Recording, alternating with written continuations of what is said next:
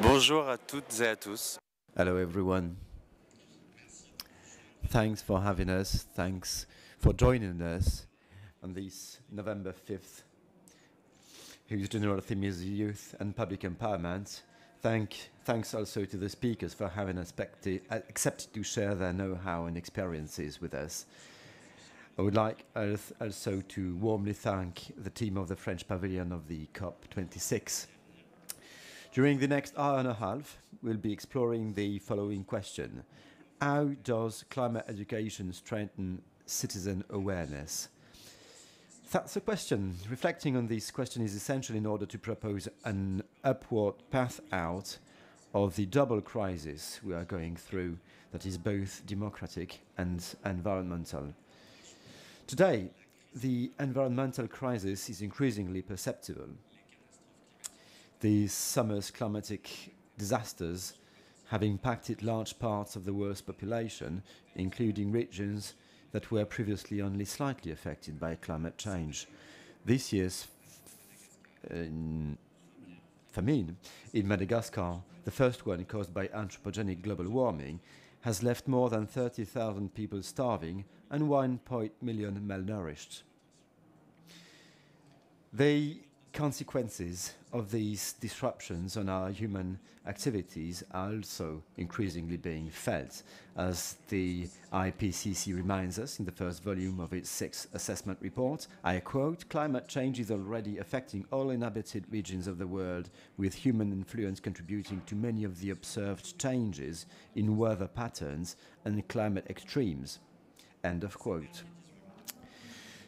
In the last 18 months, due to the COVID crisis, the lives of many people on all continents have been disrupted, making the vulnerability of our systems to any disruption visible and noticeable. There is growing concern among the population, especially among young people.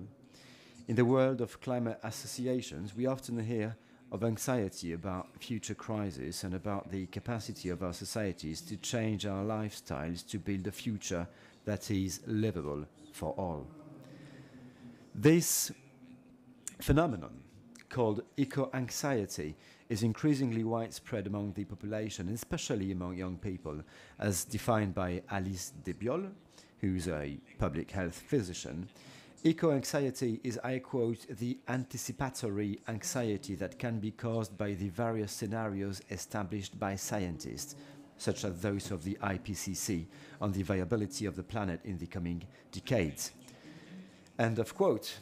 According to a study published in The Lancet in September 2021, eco anxiety affects young people all over the world and particularly in the South. Among the countries studied, the Philippines, India, and Brazil are the countries where the feeling of eco anxiety is the strongest. 85% of young people in the Philippines say they are very or extremely anxious about climate issues.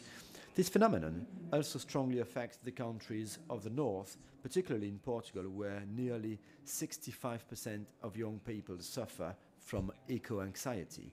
In order to get out of this eco anxiety, which can lead to deep depression, some people, like Alice Desbiolles, recommend taking action. Climate education is therefore a fundamental tool in this transition to action and a way out of the lethargy induced by eco anxiety. However, in France, education on climate issues is still not taught in the educa- educational programs of students up to the baccalaureate.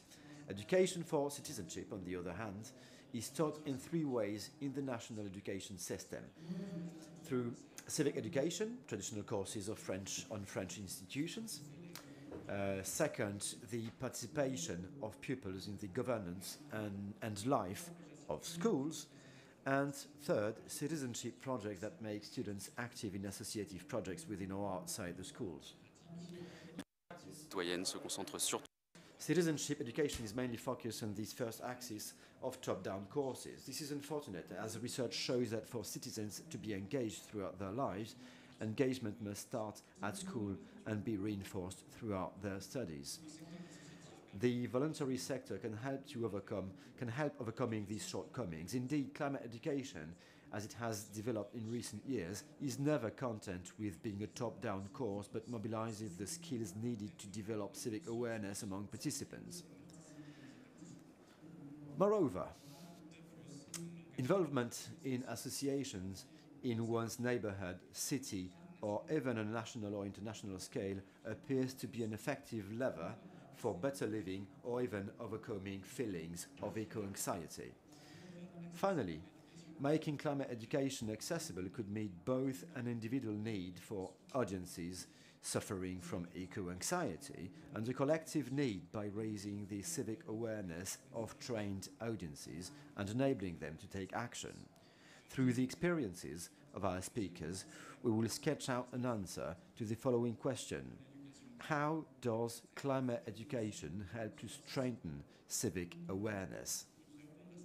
In order to answer this question, we have the pleasure to welcome four panelists, as, such as Sophia Kianni, who is the founder of Climate Cardinals, an association that aims at translating information on climate change into over 100 languages. She also represents the United States as the youngest member of the United Nations Secretary General's Youth Advisory Group on Climate Change. Uh, sitting next to her, Cedric Ringenbach, president of the and founder of the Climate Fresco and CEO of Blue Choice. Mm, sitting next to him, Manon Bourhis, head of energy and climate at the RESES, Réseau étudiant pour une société écologique et solidaire. And finally, William Feys, the president of Climate. Just to, for a good start, I will uh, give the floor to Sophia. Sophia, uh, what's your what's your initiative about? Can you uh, present it?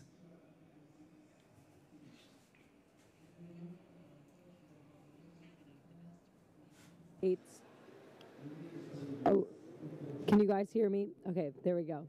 Hi, everyone. My name is Sophia Kianni, and I am a 19 year old climate activist from the United States. Uh, I was inspired to become a climate activist and to really act on the issue of climate education when I took a two month trip to Iran, which is my parents' home country. Uh, when I was there, I was struck by how horrible pollution was. So bad, I couldn't even see the stars at night. Uh, and I began to talk to my relatives about the issue of climate change, and I realized they knew almost nothing because there was a severe lack of climate education available in Farsi, which is Iran's native language. So I worked to translate climate information into Farsi to teach my relatives about climate change, and I was able to witness how increasingly alarmed they became and how they really wanted to act on the issue and to educate those around them. And so in high school, after organizing with groups like Fridays for Future and Extinction Rebellion, I decided to start Climate Cardinals, which is an international youth led nonprofit working to make climate education more accessible to those who don't speak English. So we translate climate education into over 100 languages, including Yoruba, Somali, Swahili. Um, and so we really believe that by making sure that those who need access to climate education the most, by giving them these resources, we can empower them to understand these disasters that are destroying their communities so they know what they can do about it.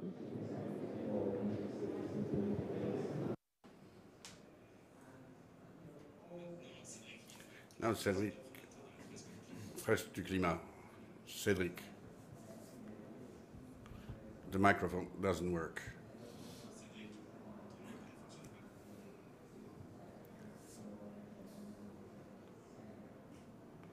On the bottom of the microphone.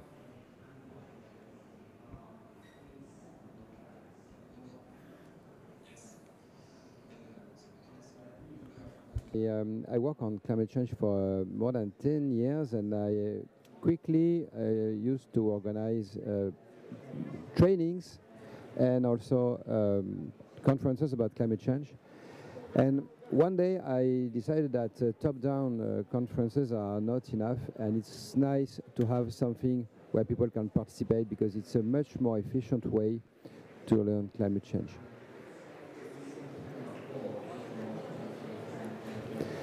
Um, so we uh, I decided to try a format for teaching, which is uh, which later has been called the climate fresque, and it's um,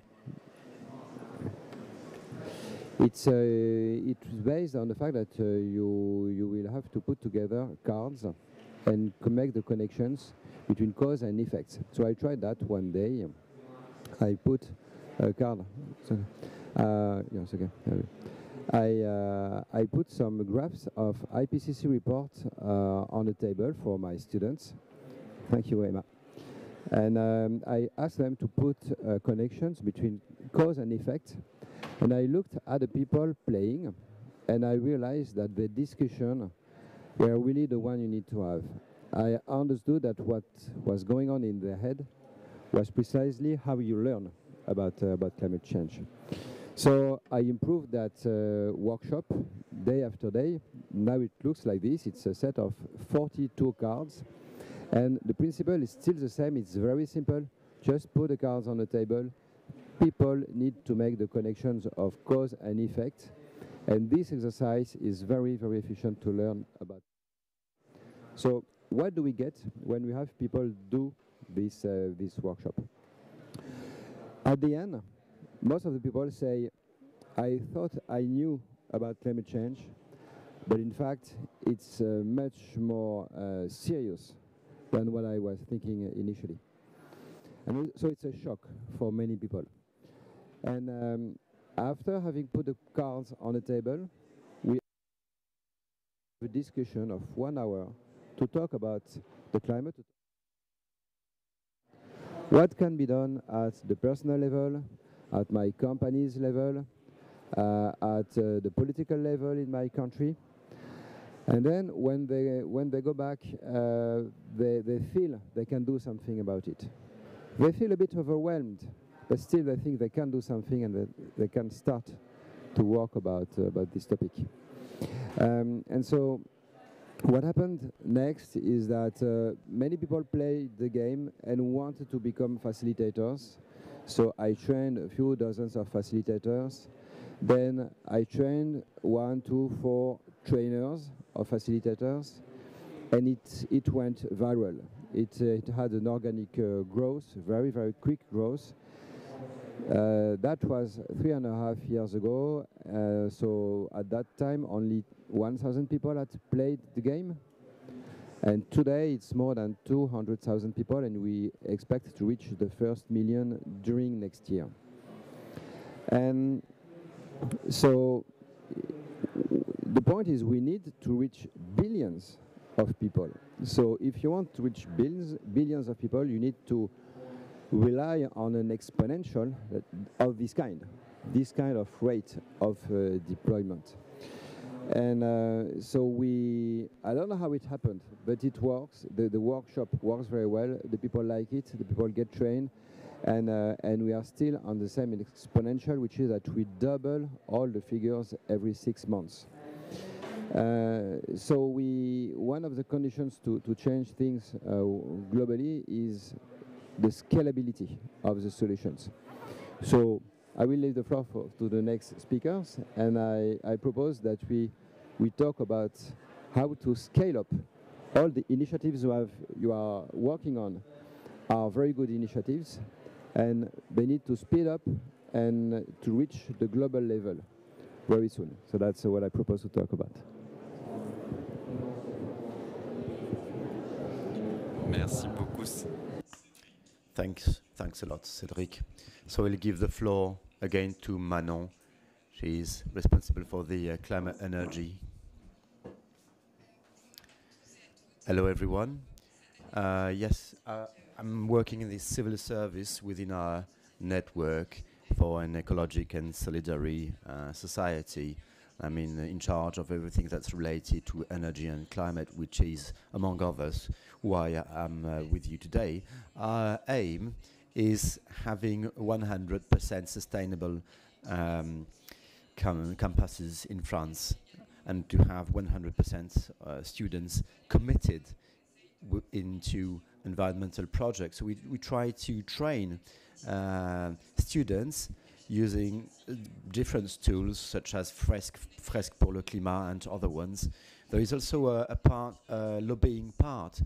We are uh, making a bit of advocacy uh, to make our voices heard because very often what happens is our voices, the students' voices, are not heard enough, and we can observe that here at the COP26. So we try to gather students and various associations dealing with solidarity or environment uh, which allow us to create good uh, good tools and to make good voices heard for all these people can cooperate and go towards more tangible changes. So we are uh, present in more than 140 universities cities in France. So it, it keeps growing day after day, and we do hope that someday we'll meet our objectives, which are quite, we, we, we set the bar, the, the bars quite high, but we'll get there. We'll go about it. Thank you, Manon. Now I will give the floor to William Feys, the uh, climate uh, chair. Thank you, Luca. Hello, everyone.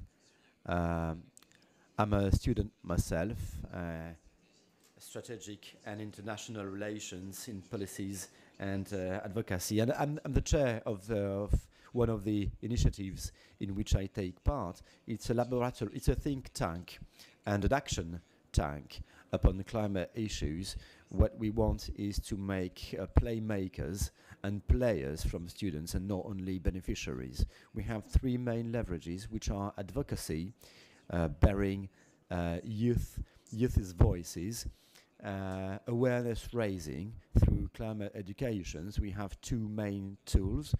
Uh, we have uh, international negotiations workshops. It's a when uh, students play the role of negotiators, such as states or other parties, uh, energy um, panels or agriculture panels. So they, they, they play the role, uh, they, like actors, they play, they play negotiators and they try to come up with uh, compromises, with agreements that are a bit above the real ones. Then we also um, work upon heat waves. It's more of a local initiative, and here as well, uh, students play the role of uh, civil societies, associations, NGOs in order to uh, find solutions concerning the heat waves. And we have one last tool, which is uh, popular. Um, popular science, making science accessible to the wide uh, public. There are two other tools, two other projects. There is IHO for France, it is, it is quite complementary. It's your voice. It's named Your Voice Counts.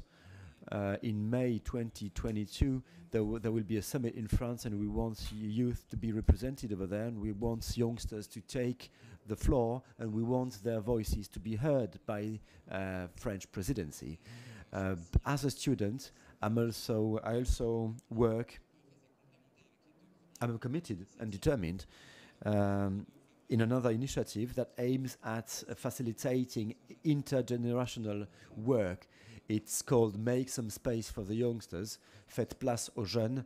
Uh, the aim being to develop tools for youngsters to have some space for them within, in, within instances, within companies, so that together with people that are present, we, we can create relationships and cooperate to favor uh, space for youngsters within projects. Thank you. Um, Sophia, je. William, Sophia, uh, it's one the, the, the, things you study, uh, education and uh, raising awareness about the climate. Could you give us your point of view on uh, on the subject and the challenges international uh, on the international scale? I would like you to uh, to to tell us more about these challenges.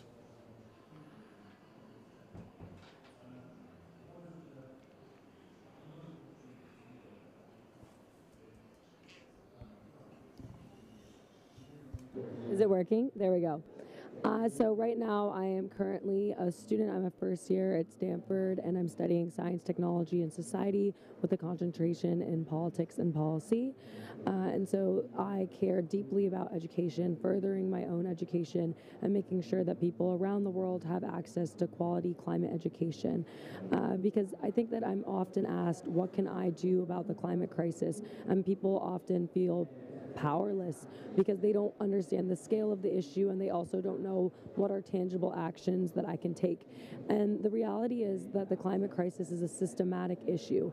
And so, no matter how much personal behaviors change and how much consumers alter their personal consumption habits, we're still going to be faced with the roots of the climate crisis, which is ingrained in climate policy. And so, I love to teach people about climate change because then they can understand, well, then the power of my vote counts. So, they learn about climate change, they start to care about climate change, and then they'll go out and they'll vote for climate friendly candidates, candidates that pledge to take action on the climate crisis. Um, and so I, I, think that climate education and education in general is so influential in empowering people to feel like they, they can make a difference and that the, the work that they're doing matters.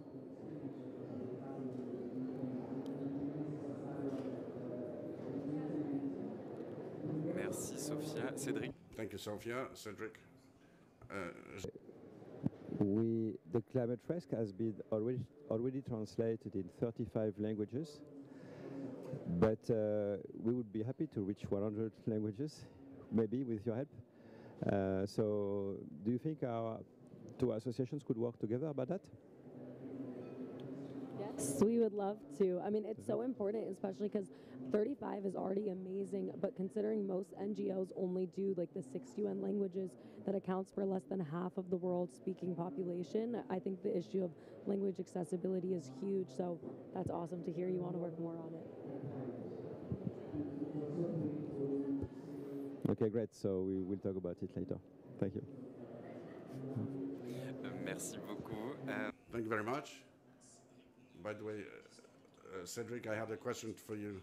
The uh, education for the climate, you can answer in different ways. In the first, you have different, you have tools that mobilizes the, the participants that are engaged during uh, the, the whole workshop. Could you tell us why these tools do work? Uh, why did you take this choice?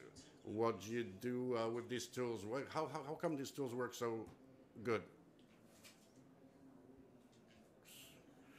I I think one of the reasons why it works well is uh, that it's interactive.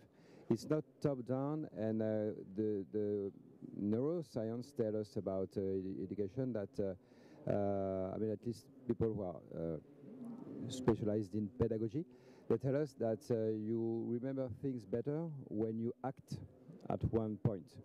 And so that's the reason why the fact of putting several people around the table doing something and doing it together uh, is a key to success. Is the fact that uh, you you learn by uh, try and fail. Uh, you you put the cards on the table, you make a mistake, you you correct it, you disagree with people, you argue. When you argue, it's very important you have to to look for the right words, uh, and um, and by doing that, you you really need to reorganize your thoughts and um, and by that you you learn a lot. Uh, it's like when you know when we say that uh, when you teach something, uh, it's it's a very good way to learn to learn it, and uh, so it's a, it's a bit the same kind of uh, of mechanism. Uh, but then um, then apart from that. I, I, I, didn't really do it on purpose. The climate fresque, I just tried something and I realized that it works. So then I improved it. But I, I, did not. Um, I was maybe I was not able to, to, to do it on purpose. So that's like like many things that succeeded. That uh, it's a, it's a kind of uh, an accident. And now why it's working, I think it, it, the, the, the fact that it can scale up, that's because people like the experience, and then they are very motivated to become trainers and facilitators themselves. And the rate of uh, transformation between a, a, player and a facilitator, this is key for the for the growth.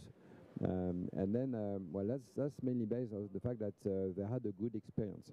And all, it's also one reason for us to keep the right level for moderation. We need to have very good uh, facilitators who who bring a good experience to the players. Si je peux me permettre de réagir, Lucas.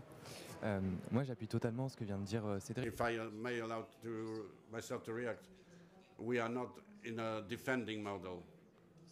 What I'm saying, for some it works. We, we all have our ways to understand things. Some appreciate the, this model. We in climate, this is what we favorize to. This is the, the cooperative model when people work together, looking for solutions uh, on challenges, whether it's uh, uh, the international neg- negotiations or uh, within the city to, to fight against uh, a wave of heat. So we reinforce the legitimacy. So the youngsters, uh, they can play the role of, uh, this, of a deciding person. So I take a position. So once uh, my, uh, uh, I I rose my awareness, I, it reinforces my civic uh, conscience. This is how I understand it. How do I uh, imply myself for the good of a society in which we, I am? So it's reinforcing the legitimacy, legitimacy of youngsters and to understand I'm able to, and then to go uh, speak with the, the, with politicians and tell them this is what we did, uh, this is what we've imagined. So why don't you do this? Of course, the challenges may be different, but the youngsters are able to take decisions and to find measures that are in, innovative and that have an um, impact. Thank you, William. On a parlé des, We've been talking about the uh, modalities, about the way these games uh, function. These games, these uh, these workshops, these trainings. Uh, I'd be interested in uh, knowing to what kind of people these, uh, for what kind of people these trainings have been created, and how about the uh, the to what extent they are interested and what type of people are, are taking part in not in terms of quantity but in terms of commitment yeah i'll keep on talking uh, in french uh, within the fresque du climat there is a question that is often raised and asked being the one you asked to whom are you speaking what uh, we often talk to people who are already climate activists. That's true. And the social media make we live within bubbles. So it's very difficult to make this, uh, this scope wider. And this is a huge challenge for all the activist associations to make them voice their voices heard by people who don't think the way the, think the, the way we think. It doesn't concern only ecology and environmentalism, but other. Uh, from a political point of view is the same thing. And environmentalism is a political ideology. So and you, you have to um, to uh, to make it to other. You have to make to speak up with uh, people who are not used to uh, to hearing your, your your voice and with people who don't agree with you and it is far harder and that's a huge challenge of course because some don't hear us some hear us but don't agree with us that's right. Uh, within the RESES, we, will, we, we speak mainly to students, and we struggle with uh, speaking with, uh, with other people. And I also have the feeling that the only people who hear, hear us already agree with us anyway.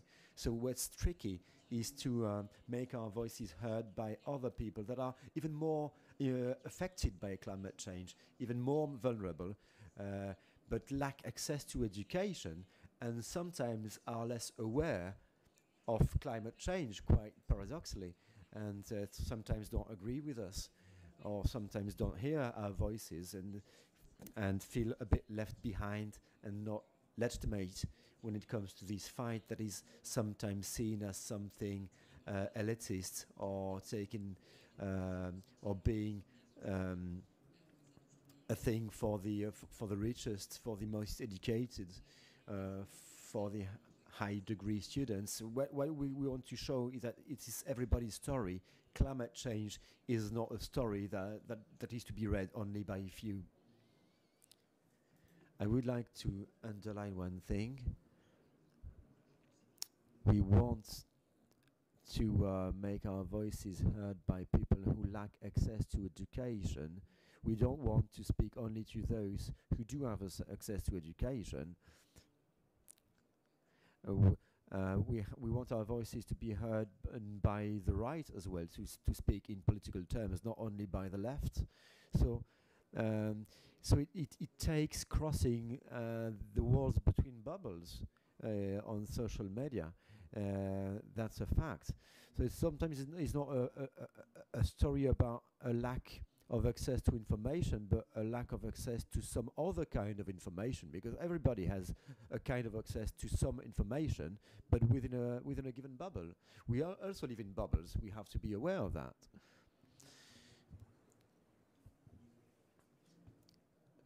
Uh, Sophia, uh, are these questions? Does it look the same way for you? How is it in your in your situation?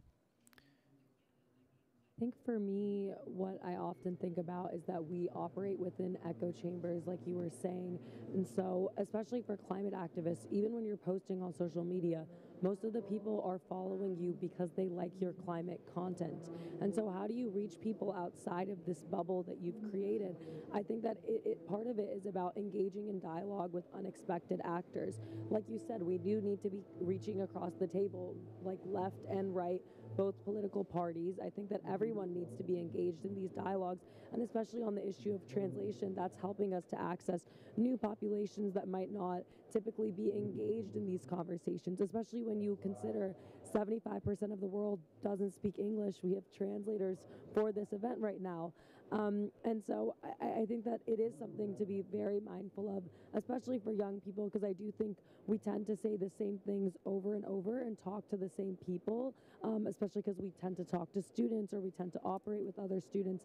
But we need to really also enforce intergenerational dialogue, reaching out to new groups and seeing where are different places where we can make a difference and reach these populations that maybe they know about climate change, but they don't understand how extingent the issue is and what we can do about it and why people should care.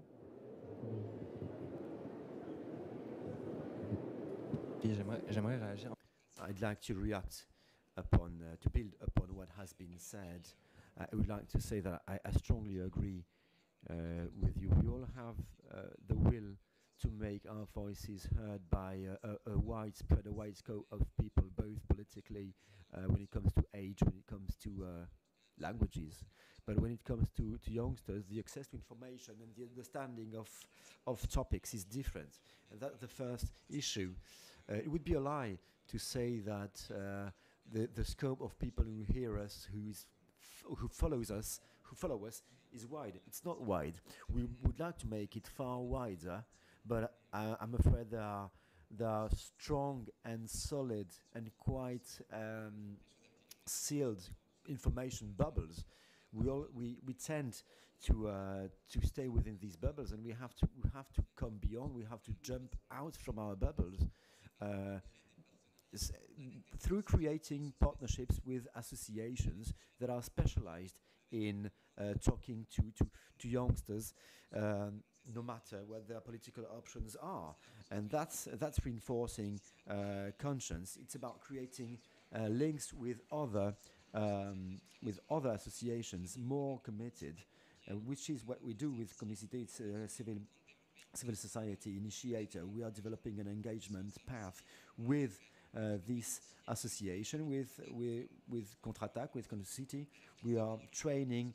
Uh, we're training people in the on, in the field of taking the floor, of speaking uh, publicly, such as we are doing now. So you, this is a way to speak to people that you you wouldn't be speaking to uh, beforehand, before because they are not within your bubble, but you you build links that way, uh, and that's that's what it takes. It's about finding a, a path towards people you, you wouldn't reach. Add is that um, I think one of the problems is also that we shouldn't only focus on young people, especially because a study six years ago found that 40%, two out of five adults in the world, had never heard about climate change. So increasingly, we see that young people, the younger generation, were getting access to quality climate education. Finally, schools are implementing climate curriculum. But what about the people like 20 years removed from us, older than us, who never had access to clim- quality climate education and might not be as informed. Uh, and so I think we definitely need to take that into account in our approaches of like, yes, we are making like climate curriculum available in schools and we're talking a lot with young people, but now the young population is energized and has a great understanding of climate change. So, how do we now reach the older generation that still might not know much about climate change or might still be climate skeptic.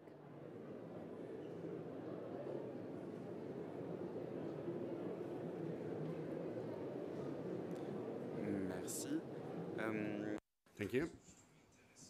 What I, what I see here is that we're talking uh, about initiatives touching uh, different audiences. When you do we have examples of itineraries of people that uh, life changes after workshops? Uh, we with different uh, workshops uh, in town. Do you have examples of people who started with by a, by a, some a workshop and then who uh, who became much more involved, concretely involved, uh, whether it's in within the the, the association or an, or a, a public institution, in order to uh, to participate and to change the world. If if I may, I think there are hundreds of examples, but I think it's very important to to remind that uh, it's my personal opinion.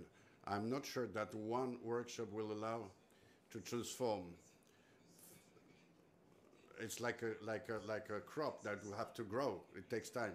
It's relationships, contacts, discussing with people, uh, with people who don't we disagree with you, meeting people, and uh, mutually uh, train each other, and uh, be among young people, among generations, between generations, we can we can do things. I will take an example that I met in CliMates. Uh, Pauline, who may be looking at us today, who entered into CliMates by accident. She, uh, she was on Facebook or something and who, who became uh, very engaged on our side. Then she's learned about the, the challenges and she's so uh, engaged with us and we, she works on a for, uh, excellent event that we are organizing in, in December in Warsaw.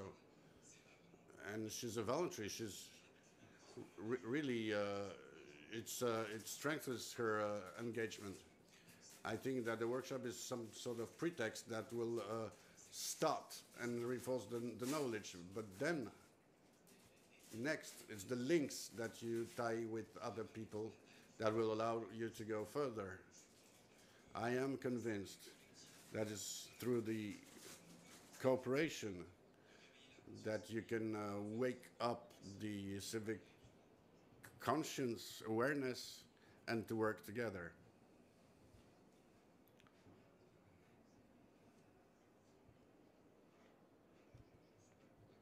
I'm not in contact with all the people who, uh, who made the fresco because they are very numerous.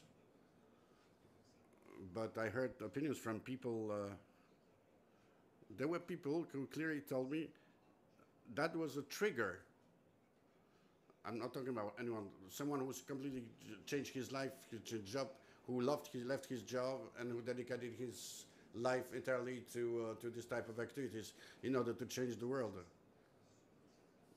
I am I'm very touched to see these things like that. You are absolutely right. It's like a grain that you put in the in the soil and it will grow up. It will become a crop and it will grow as a tree and then you'll join the community, you'll engage yourself, and, uh, and so on and so on.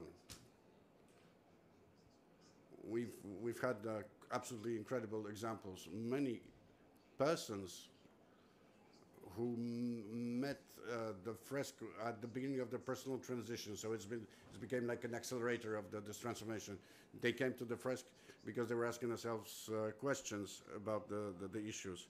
So they were actually already changing their jobs and the fresque became a new job, a new way of life. And they became uh, professional moderators of the, of the fresque. It's one of the, the things that I uh, see as incredibly positive uh, with our project. They are associative. Uh, They allow to people to make their lives, to, uh, to make money uh, while working for a client. the, the I mean, you, you don't have to be a voluntary worker. You can you can you can make money on it. Just gain. Yes, I, I think it's cool. It's excellent that the association allows a lot of to a lot of young people to to make money with their activity. I fully I fully agree. Uh, the, the, the, agree with the, the story of the grain and growing and so on and so on but as we youngsters, we not need to be accompanied to as you were saying, Cédric, uh, there's lots of uh, job connected with the environment. We uh, we propose. Uh, we invite professionals to, to, they come, they talk about what they're doing, they propose scholarships and all sorts of uh, uh, activities. So we have lots of feedback out of it. People telling that it was extremely useful, and it shows you th- that you can uh, engage directly and uh, for the future through this s- small workshops and so on and so on. Thank you very much. So as we've seen, there are pathways that have been modified. There are life pathways, professional path paths that have been that have changed, and changes for everybody are an important thing. But Cédric has asked how to upscale initiatives. There is um, a Paris Initiative member that is to join us for the last last half an hour, but until then, I wanted to ask you how, within initiatives, you manage to scale up projects to uh, to ensure their maintenance, and how do you grow things? How do you grow things? Sometimes very quickly, by the way. I think I'll start because I have kind of a funny story about this. So, my nonprofit, I started it about um, a year and a half ago, and we launched through a TikTok video. Uh, so I had one of my friends make a video explaining like what the concept of our nonprofit was and inviting people to volunteer with us. And so the video ended up going viral and it reached a couple hundred thousand people. And now today we have over 8,000 volunteers in 41 countries with an average age of just 16. And so we were able to very successfully leverage social media, the power of just organic word of mouth engagement to mobilize thousands of people to join us. And so I think that in the current age, leveraging social media is so critical for getting people involved in the fight for climate action, especially because I think even with the rise of youth climate activism, so much of the strikes, so much of like the words of activists is spread through the media, through press, through social media. Uh, and I, I- I think that because of this, it's so critical for us as climate leaders to be engaging on social media to make sure as many people far and wide can hear our message.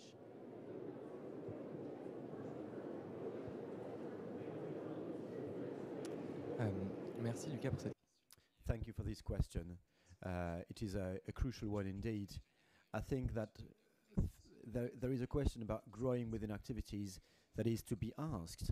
Uh, how do we do in order to engage as many people as it takes? I have also a very concrete example. Uh, high school students in Sablé in France, it's a very little town. Um, one of our volunteers um, led a, a training over there uh, they didn't know a thing about heat waves in cities, but they get they got some uh, some degree of awareness thanks to the workshop, and they started to organize themselves workshops in other classrooms, in other classes, in other schools. So it's uh, it grows then exponentially. I've been trained. I've taken part in a workshop. I found it to be interesting and important. So now I'm. Uh, I'm uh, I'm going about it and making the same thing on my own to uh, to to train to other other youngsters in my age, and that is the force of uh, it's a culture. It's it's a common culture. It's the feeling of being part of a of a of a team. It's about strengthening links between people, between activities, between projects. It, it's not always. It's not only awareness raising. It's meeting people. It's it's connecting with people. It's about human relationships. It's about making friends, and uh, I, I like very much this compari- comparison between uh, this uh, love relationship. Uh, you discover first. You, first, you're afraid, but you, you take a look. You discover some somebody, and uh, it's it takes time, but you, you you strengthen some links, and this is this is about growing. It's growing human relationships, hu- growing ties between people, like in a, a, a, an, uh, a romantic relationship or like in friendship, because it's about friendship. It's about community. It's about team building uh, for the message to be heard as widespread as possible.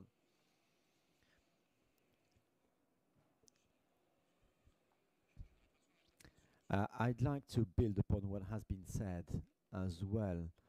Uh, we've been talking about the, the fact that we have to make a living out of our main job sooner or later. And if we have, should we have to grow, it can only be we can on, we cannot have only um, no cash in hand volunteers. You know, it has to become a job. If you want to have a proper tool, you have to ask the um, the question about the business aspect of things. And I do talk about it with uh, with uh, some friends from other associations, um, with Kemet Interactive in France, and uh, with uh, quality leaders. That some tools have to be available uh, free of charge but sometimes it is not possible to sell anything, and that's a bit of a glass roof. That's a bit of a limit. You can't go very far without making something, when everything is free of charge. Uh, I mean, it seems nice on paper, but if you can't pay anyone for anything, it becomes a bit of a barrier. In fact, there are things that should could sh should be usable by companies. Uh, and they would and they would uh, they would pay, for example, 10% for our association. 10% is enough.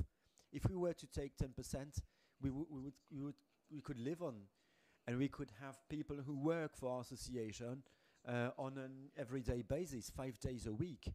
Uh, and that would be, uh, and then it, would be a bit of a virtuous cycle because the more we would grow, the more money we would raise. The more money we would raise, the more we would be structured, and the more we would grow, and we would become more professional and more eff efficient.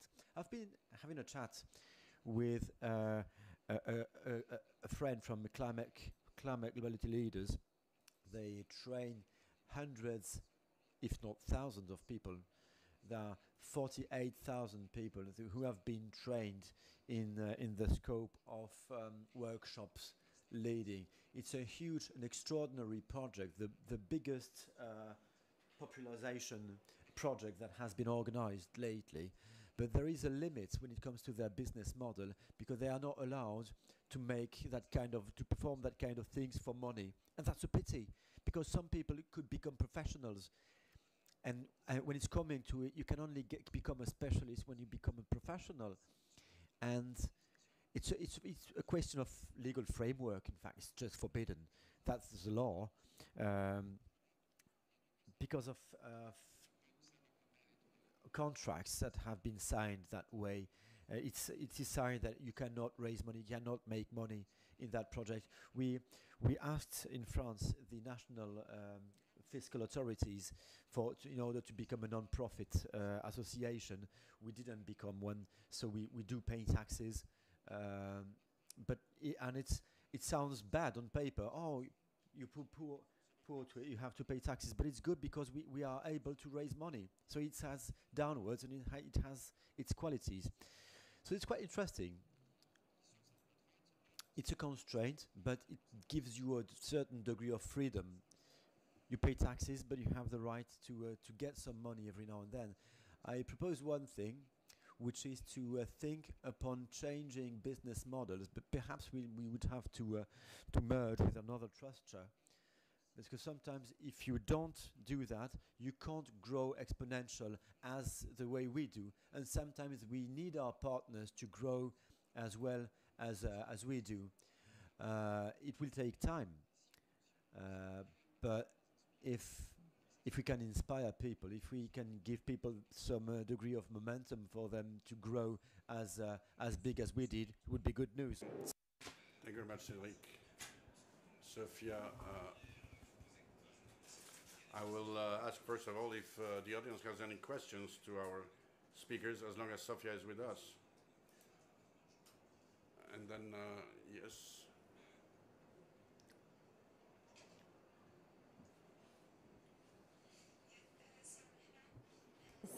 Thank you so much for your uh, intervention.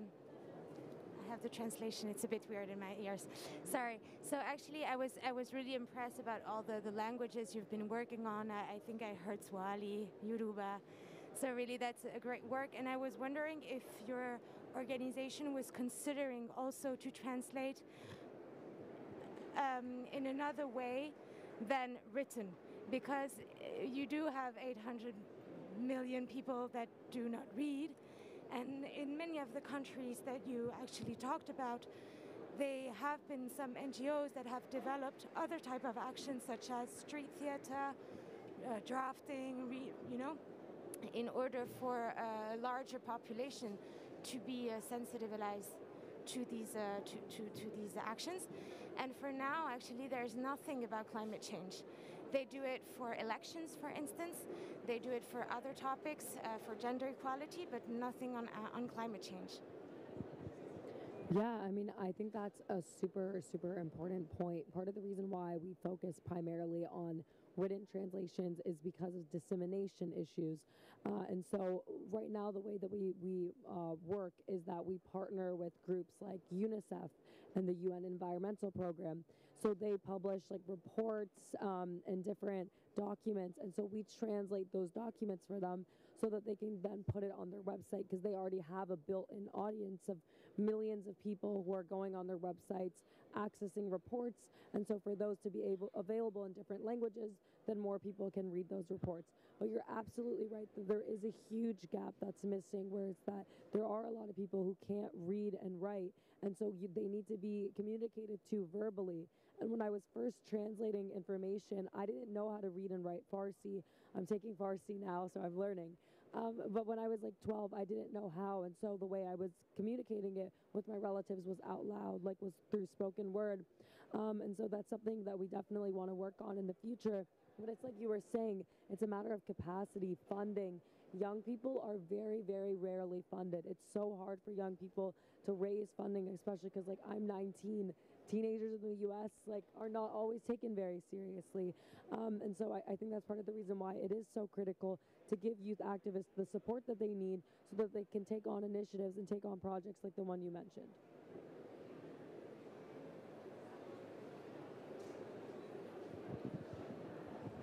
Um, I'm Climate Fresque facilitator, and I just want to add one point. We have translated the Climate Fresque in science languages for the deaf people.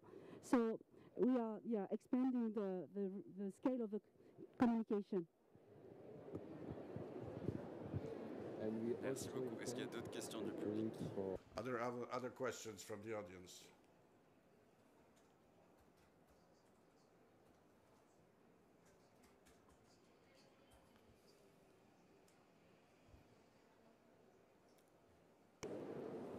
Thank you. Hi. Um, uh, co-founder and CEO at Climate Science.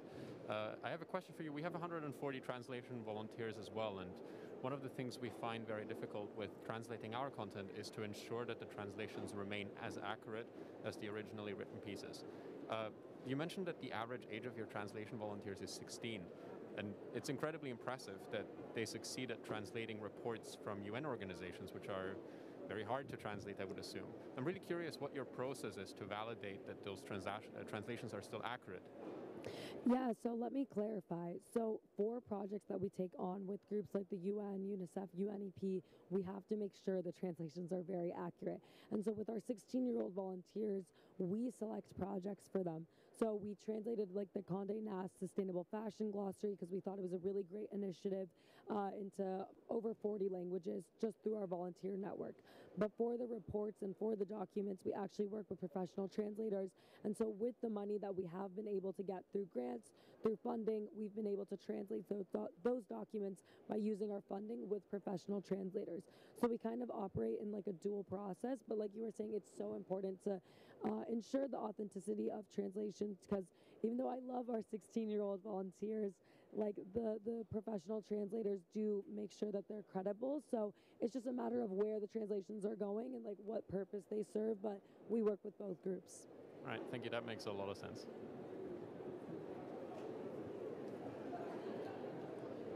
Merci beaucoup. Euh, Thank you very much.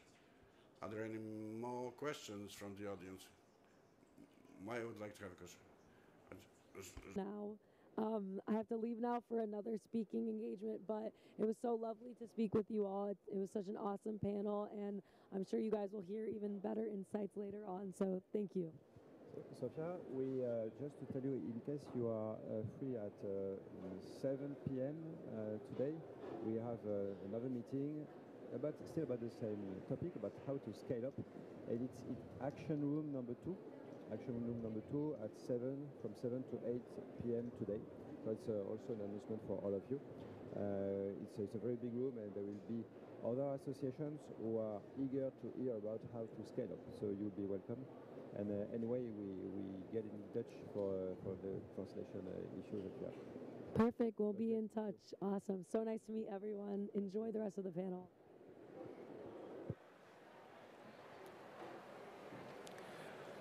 Euh, merci beaucoup. Au revoir, Sophia. Merci. Thank you very much. Bye bye, Sophia. Thank you for your participation. I would like to continue because we've talked about the problems uh, that uh, climate cardinals uh, encounter uh, in your uh, initiatives. Do you see any limits and problems that you have um, problems to overcome today? We'll be talking uh, in a few minutes with the, about the relations with public institutions. Uh, do you have problems to uh, to attain to get to your uh, audiences or not? I would like to uh, uh, to, to to react to what um, Cédric said about growing by financing the, the workshop. I think that's a question that we ask ourselves within uh, our organization. It's very relevant. I, I think that it depends on the, the identity of the structure. Uh, climate uh, thing is a voluntary structure. We only have a few uh, people who work for money, but otherwise it's uh, done by youngsters. But it's also through the, the audience who's uh, present uh, in the organization. I know that uh, we'll be unable to grow only by uh, remunerations.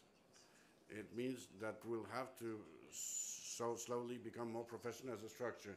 Do the associations want uh, the status of association? Uh, is it shouldn't we have shouldn't we have a structure that is voluntary?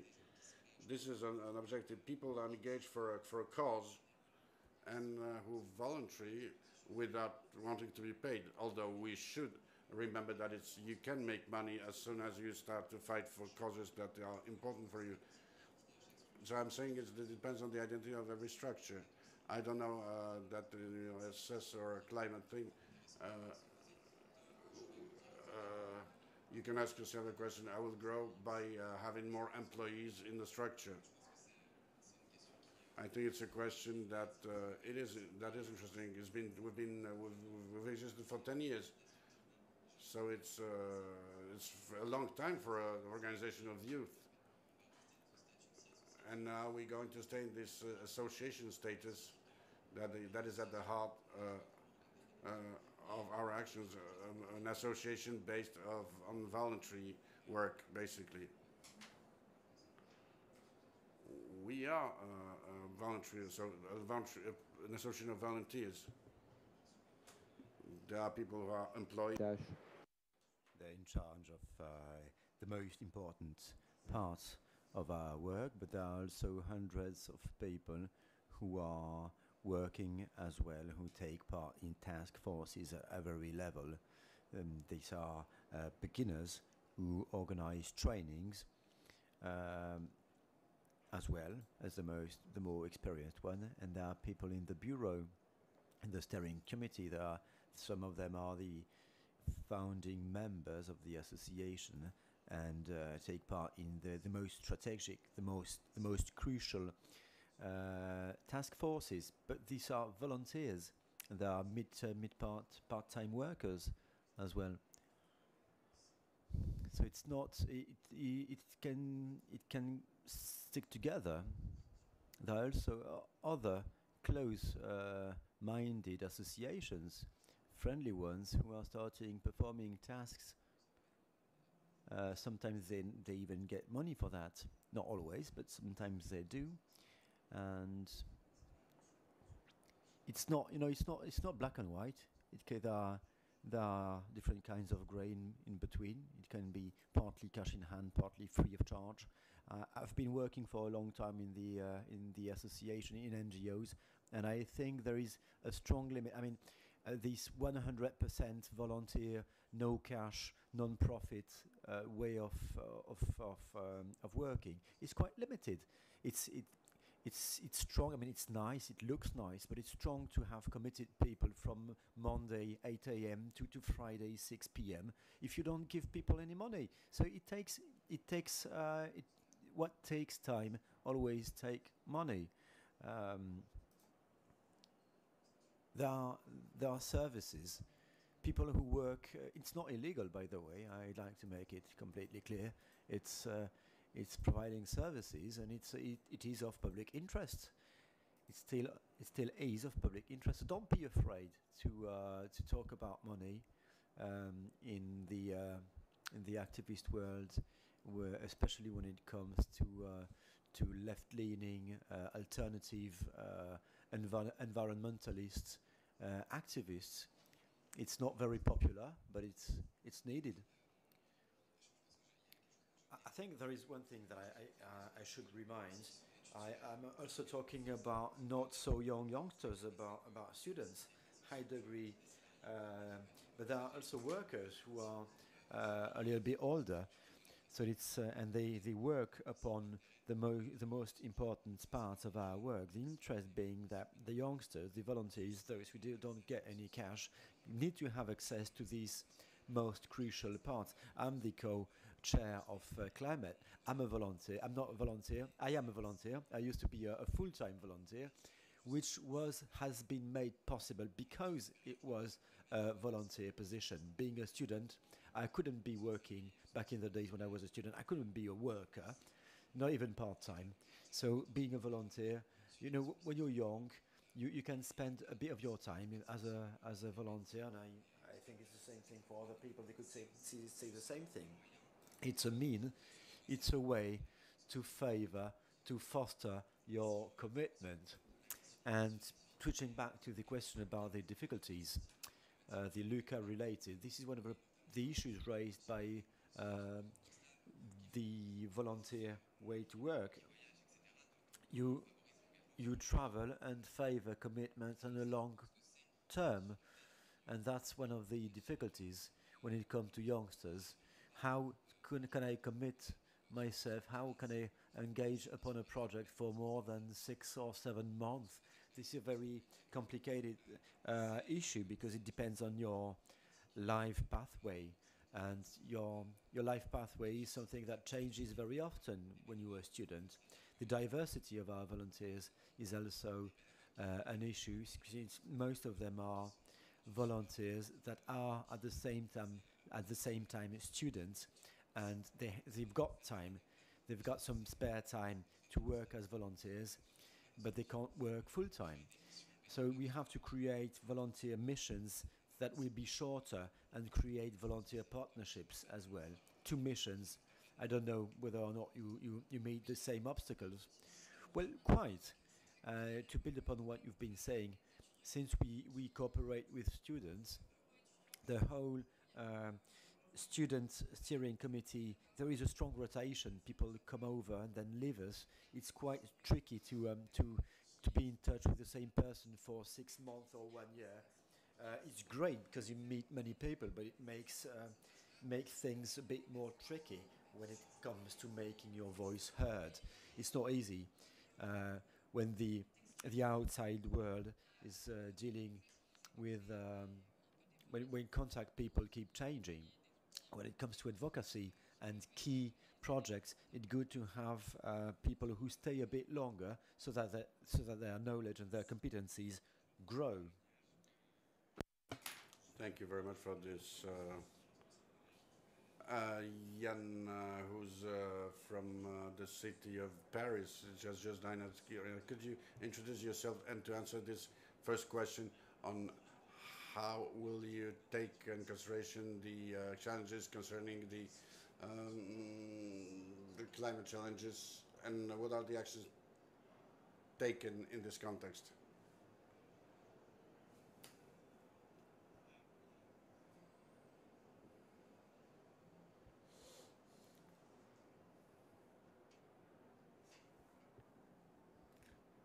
Sorry. It's a great pleasure to be with you. The education for climate, it's, uh, it's a very important challenge. You've learned that uh, last September we've, we've, we've created the Academy of Climate in the uh, old town hall of uh, the fourth uh, uh, district in, in Paris. Why this project? You know, the Paris uh, is working on climate issues for since 2004, and we realized uh, progressively that, that we were missing tools. The education made its work. Maybe it's not enough, but we can see uh, very well uh, the subjects about the mobility of youngsters and others. You can see it in many uh, companies. You've trained people uh, to for the uh, about the climatic changes and you ask why they do this or the other actions every day, and then they change job. If you have to train new ones, so, so it's very important. The education is important, and we told ourselves that uh, if we uh, go through schools uh, in Paris, there is no single place where you could uh, change, exchange, uh, discuss, and talk about the future, and to, to, to make a, a discussion, uh, a shared education where, where you share knowledge and our worries, our doubts, and because we've heard uh, lots, we've heard a lot from for dec- decades. while Jack was talking about the things we're not sure of uncertainties, and but now we're certain of everything. I will not present you the, the Academy of Climate now because it's been presented already here, but it's a shared governance. It's not a it's not a project only of the, the city of Paris. It's with uh, lots of associations, so we can share uh, different approaches also for the for the youngsters less than 25 years old. So we, we thought there was something missing, and this academy uh, was supposed to deconstruct all this for now there's not no no uh, scheme uh, that uh, tells everything that has to be, to be done. We're making mistakes. Uh, we may have successes. We have defeats. So we are trying to, to make two, two, two weeks of animation around the cup. Some work better than others. Sometimes it works. Sometimes it doesn't because there are technical problems and so on and so on. There's also this the, uh, the Academy of Climate. It's a, it's an exchange in order to progress together the, edu the education for climate does not, does not belong to one person. I can see that uh, it's translated in many languages. That's fantastic. This is the idea to share. I am a member of uh, the administration. I'm an engineer. Uh, I work with different cities, and we always share with colleagues. And I think it's the same spirit about the education. So uh, to, to work uh, together and to share our knowledge.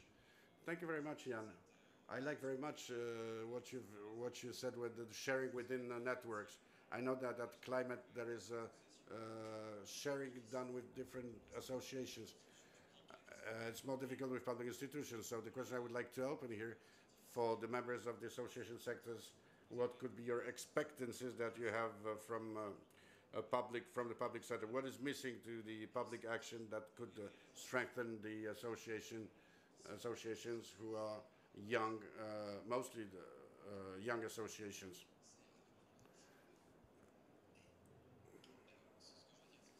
What I want to say that with the, with the knowledge what I have about the public uh, institutions, I'm not a specialist, so I'll make mistakes. So I forgive me in advance.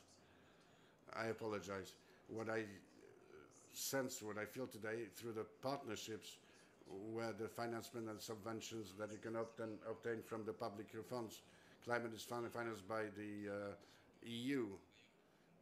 Uh, the EU uh, has lots of possibilities.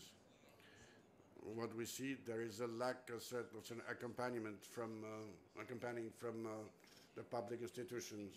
It's difficult when you're a voluntary uh, to understand the social financement because when you finance there is a whole procedure of uh, indicators of the of the of result reporting and so on if we don't attain the results expected, uh, the those who finance are not very happy. That's one of the complicated things. The second thing is that uh, quite often, uh, that's the case of every institution, we finance projects. It's great. The projects are financed, you can uh, you can you can conduct lots of uh, actions, and then uh, human resources. We finance project, but projects with who? Who's going to work inside? There, there are projects that financed by the EU. We have one person who has uh, uh, was remunerated for, for working on the European project. The, the rest of the work is done by uh, the voluntaries. It's complicated because, of course, the institutions want results, and this is this is what is shown to the public.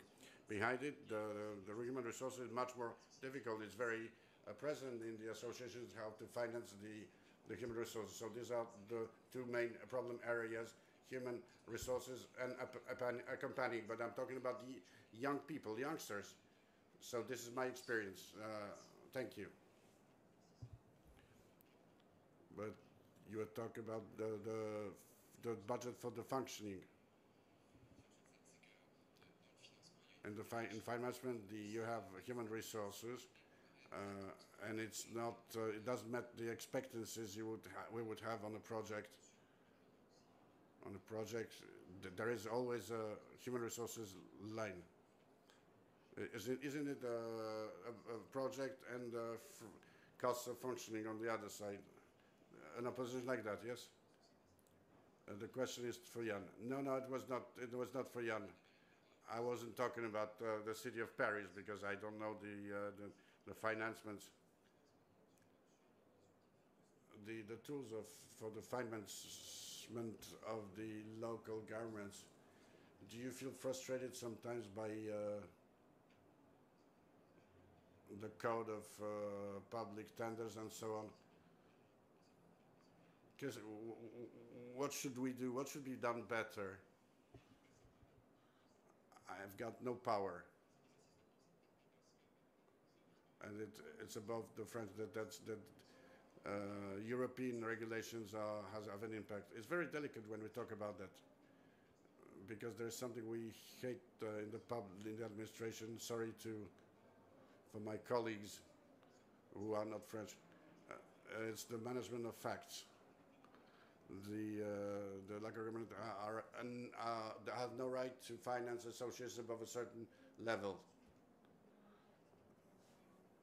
Uh, the, the, the, the, idea of financement is to develop projects that would be interesting for the territory and the citizens, not to control it. And we have no right to go above 80% of uh, public financing on projects. So I understand the frustration it creates and the problems uh, uh, connected. Although we are less technocratic than the uh, European Union, but I, but I see it. We go through European tenders too. What is complicated for association is there. The, the, the real challenge is how to manage the, um, the finances of an association. This is how you should see at the, the national level. How to accompany the finances of the, the management of finances because we generally uh, we do a project and then you have to play on the uh, improvement of the, the salaries and the organization of the, the voluntaries. This is, this is how it works in, within associations. You have to associate uh, voluntaries with uh, the equivalent of time to, to, to increase the, the finance and to, uh, to get more money. This is, this is a problem of, uh, a subject of partnership to uh, you have to, to share with uh, premises. You have to, to to show all sorts of um, costs. There is a dramatic subject on territory like like us, where, where a square meter is very expensive. All the, the local governments have to, to have things to, to give at our disposal to, to facilitate the uh, the meetings, the the work. We all want to go back, exchange, and uh, here we have a, a, role to play as a facilitator. And to get back on the subject, we have to use the capacities of the collectivities to, uh, to, to, to, group partners, institutional partners, but also uh, private, not only public partners, so we can work all together. This is where we want to we want to be at, around the table. It, can't be always bilateral we want to create a core of finances. Because uh, you always have the question, so who's financing you behind? that could be interesting to develop in all the, uh, the local governments in the regions, etc. Pour revenir sur la Yeah, and to switch back to that your question, I do agree with you that what we lack the most, according to the youngsters, um, is buildings, meeting rooms to gather and talk within public institutions. What we lack is also youngsters, youngsters that would be on on site and could uh, uh, speak speak up uh, in the name on behalf of uh, of the youth in general. My feeling is when I talk with associations and even here during the COP26, uh, there is a uh, we have the Pyongo to in order to discuss, but we have to talk with the leaders in order to uh, to be a voice, a voice that has got an impact, and that's a role to be played by the public institutions in the future, to hear, to listen to uh, to the youth's voice more directly.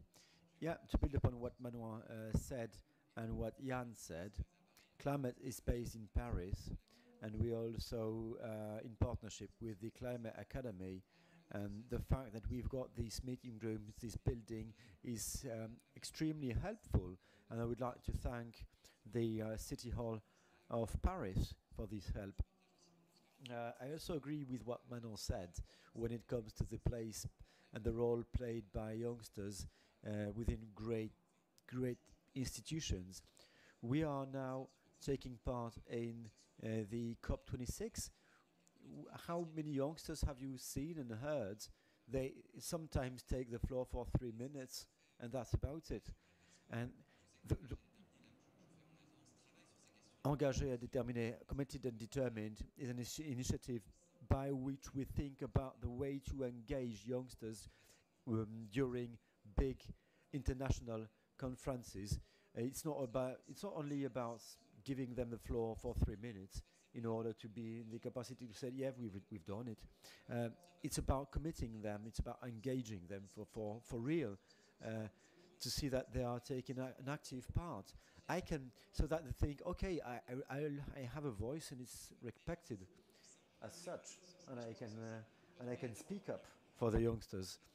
The, this is the, uh, the value that delegations, no, no matter if they are French or, or from abroad, uh, need to, to bear youngsters with them we they also have a certain degree of, of knowledge about the, the topics we uh, we talk about. Uh, you, you're, you're right. Uh, there, I, I, we share this frustration. We have the we, we get the same amount of time as cities. During plenary sessions, you get two minutes when you are a city. So the cities are treated just just like youngsters, and they keep on saying that 70 we uh, cities are responsible for 70% of greenhouse gases emissions. So we we we we make 70% of the greenhouse gases, but we don't get 70% of the time to speak. And that's quite frustrating. But you're right when saying that you you should have you should get more space and more time locally whenever possible. And this is a COP. This is about experiences sharing, and should good experiences be uh, be shown, showcased, the access to discussions, the access to uh, to knowledge is important. We are not there. We're not 100% there in Paris. We've opened the uh, Maison des Jeunes, the house for the youth house. We work with the Paris Council for Youth, Paris Youth Council, that is quite critical about some plans. Uh, some proposals of ours um, uh, haven't been chosen. Uh, there is a, there will be another. Uh, there will be a representation. I don't know how uh, we have to. There is a message that we have to throw within different communities in France and abroad, which is about how to hear the the youth's voice, and there is a common work to do together to see the YOUNGO, the Ahau GMS work uh, upstream because there are uh, plenary sessions and conferences that, that should work together. And in terms of strategy, our presence at the COP26 is uh, quite valuable. we don't do that. We don't do the same thing at the European level, and that's a pity. That's something we should start doing. Thank you, Yann. We'll be. Uh, we are about to end this discussion. I would like to give the floor to uh, people who are list to have been listening until now for a quick questions and answer session. Bah, dans ce cas, euh, je vais continuer par One question in that case. You were talking about partnerships that could be uh, created, and my question that we I will ask you, Yann, is about the obstacles you have to deal with when it comes to your work with youngsters associations. Uh, putting this in the context of, of what William was saying, there is a strong rotation. People show up at work, stay for six months, and then go away. So, what do you lack the most in this context? What the worst thing? Uh, what could youngsters associations do to uh, facilitate cooperation with public institutions? I, I'm not sure I'm the best choice when it comes to discussing about this topic because yes, we, we there is a turnover uh, within our association because that's how it looks like when you deal with young people. Keeping people is quite tricky, and it also takes time. Uh, where our association changed its leadership, but we always find a way to talk with the City Hall of Paris, who helps us finding people and find helps us finding uh, money as well. Just like with many associations, and not only youngsters associations, some of them are quite rich, some of them uh, failed bankruptcy and change names. It's a good thing to ask um, uh, every time an association has changed its name. It's a good thing, by the way, to ask why they changed their name, um, because yeah, it can show whether or not the association is a, a, a serious player. But uh, the uh, young youth association of the it's not an issue for the youth association of the city of Paris. William Manon, uh, how is it when it comes to you? Do you work upon the fresque? Uh, You, as a fresque, do you work? Do you cooperate with association? Is that a path that you would mention? No, not that much. Rather, we didn't even try because we grow too fast.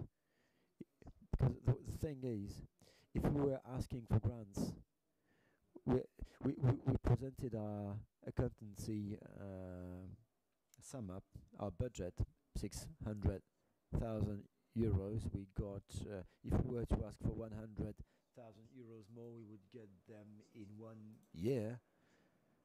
Uh, it changes. It changes too fast. In two years, it would be a, a matter of million euros and not hundreds of thousands. So the time it takes for you to prepare your your application means this reality will have changed before your before your uh, your file makes it to the to, to the desk to the final desk.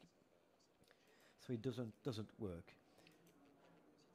Since we grow, we're growing too fast, and mathematically we are quite young uh, in comparison to our weight and size, and not very well known. I mean, we are a, a bit uh, known, but in comparison with our size and weight, not so much so. So it's not really. Uh, we don't get any public money anyway, and the good news is, good news are we don't need public money. We we get private money. We are, not that we are against, not that we would refuse, but the fact is we, we don't get any for, for now, and we, we don't need any. And we are more efficient uh, for the time being, working as we do now. Thanks a lot. And that will be, I guess, the last question of this roundtable. Cédric, you've been talking about freedom and about not working with public institutions. Well, it's not. I mean, the fact we don't work with. Uh, we, we have a certain degree of freedom and we don't work with public institutions, but uh, this wasn't to mean that anybody who's working with public institutions doesn't get any freedom. Well, that was the question I wanted to ask you, William and Manon. Uh, do you feel sometime cons- some constraints, some uh, a certain degree of a lack of freedom because of working with public institutions?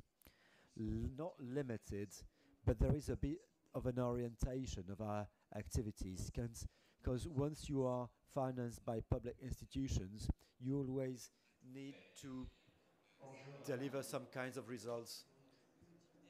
All our activities, when uh, taking part in a call for bids, a call for projects, you know what's happening. But uh, at a certain moment, the activities you forecasted don't always give you the possibility to um, to meet the objective that had been determined at the at the very beginning of the project. So I wouldn't say we're limited. I wouldn't say there are limits. There are borders, uh, but we are oriented by uh, by public authorities who uh, who give you the money and expect certain things in a certain way. And uh, yep, yes, indeed. Yeah, I quite agree with what William said. Every now and then, you. Uh, but I do feel quite limited. They, it's like they give you the money, so they say this is the topic on which you have to work, not something else. Sometimes we also have to think twice, or even more, more times about the word we're going to use, because it has to be politically correct. I it ha you have a, a certain degree of freedom, but you're not 100% free when you receive money from uh, from state authorities. One one comment upon that: uh, the public authorities don't have the right to control the activities of an association, but there are two types of grants that uh, are different. There are calls for calls for bids, calls for projects. When it comes to calls for projects, it's like the state is saying, "This is the priority. This is the topic this is the way you should work. So I, I'm, I will put some money on the table and you have to meet these requirements. And in that case, you can feel frustrated, but you, you knew right away what you were starting to, uh, what you were uh, coming into. And then uh, sometimes you have the, the other possibility when you have your project, you create your project, and then you ask for money. And that's completely the other way around. And it's quite the opposite. The state authority can uh, give you some money. Uh, they have to give you some money, and they, they, they, cannot tell you what to do because they've endorsed the project uh, by giving you the, the money. So these are two different things. Call for, call for projects that are organized by the local authorities with prerequisites and projects that are created by associations and then receive money. Yeah, I've, um, I've studied a bit these financing uh, financement mechanisms and the way through um, local authorities, the, gr the, grants for in the framework of uh, the calls for projects in, in the EU mainly. When it comes to department communities, there are clap hands, sorry. There are grants, uh, but we take part in more and more calls for, for projects, and that's that um, makes it mandatory for youngsters to get more and more professional and more and more specialized. When it comes to public authorities and state uh, institutions, there is a search for efficiency. Of course, they want money to be put in the right place with, uh, with tangible and real results. Nobody wants to waste money, and that's a good thing, I guess. But there are more and more uh, calls for projects in the air, and and that's a reason for for that's a reason for more and more controls. Yeah, it's it's positive and negative at the same time. A couple of years ago, it was quite different, and it's it's quite tricky when the administration is involved, because calls for projects are more tricky to manage than spontaneous projects created by association that than that then seek for money, the procedure is far um, more heavy, both for you and for us. So we see more and more calls for projects in the air, as you were saying, but that shows a collective need for more transparency. For a long time, the way it has been was that projects, sport projects, for example, would ask for money. Nobody would control anything. We would just throw money the call for projects would be uh, uh, now it's different. It's published. Uh, there are prerequisites. It's black. It's written. Every, many things are written black and white. Uh, there are cities that are hyper professionalized and work really properly, more than properly, and uh, look twice at the way they spend public money. And there are cities that are quite different from that uh, that portrait. So it, it really depends on cases and contexts of situations and cities. But in comparison to how it was back in the days, it's far there is far more transparency and far more far, far more uh, controlling tools. Merci beaucoup. Thank you very much, Yann. Uh, thank, I would like to thank all our participants. Thank you to the speakers. Thank you to the French Pavilion. We are getting to the end of this round table.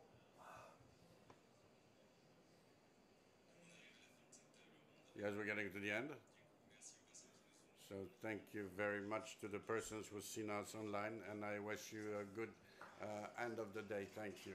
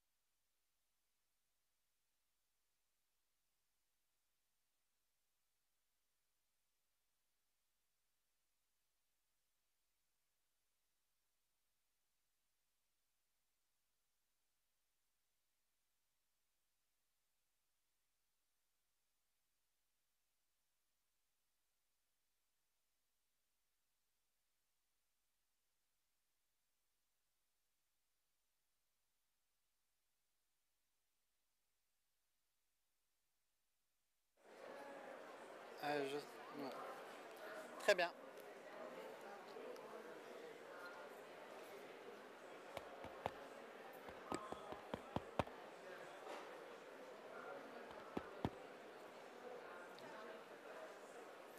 Bonjour. Bonjour à tous. Hello, everyone. Thank you for sitting down. We're going to uh, be starting very soon. I'm John Saladri, responsible for communication and the officer for uh, in the climate education uh, institution. I will be the moderator. I would like to uh, to thank the French Pavilion that allows us to uh, hold this event, and also our all our speakers who are on stage. I want to share with you uh, things in the upcoming hour. Today we're going to explore the links between the science and the education for climate change within the uh, scholar systems and uh, above it too. Connaissances The- pratiques. We'll make it available for different uh, group and uh, to open it to everyone.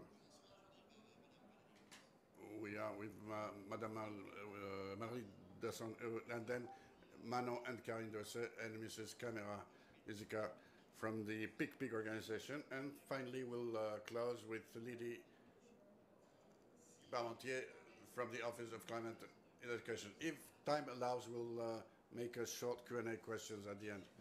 With no further ado, I would like to introduce uh, Valérie Masson-Delmotte, who is a climatologist, who's a researcher at the CNRS, and she's also uh, the, the, the, the boss of the, the Group 1 in the uh, IPCC, and she'll talk about with us about the uh, relations between science and the education. Uh, the floor is yours, madam. Thank you very much for this invitation, and thank you that, for being here. I will uh, explain uh, my point of view first. Since uh, 2015, I've coordinated the, uh, the work of hundreds of researchers who were checking the state of knowledge on climatic change, which fed the re- Red Re- Report on the Climate that we've issued this summer. A colossal, huge work. Uh, there were hundreds of people who participated, researchers and others, and who participate today. Uh, they, they have the best uh, no, state of knowledge on the climate. This uh, in-depth work that uh, we present in the international negotiations for the client is one of the scientific um, clients elements. If we don't, if we don't teach these things to people, it will be a lost occasion. It will be lost occasion. We need to uh, to give this knowledge to young people as soon as possible. In order to reach uh, the major part of people, we, that there's this challenge to make it as available as possible. This information. I will I will outline what we've tried to do, and uh, its limits. In the frameworks of uh, in the framework of IP, IPCC, we have an assessment made in English, very technical to read uh, with a short um, synthesis uh, for the this for the uh, Dans les, les- les autres langues de for the persons who decide to take decision, and it will be it will go to uh, to the UN. Now we've worked on a glossary which allows you to understand all the terms that we're using, which is an entrance to uh, to ease the, the manipulation of these uh, scientific notions in a precise way. We made a huge effort to assess the changes, the climatic change at the regional uh, scale, which is important for the people who work in regions. Uh, what is due on the uh,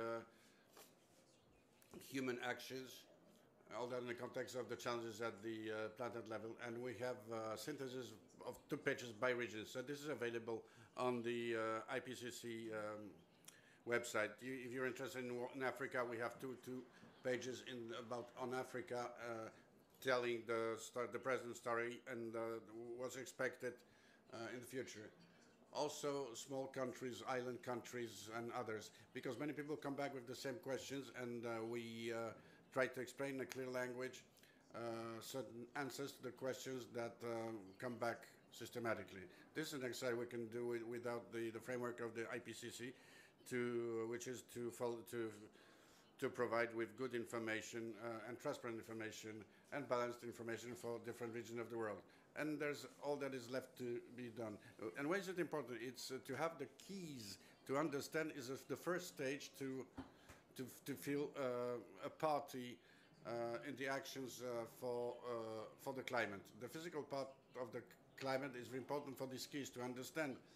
And in the framework of, of an education, a, a kid, a child, has the, the possibility to understand, to, to make its own reasonment. This is the most powerful thing for this uh, mm, scientific information. We are facing a new uh, information, the influence of, uh, of the humans on the climate. We have scientific information that allow us to prepare ourselves. They would if we would use them. And the problem is that uh, most of the disasters today have not been trained. They don't know necessarily how to act, uh, although even if they understand the, the challenges. So we do we giving keys to understand, but also keys to act with project, concrete projects uh, anchored in the lives of, uh, of, of, schools to allow to, to understand uh, what are the uh, greenhouses, greenhouse emissions, to comprehend how the a changing climate will affect uh, different characteristics of climate of every region, and critical things like uh, agriculture, water, and the risks. These are elements that are important to avoid being in a, in a bad situation, but to be uh, in a situation in, you in, which you are an actor, uh, because using the, uh, what you know in, in order to act, to anticipate, and to build upon, and uh, to build a resilient, uh, as, as, much as possible, to be, build a resilient attitude, allow everyone to, uh, to participate to the solutions that will contribute to, to reduce the problems. So I insist on these the two challenges that seem to be important beyond the uh, scientific uh, information, the keys to understand and the keys to act. And now to, uh, to end up, this is, this is not scientific to, to do this. They, we have specialists of pedagogy, uh, people who know how to work with kids. So the uh, initiatives like the Office for the Education on Climate, who mobilize specialists of the pedagogy and uh, on training it's critical to, to create this interface, interface between the scientific knowledge and what is use, useful for teachers, this connected with the, with the programs in school. The second thing, beyond the knowledge at big scale, for us a region is, uh, as a quarter of Europe, for example, one-fifth of Africa, so big regions, uh, it has to be anchored in the needs of every community to uh, every population. You have to uh, add information that are that belong to, uh, to, to the detailed context where relevant for the for the where you live.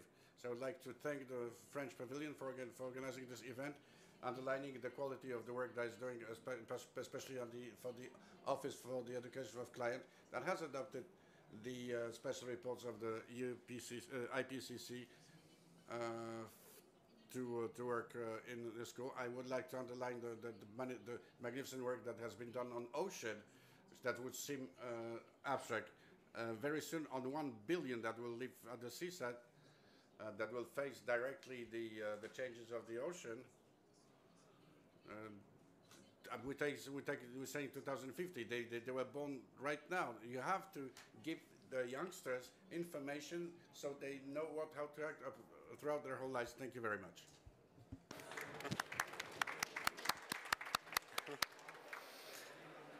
Merci beaucoup. Well, thank you very much.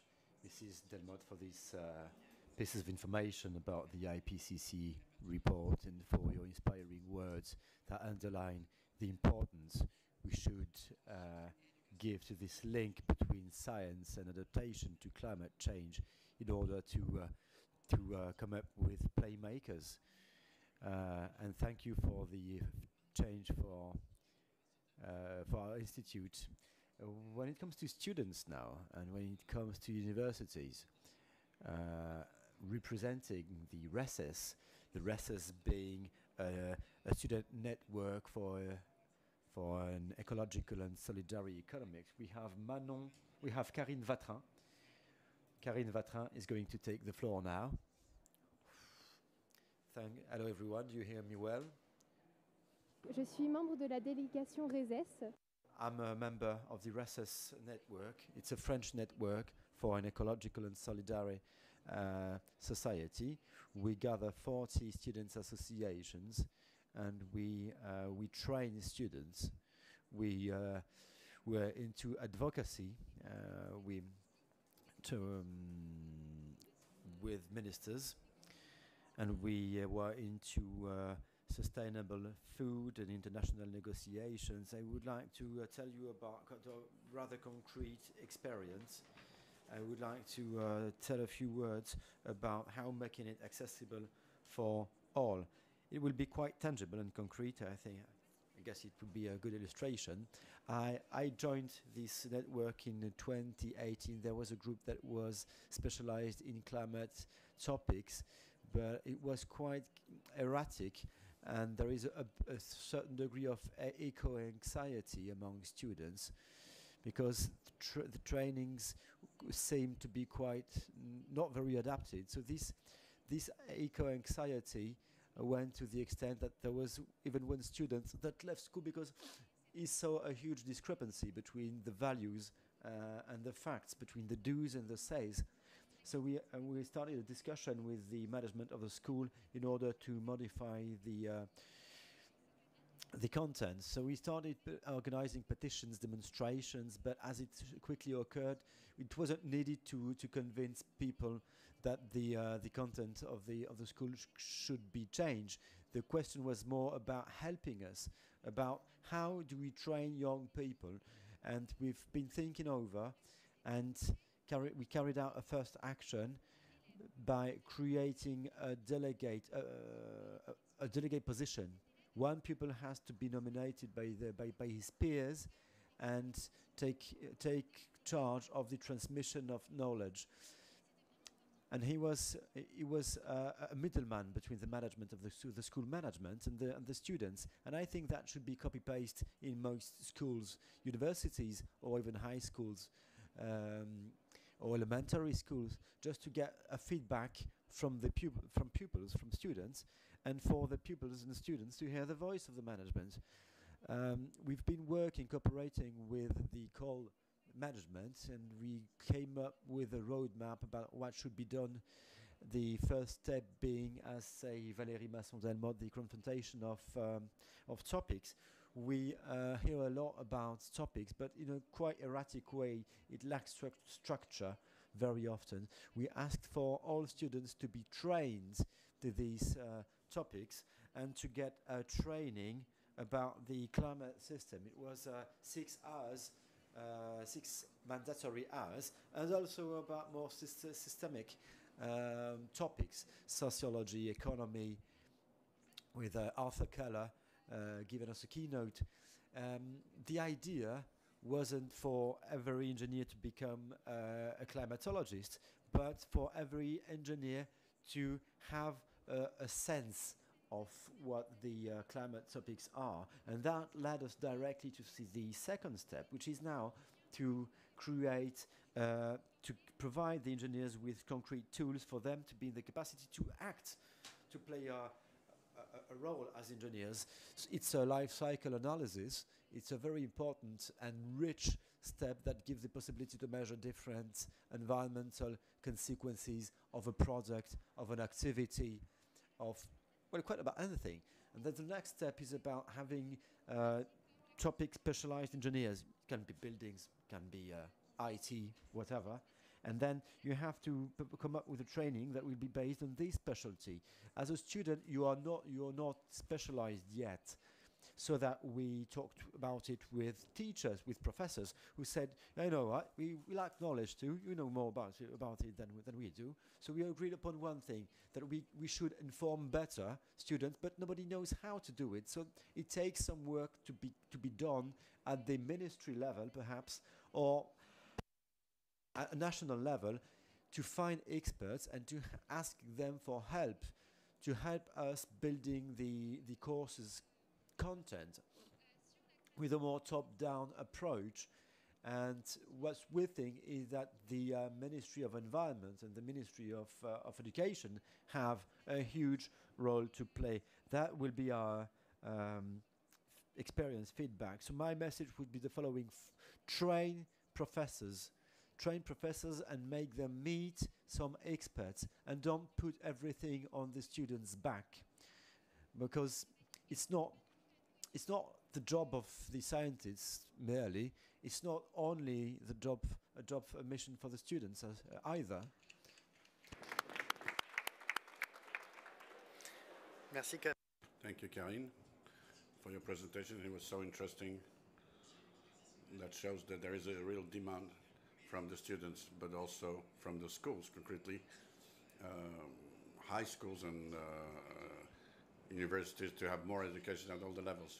I would like to introduce Mrs. Kaméra Vesic, who is the creator of Pik Pik Environment and Pik Pik Service Solidaire and organizations that accompany the uh, ecological transition through uh, workshops uh, raising awareness. Uh, this is for fragile uh, audiences in, in uh, France.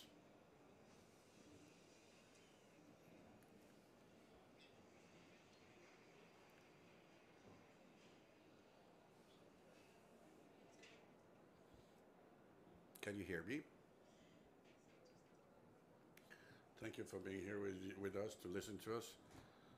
Thank you uh, to the French Pavilion for giving us the, uh, um, the occasion to talk about uh, my our things. I absolutely agree with you. What everything you've said about uh, the uh, engagement. I see around the table people that are extremely engaged personally uh, and in their work, but there is a problem.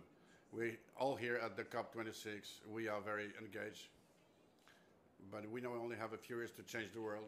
But will we manage uh, on our own? A very small percentage of the uh, per, of the population is present here. The question is, uh, our grandmother, uh, cousins, and others, have they ever heard of COP26? Who's interested in COP26? Who, who knows what he has to do? So many questions uh, to which we would like to uh, to bring a solution. We've said a lot here before about the ministry, uh, about the uh, scientists, about students. Before you were talking about uh, you're talking about top down. We have great spirits that think about big big subjects, and I think that in the, the fresque, what, what we're missing is the last detail. The citizen who uh, sees that all that from very far away and is not uh, on board yet. This is a quick presentation about our, our associations. So uh, all we do is we, we are we are at the very uh, bottom of the of the change. These world associations that uh, uh, links us with the citizens, who speaks to the citizens, who accompany the citizen. The uh, so we are 35 in Ile-de-France. We we have, we've been here for 12 years, and we accompany the citizens to understand the transition, the change. Everyone knows that that we have to change, but how and where, in what direction, we don't know. So uh, our pedagogical uh, way. We discover the challenge, what the problem is. Once we understand that th- there is a problem, like the waste, like biodiversity, and uh, the mobility, for example, then we propose to people who would be interested to go uh, uh, beyond uh, through uh, accompanying them and other things, and to change their habits. That's what we want to do. We are on all the subjects of sustainable development. This is our specific- specificity compared to other associations. We think that uh, enable to to change, we will need a, a systemic uh, global approach. Why the popular uh, mais il y a un public qu'on aime neighborhoods? This we've we've worked with these the, the most fragile um, audiences economically, uh, people who uh, are unable to act. They may be in prison, for example, or they may be uh, disabled or other things. What what's with these people? They have the lowest uh, environmental impact. Uh, we're talking a lot about excess, excess, excess. It's not them. They, they don't take planes every every year. They don't change uh, cell phones all the time, but they are stigmatized. You always go to see the, the, the poor people. I'm talking about uh, Paris, but would be the the, the thing, the same thing in other countries, in China, why coal, etc., etc. In France, why uh, why do these youngsters have to, to buy new smartphones? Why do we have to stigmatize them? Besides, the, these are uh, audiences that to, we, to whom we'll uh, propose uh, the, the smallest number of uh, work, of uh, awareness, raising awareness, because they're not interested. We hear that all the time. Don't work with these audiences, they're not interested. Terrible. But there is quite the country and a great reserve of energy and ideas in the popular uh, neighborhoods. These are people who move a lot with the, the least the smallest means. Uh, they develop the low tech. These are the ones who are going to uh, to succeed better than others. We're really part of the uh, movement for popular education. What means to give or re- re-give the, the power to act to people. It's not only to be in the junction. You have to, to, to practice sport. You have to uh, ride bicycle. No, we share the, the challenges, and then we we, ga- we give these people the, the power to uh, to act. That means three things. Uh, you need to have an information, then you need to have the means, and the third thing you have to uh, want it. If I make a parallel with the, the sorting the, the waste, we tell people to sort the, the, the West. We go a lot uh, to see people, and they have no people, no information that would tell them where the uh, the cans are, what, what, where to put what.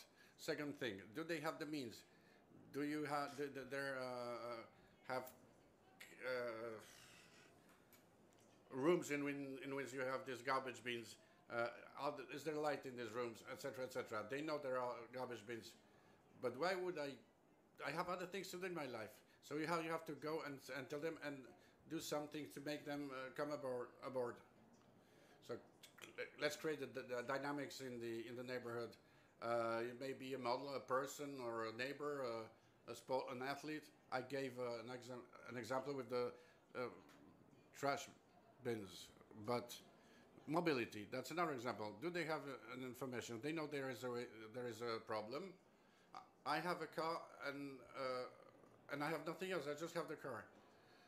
Uh, do they have uh, any alternatives? Do you have the means to buy a bicycle, or they need to want it? New, we say to uh, give them the power to act. You have to, pro- to, to propose content that is available. When you see what's happening at the COP, it's beautiful. But do people really understand? It's very scientific, very. I mean, you need some uh, something intermediate to in order to simplify, to disseminate, to, to translate into everyday's language, and and get it uh, to uh, to the level of individual uh, problems. When we're talking about floods, we heard that we hear that there are people that will be soon f- flooded. Okay, too bad. I'm in Paris. I'm sad for them. But when the people have been touched, this year in Belgium, we had floods. We saw uh, we saw uh, cities that were flooded, and suddenly we realized that the same thing could happen with us. So we need to make a parallel with uh, real life. Uh, so interest people, try, find communication,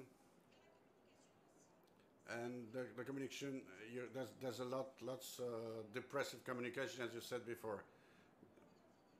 You, you feel like suicide with all, all that's happening. What can I do?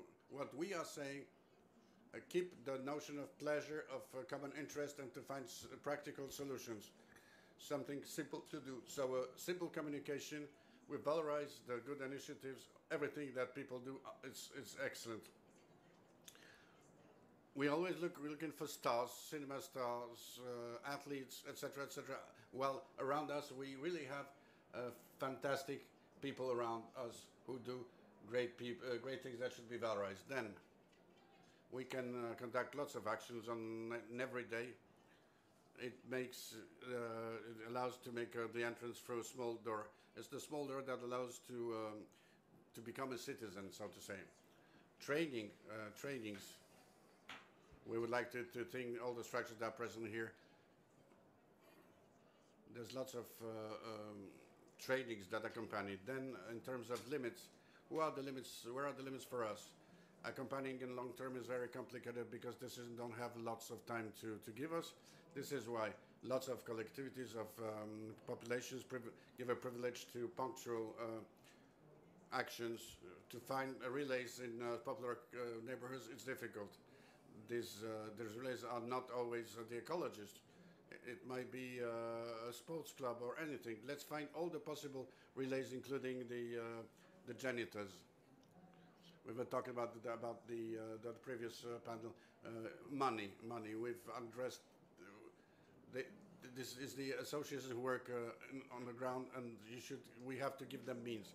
Thank you very much for listening.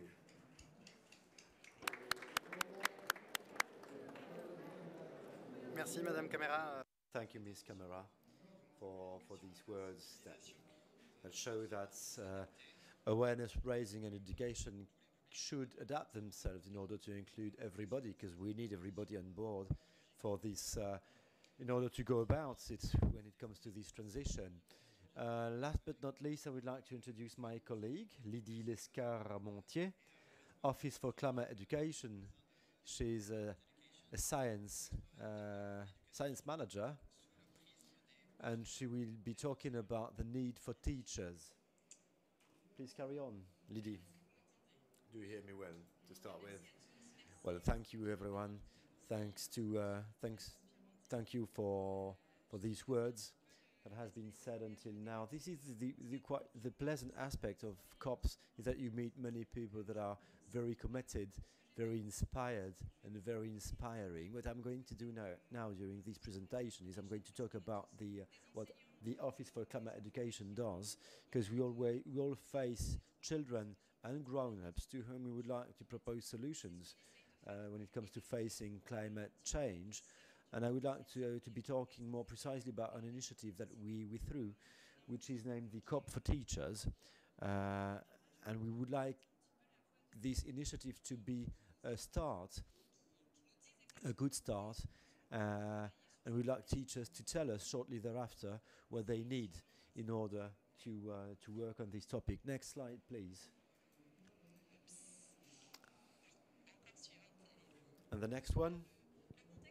All right, general context. Some uh, pieces of context. You will know the context. You know the article number 12 of the uh, Paris Agreement that uh, showcased the importance of education, of access to information.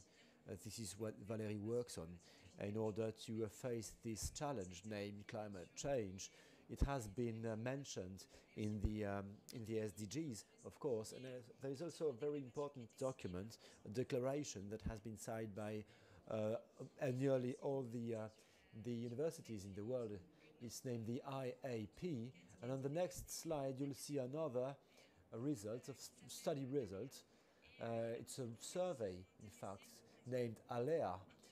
What they've been doing is they, they've asked um, 67 persons from 14 different countries, mainly teachers from kindergarten to university, asking them what they might need in order to, uh, to better face the, the challenges. So it's about professional development for, for teachers, about education at every level, would it be at the elementary school, university, uh, high school, kindergarten, uh, it's about working upon, upon uh, fresh, updated, up-to-date and reliable and quality data uh, using active uh, pedagogy, which is slightly different from the, uh, the routine way of things, the, the usual way, the old way, the top-down one. It's about more giving keys, providing the pupils with keys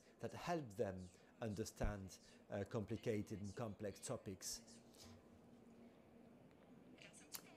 The OCE, Empowering Teachers, well, it's, it's more or less what we, th this uh, survey has been performed in 2020. We started working, in, we launched our initiative in 2018. S but I would like to show you what our initiative is about in this context. What we do is we work on uh, on the basis of scientific data, solid data from the, that we get from the IPCC.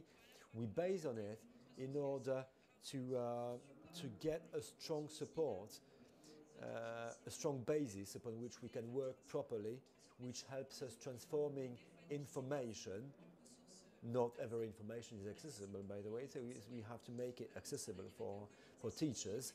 We cooperate with a pedagogical and academic, academic uh, platform in terms of uh, pedagogy. We, what we do is adapted to our, we check whether what we do is adapted to, to our target group.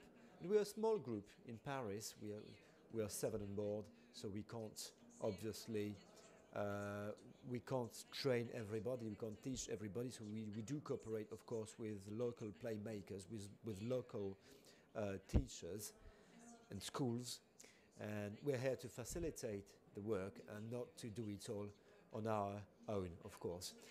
Uh, so we cooperate with uh, teachers, trainers that provide their teachers, that provide teachers all around the world with training. They are very committed playmakers, and the, the, our idea would be to, uh, to push forward more initiatives in Southeastern Asia and Africa. So, should you be interested, don't hesitate to, uh, to knock at our door and get in touch with us. Uh, what we propose in terms of resources, what we, we notice is that teachers need many, uh, many supports that come in all uh, forms and shapes and colors in order to illustrate one of the lessons they've already created. You see, the idea is to, to provide them with scientific content with that kind, that kind of synthesis. We also have a big scholar book that is divided into two parts. A part is about understanding, its name We Understand, oddly, with, um, with different levels of sound, but it's more for pupils aged 9, 15. By the end of this book, you have a part concerning projects. It's about presenting projects that have been already that already have been created, and a description, a short description, that give that allow teachers uh, to use it key in hand. Um, in their classrooms, we have uh, multimedia classrooms, we have webinars with experts, we have testimonies, uh, keynotes performed by passionate people who tell us more about their everyday life and work so that we, it's very diverse and that's one of the pluses. We also propose trainings, uh, as I was saying earlier, uh, the original part of it, of the uh, of our initiative is that we we try to stick to the complexity of climate science, proposing topics that are interconnected, which is why the work on the projects is, is hugely interesting because it gives you the possibility to, to mix it all over, mm, keeping working about critical thinking, la pensée critique, l'esprit critique. Thank you. Thank, th thank you. Because uh, lots of information are available nowadays, and we would like to help pupils, to help youngsters finding their way um, and develop empathy as well. Uh, sort things between information and misinformation, between information and propaganda, um, and to get them working with their communities. It is a work we start, it is something we launch within classrooms, but then it goes beyond classrooms. It goes, uh, it, it, reaches the families, the streets, the community. Next slide, please. Now, about a few words about an, uh, another initiative that is closely linked to this COP. It's a work we've launched with uh, Djian a couple of months ago. Uh, there is around 100 students committed into it. Next slide, please. Um, the objective being to organize several workshops with different teachers groups uh, as we did in Latin America with teachers from Asia or Europe in very different contexts, to whom we asked a question, the same question, should you have to change climate education, make it different from what it is, or what it is not if it doesn't exist in the vast majority of contexts, because very often, more often than not, there is no climate education. So what would you propose and what would be the limits? And the feedbacks we received could be divided into four parts. Uh, they talk a lot about the programs, about the professional development of teachers, about the uh, pedagogical resources that are proposed, and about the, the school's role in, in a very broad, very broadly speaking. in a very general way. Last Saturday, uh, one day, two days before the COP started, we signed uh, a final announcement uh, with all every part. So, should you know teachers or education uh, players that would like to uh, to take upon this this statement and would like to sign it, you can check our website. Now, when it comes to the feedbacks we, we got, everything that's related with programs, you know, in the world, 70% uh, school programs don't mention, don't even mention climate change. So we've uh, proposed two different things. Whether we use it, we use the program and we, that exists already or exists and create links with climate change, which is feasible, which is doable. In every discipline, we've, uh, we've come up with uh, resources when it comes to sport about greenhouse, about the so-called greenhouse phenomenon. But it can be linked with mathematics, can be linked with philosophy, obviously. So everything is possible. Uh, thank you. Uh, or, second option, we change it all and we put climate change at the core of a new, uh, of a brand new uh, school program.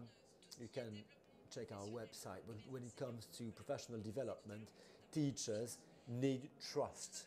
Need they need trust in order to be in the capacity to work properly within their classrooms.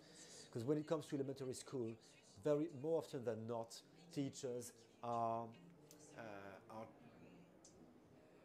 have studied literature or languages, but when it comes to science, they are quite less at ease. So you have to build their trust, their self-esteem, their trust towards themselves for, for them to feel legitimate and entitled to tell about science and about climate in order to manage eco-anxiety um, and work upon critical thinking, etc. And then it's about proposing pedagogical resources that might be shorter than uh, what we deal with nowadays, and that would be gathered on uh, accessible and available platforms, uh, being, uh, of course, linked with school programs, because teachers try to, uh, they, they don't have a whole, they take, they take various pieces of the puzzle, but it, it takes work and it's a bit of an effort, so we would like to make these tasks easier.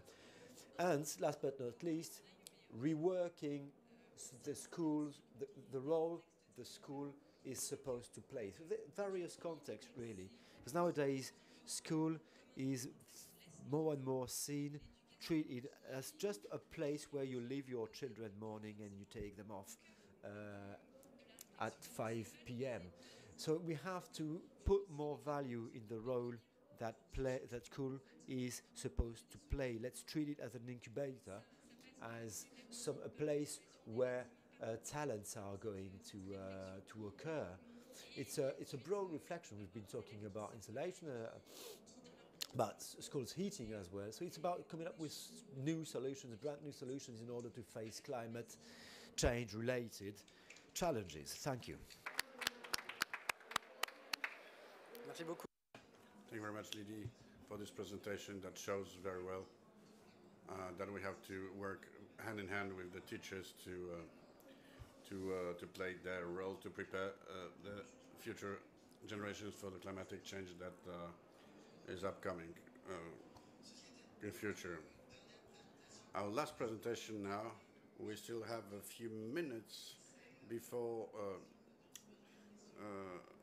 before the uh, audience. Uh, first, I have a question. Let's get back to a subject that have been has been uh, attacked by more or less everyone, but I would like to deep, go uh, deeper inside the eco anxiety. What are your uh, paths to um, to tackle this uh, subject with your audiences? Let's start with Madame Delmotte, for example.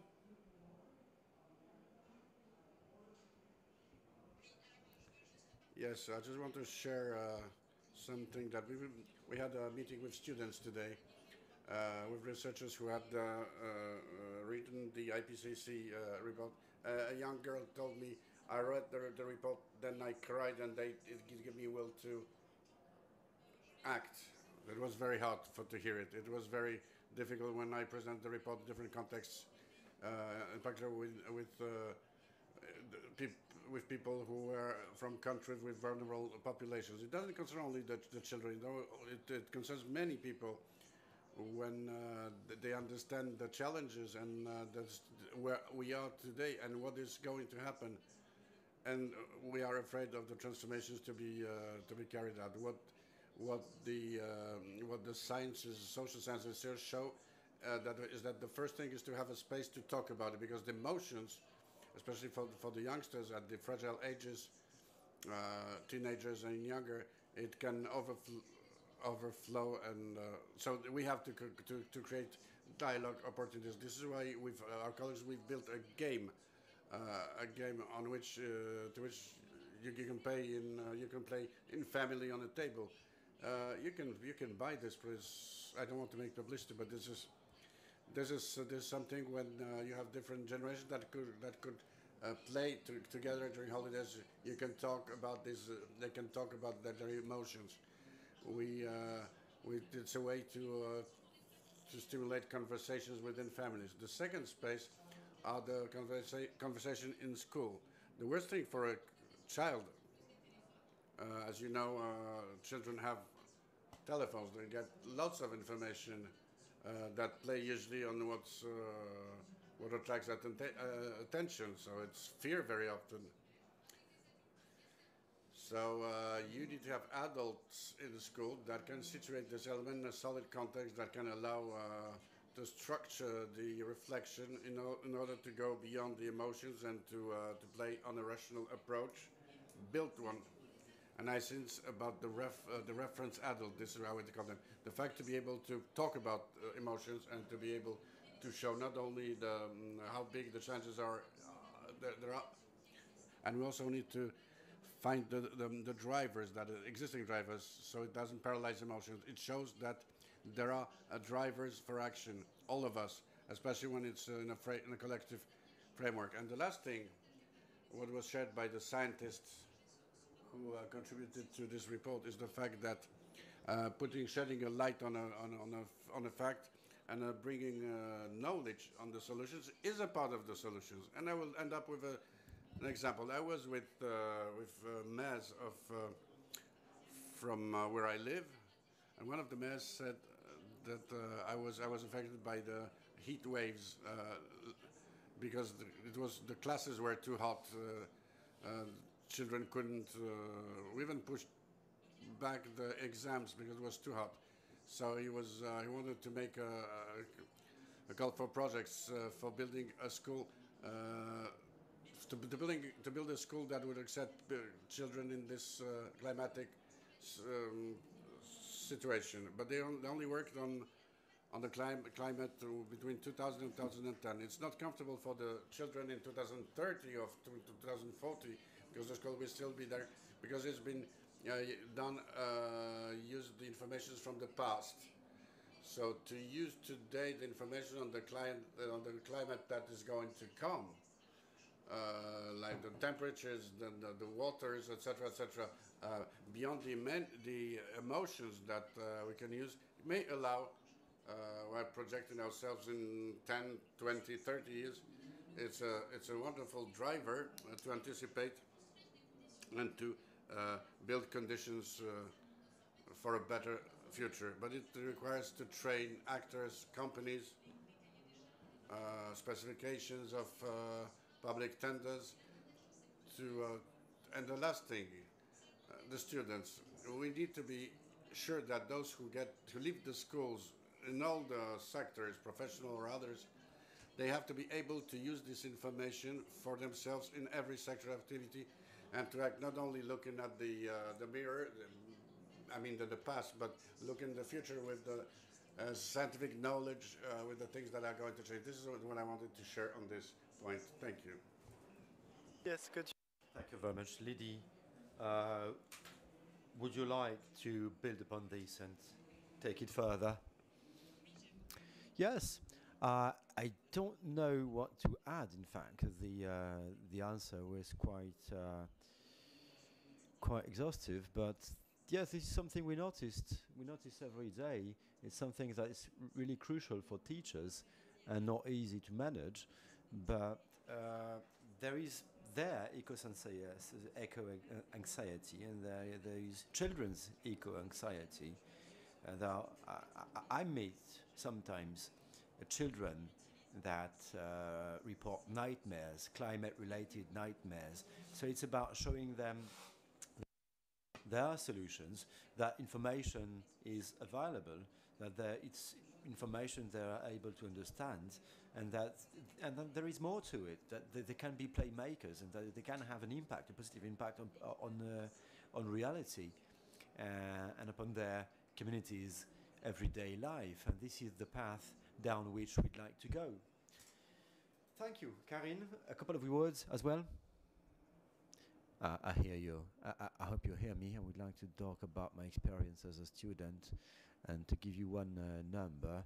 85% of French students say they are anxious because of their future uh, from the from climate point of view. And the answer is the answer we hear more and more, or, or we give more and more, is about giving sense to your work. There is a, a tsunami uh, a spectacular, spectacularly growing amount of students that want to be committed, even on a professional uh, level. And from my point of view, this is the the only way to um, to get over eco anxiety. Uh, sorting sorting your your rubbish is uh, enough to uh, to avoid eco anxiety and to make it to diffuse it to make it go away. Miss Kaméra. Do you hear me well? Yeah? Great. Many interesting things have been said. I'd like to, uh, to add three of them. The first thing for our association is we try not to talk about problems, but to talk about issues or about topics. Uh, it's, it's less uh, anxiogenic. Uh, so we, we, we don't talk about food waste, about too many rubbish. We talk about responsible consumption. We talk about health. So when talk about topics, some positive things come up, some negative things as well. But if you keep talking about problems, problems, and problems, it's no no no wonder people get get uh, get depression sooner or later. Um, now, when it in if it comes to when it comes to the way to the approach it's not it's about not saying not you don't keep saying do not do not do not you must you must and you mustn't try to share we share topics we share pieces of information. Uh, we say do you know that french people the statistic french uh, citizen produces one kilogram of rubbish every day? We give information. And then then people the people's reaction are uh, more like, yeah, well, in my opinion, it's it's my case as well, or, it's, or it isn't. So uh, if someone speaks about uh, someone, someone's going to say, someone, someone might say, well, I, I lack space in my in my home to sort rubbish, and that's a good way to make discussion appear, occur. It's essential, and that's what we've tried doing. That's what has been taken off the most vulnerable people. And that's worth thing. The most vul vulnerable people, the poorest, always think they know nothing. Not always, but often uh, think only the scientists know uh, anything. So it's about sharing information. Uh, sharing information empowers people. I'd like to share one example with you that will illustrate my third point, which is about taking off the sense of of guiltiness. There are people who come come over in tears meeting us saying, you know what, uh, I'm trying to sort my rubbish, but my husband spoils it all. Or I am trying to, to produce less, but I can't. Uh, I'm tr I try to, to go work without using my car, but I can't. Say, hey, uh, leave yourself off. Don't, don't be so stressed. Just do whatever you, you, you can do. You can't. You are not impossible things cannot be mandatory. If you cannot make more than you than you currently do, then you cannot do more than you currently do. See what is feasible in your case. There are people who are very committed uh, when it comes to to sort to waste sorting, and quite less when it comes to transport, because for life, for personal reasons, they need their car every day, and that's fine. It's not about being a superhero. It's not black and white. Like like uh, either you're a superhero or you're a super zero. Just do what you can, and really try to remain positive. It's about sharing. It's about raising awareness, but keeping positive. Just do as best as you can.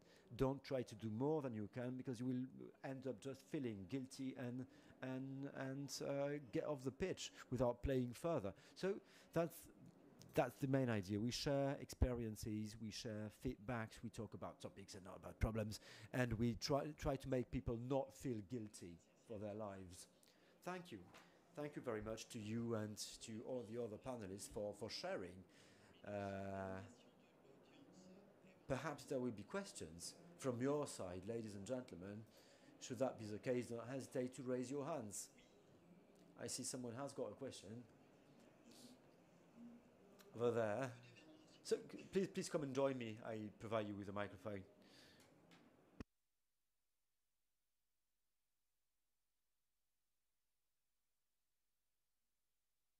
Can you hear me? Well, first things first, I would like to thank you, all of you, for these presentations and this way of uh, approaching topics. I took a few notes. I, I, I'll try to speak briefly.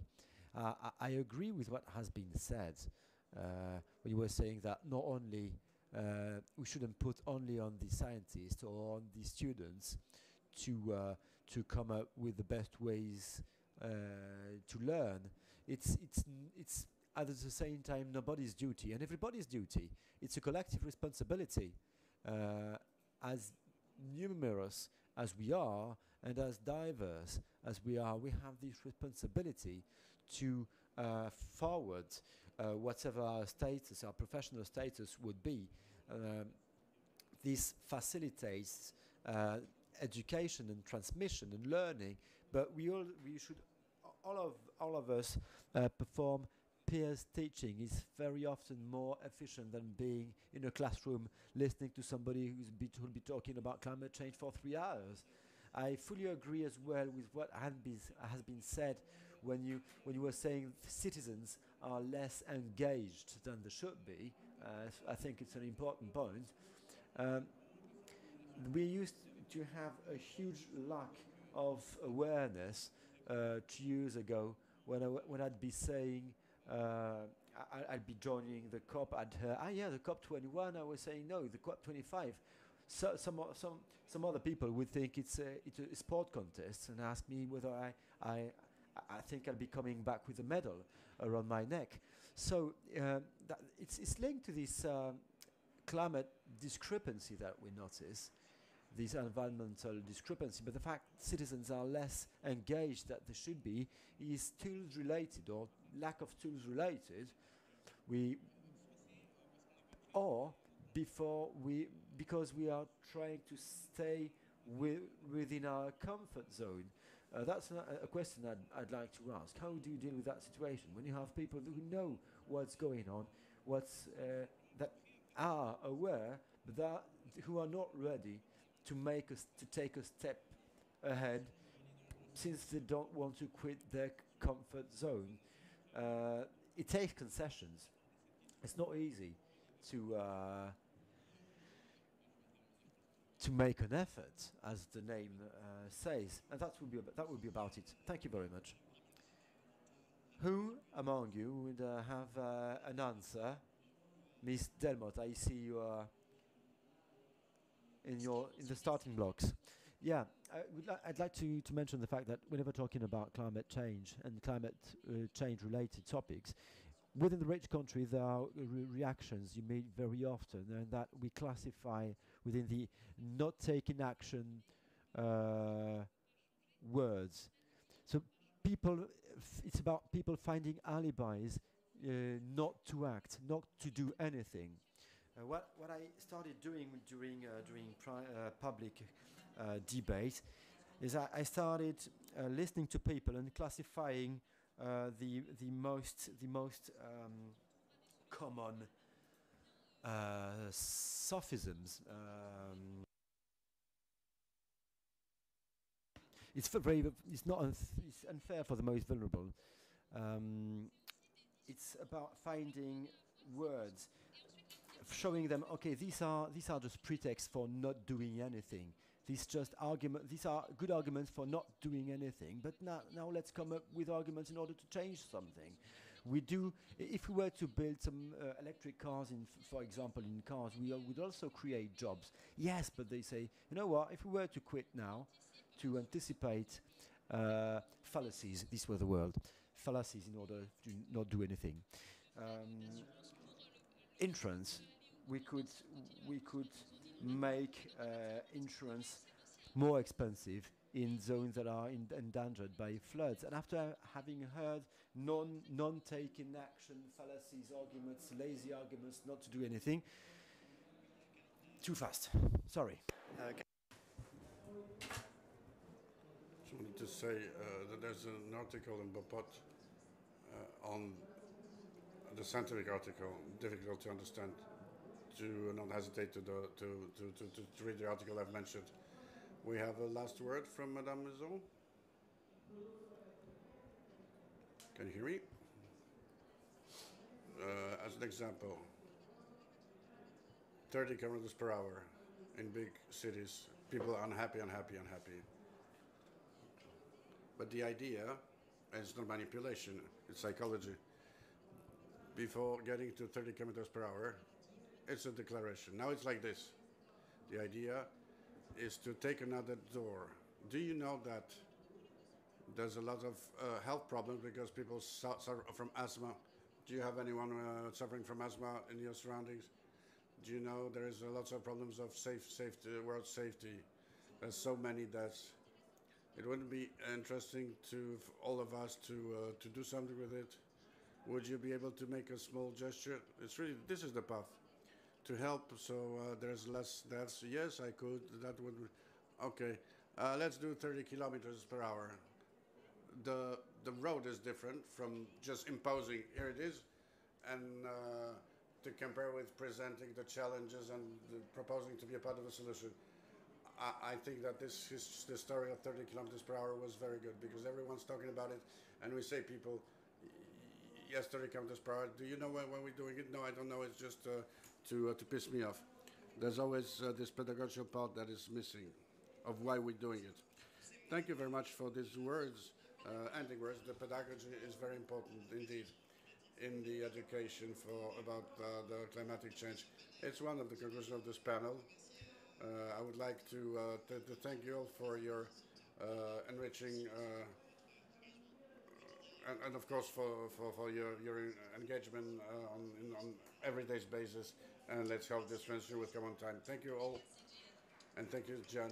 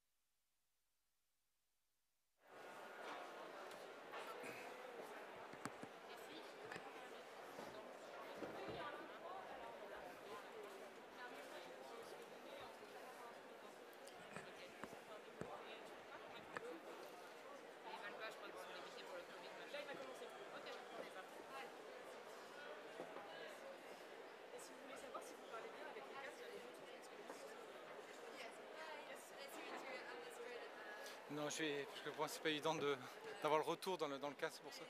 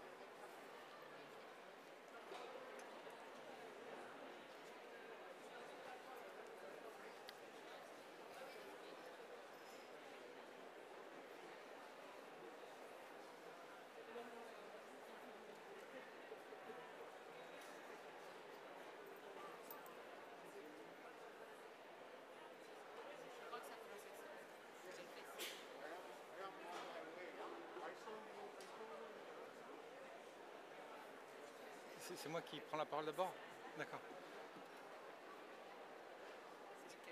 Et je commence maintenant ou pas? J'ai- Bonjour, bonjour, Stéphane, euh, Stéphane Paillet. Je, je suis Everyone, Stéphane Payet. I'm a Deputy Director in charge of environmental and climate topics within the Ministry of Europe and Foreign Affairs. I'd like to thank the French delegation and the French Committee of the U of the UNFCCN of the IUCN for organizing this panel concerning climate and biodiversity and entitled Climate and Bio- Biodiversity One Fight, One Team, One Common Goal, One Common Cause. Uh, I'd like to. Uh, I will uh, give the uh, the floor to Maud Le- Lelièvre to be the, the moderating. I'll uh, I'll stick to my presentation in English. By the way, I think I, I know it's difficult and tricky for a, a French diplomat because it's not it's not French speaking pavilion, but it's a French pavilion afterwards. So it would have been more logical for me to keep speaking in French, but I won't be uh, because that's the uh, the uh, the dominating language when it comes to negotiations upon climate and biodiversity. IPCC workshop organized last summer reminded us uh, climate and biodiversity are connected. Biodiversity and, and, and nature conservation are essential uh, to preserve the, the climate. Uh, the preservation of the oceans, the fight against deforestation, the promotion of agroecology, the sustainable use of the ecosystems are key to pursue a trajectory acceptable for reaching the Paris Agreement objective goals. So the nature-based solutions are essential mechanism to the sustainable development and are the response to the challenges of, of, of climate and loss of biodiversity. The NBS would represent 30% of the attenuation measures needed to hold the temperature increase below 2 degrees by 2030. The NBS are also essential regarding the adaptation measures, but they represent only 2% of international finance dedicated to climate action. France has always taken into consideration that link between preservation of biodiversity and climate change. Our international cooperation program, led by the French Development Agency, AFD, plans to increase the share of bilateral climate finance, which co-benefits for biodiversity from 15% to 30%. We call on all donor states and organizations to set a similar goal or approach in order to contribute to the resources mobilization needed for both biodiversity and climate. The One Planet Summit for Biodiversity, which was organized in the beginning of the year 2021, was an opportunity to increase the ambition of the international community for protecting nature and implementing nature-based solutions for the ecological transition. We took the opportunity of this One Planet Summit to launch the Great Green Wall Accelerator, which concerns a dozen of governments and multilateral institutions, and these governments and institutions pledged to mobilize nearly 16 billions of dollars in international funding. So the objective is to green the Sahel, giving new impetus to this African initiative. And the objective is to restore 100 millions of hectares of degraded land. France and Costa Rica have launched a specific coalition which is called the HAC in French language or in English uh, in order to, to protect the biodiversity. More than 70 countries have joined this high ambition coalition for nature and people, call for a global commitment to protect at least 30% of land and seas by 2030. We considered also the role played by the forest for the sustainable development and well-being of local populations.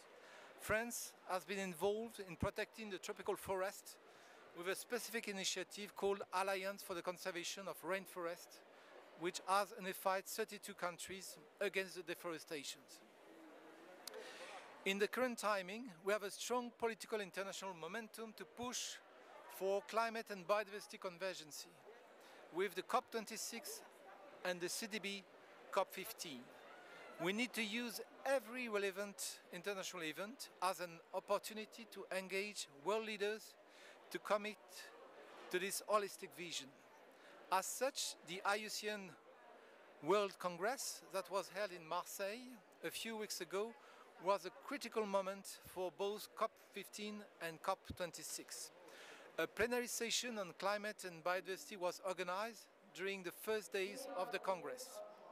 The, Mani the Marseille Manifesto that was adopted at the end of this Congress got from Congress events and it, it was a very important commitments and announcements. One of the pillars of this manifesto explicitly referred to the biodiversity crisis and climate emergency. It called for the quick reductions of gas emissions. Second, the prevention of negative trade-offs for biodiversity arising from decarbonization policies and to use technology wisely. And third point, the deployment of nature-based solutions. At the IUCN World Congress, one extremely important motion was also adopted by the Members' Assembly, and this motion was calling to reinforce the links between biodiversity and climate. It stressed the importance of the IPCC and IPBES conclusions during the last summer, and it called for the deployment of NBS in the implementation of the NDCs for greater convergence between the Rio Conventions. The motion also proposed the development of three tools, a policy framework, a platform, and the global partnership on biodiversity climate synergies. The adoption of these motions sent a clear message for alignment to in the international community for the coming outcomes of COP26 and COP15. Last point to raise, I take the opportunity to congratulate the COP26 UK presidency to promote actions that benefit both climate and biodiversity. The protection and restoration of carbon-rich ecosystem is the top priority from a joint climate change mitigation and biodiversity protection purposes. We know that actions to protect and restore existing forests, for instance, have a large climate mitigation potential and large biodiversity co-benefits. So it's really important that the UK presidency focus on this specific pledge for uh, supporting the fight against deforestation.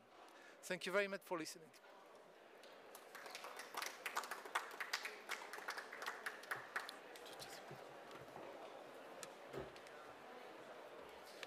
Merci, euh, merci beaucoup, Monsieur. Thank you very much, Mr. Paillier. Thank you very much for this introduction and for being here and uh, present during the negotiations during the International Congress of the UCN that took place in Marseille. So uh, we owe you a lot in this Climate Commission. I am the president of the French committee with a certain number of uh, persons I would like to introduce. Uh, and we think that the problems with microphone, uh, and I will ask you all to speak slowly for the for the for the interpreters that I would like to thank for their hard work. So we'll make the session at the same time in, in French and in English. So thank you for introducing uh, that in English for the Americans who are present here tonight today. I will uh, introduce the panel that is present uh, here. So we have First of all, uh, the representative from the uh, from the IUCN, I will, as we're in French pavilion, I will start by the French people. We have uh, Marie-Laure Vercambre, who represents the partnership, French, French partnership for water, who's going to tell us uh, about it. She, she'll tell us about what's happening in the next month. We also have Brando Crespi, who represents Pro Natura International. Uh, is also with us, and we have three uh, foreign uh, guests. I will invite Patricia to join us too on the on stage. Patricia Zurita uh, is from BirdLife International. Et nous avons euh, deux représentants. And we have two representatives coming with from the States, uh, Chip Fletcher, Specialist of Climate, Specialist of Biodiversity, and Michael uh, Wilson, that we don't, we don't have to introduce for the members of UCN, and uh, who allow us during the, uh, the, the, Congress, uh, the adoption of the Commission, uh, we dealt with the climatic things um, in the IUCN. Thank you for being here. a few elements of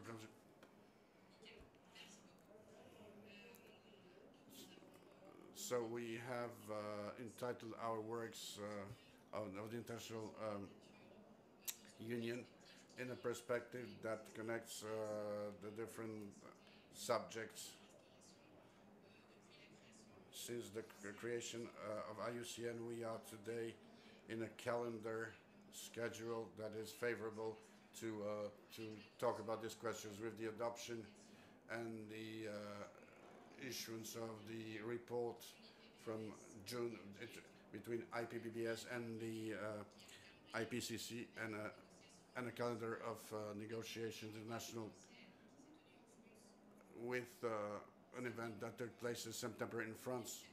Uh, sorry, beginning of the September of 2021, COP15 that started in this uh, online, and the second part will take part in China in 2022, and we're here in Glasgow to uh, to, to tackle these subjects uh, commonly. It's a good calendar, but also a favorable context because uh, because the thing, uh, the, the, climate and biodiversity, uh, it's a very important subject and a growing subject, I'd say. we with Trois constats.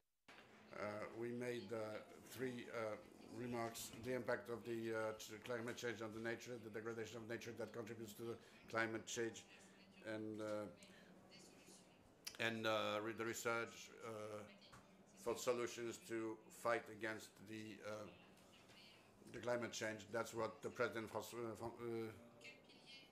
Macron said at the beginning of this conference.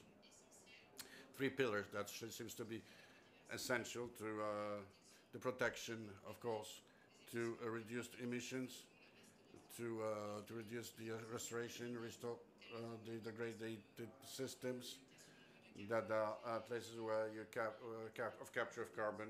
That's a that's a mm, growing subject in uh, in the new forest practices fight against problems with fishing and especially the changes in the cities, but there will be more and more people living in the cities in the coming years.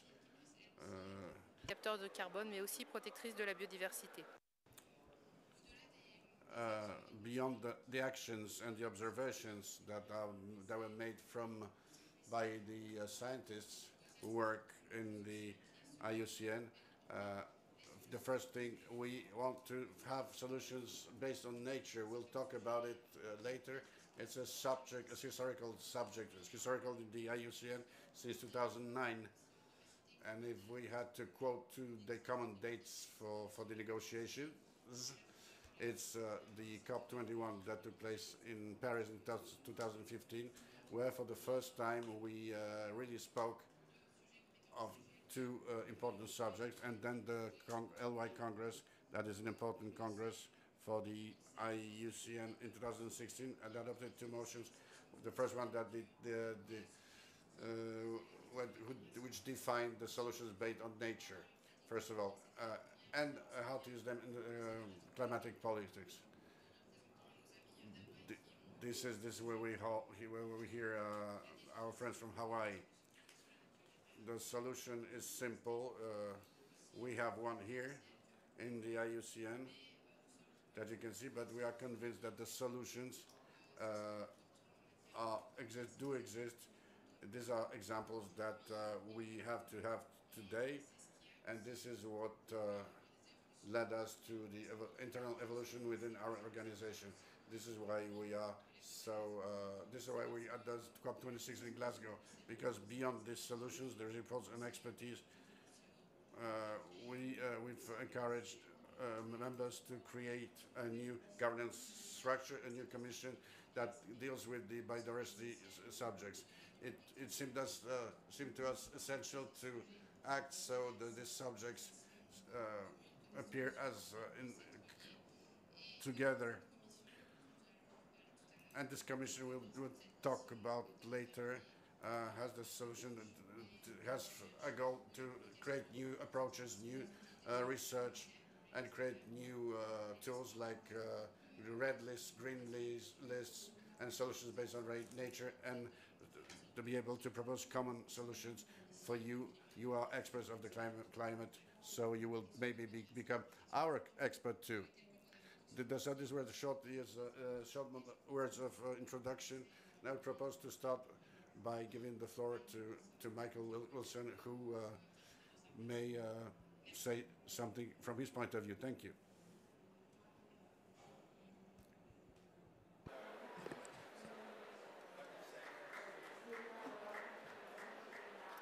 Intervenants fermeront leur micro entre les interventions. Voilà.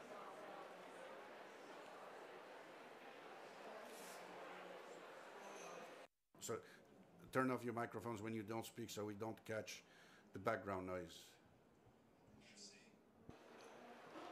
I, merci, I do not speak French except for merci, but I would like to say aloha from Hawaii. And uh, this is the way we greet people, to recognize the sort of unity of the human spirit, if you will, which is behind the motion that uh, Maud referred to. And it's a, a motion to create a climate crisis commission that would have as its purpose to save, if you will, those very important human institutions that are at risk now. And institutions such as families, institutions such as educational institutions, the institutions we prize, because the Climate Crisis Commission has, of course, as its identifying element, the crisis, the emergency. We are headed towards a future that, from a Hawaii point of view, you might describe as an extreme emergency because extreme weather events may make it difficult for us to have a functioning society. And in addition to that, the rising of the ocean will eliminate our major city.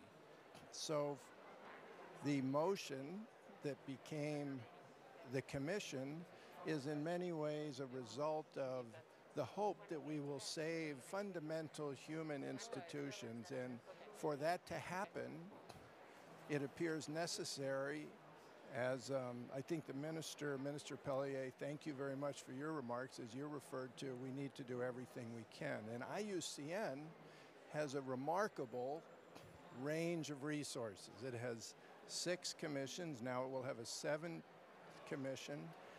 And those commissions offer great scientific expertise, but also expertise that reaches to indigenous people, young people. So this is a collection point, the Climate Crisis Commission, for those resources of IUCN that can make a difference in it's a kind of a specific concept, keeping the Earth from heating up to 1.5 degrees. And the message from the Conference of the Parties that we've all attended is that there will be a commitment that will be a new and profound commitment, but there needs to be a facilitation, an application of principles that IUCN has in leading to the solutions, such as the importance of nature based solutions versus perhaps geoengineering solutions. So IUCN's ability to bring its resources together is kind of captured in this concept. And I have to conclude by saying that it is a French, in many ways, it's a new French organism. It was born with the leadership of the French. Maud Lelièvre was certainly in the, in the lead in many ways, as was the government of France, and the president has set the tone for this idea of not giving up, being able to keep the earth from heating to 1.5 degrees, and where necessary to restore. So I am grateful to be here. I'm grateful for the chance to recognize the importance of working internationally through IUCN and the chance to, uh, again, thank um, France for its, its leadership and, and, and Maud in particular. So thank you for the opportunity and aloha.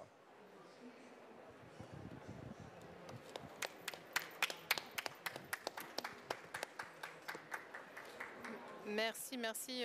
Pour... Thank you very much for these warm words towards France.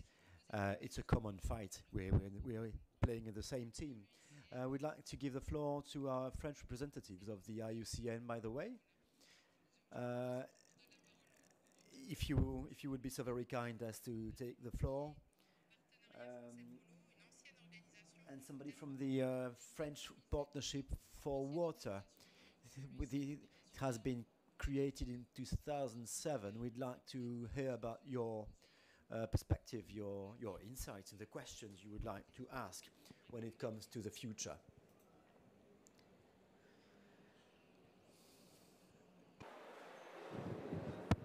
Voilà. Euh, bonjour. Hello, everyone. Thank you for the invitation. I remove my headset on.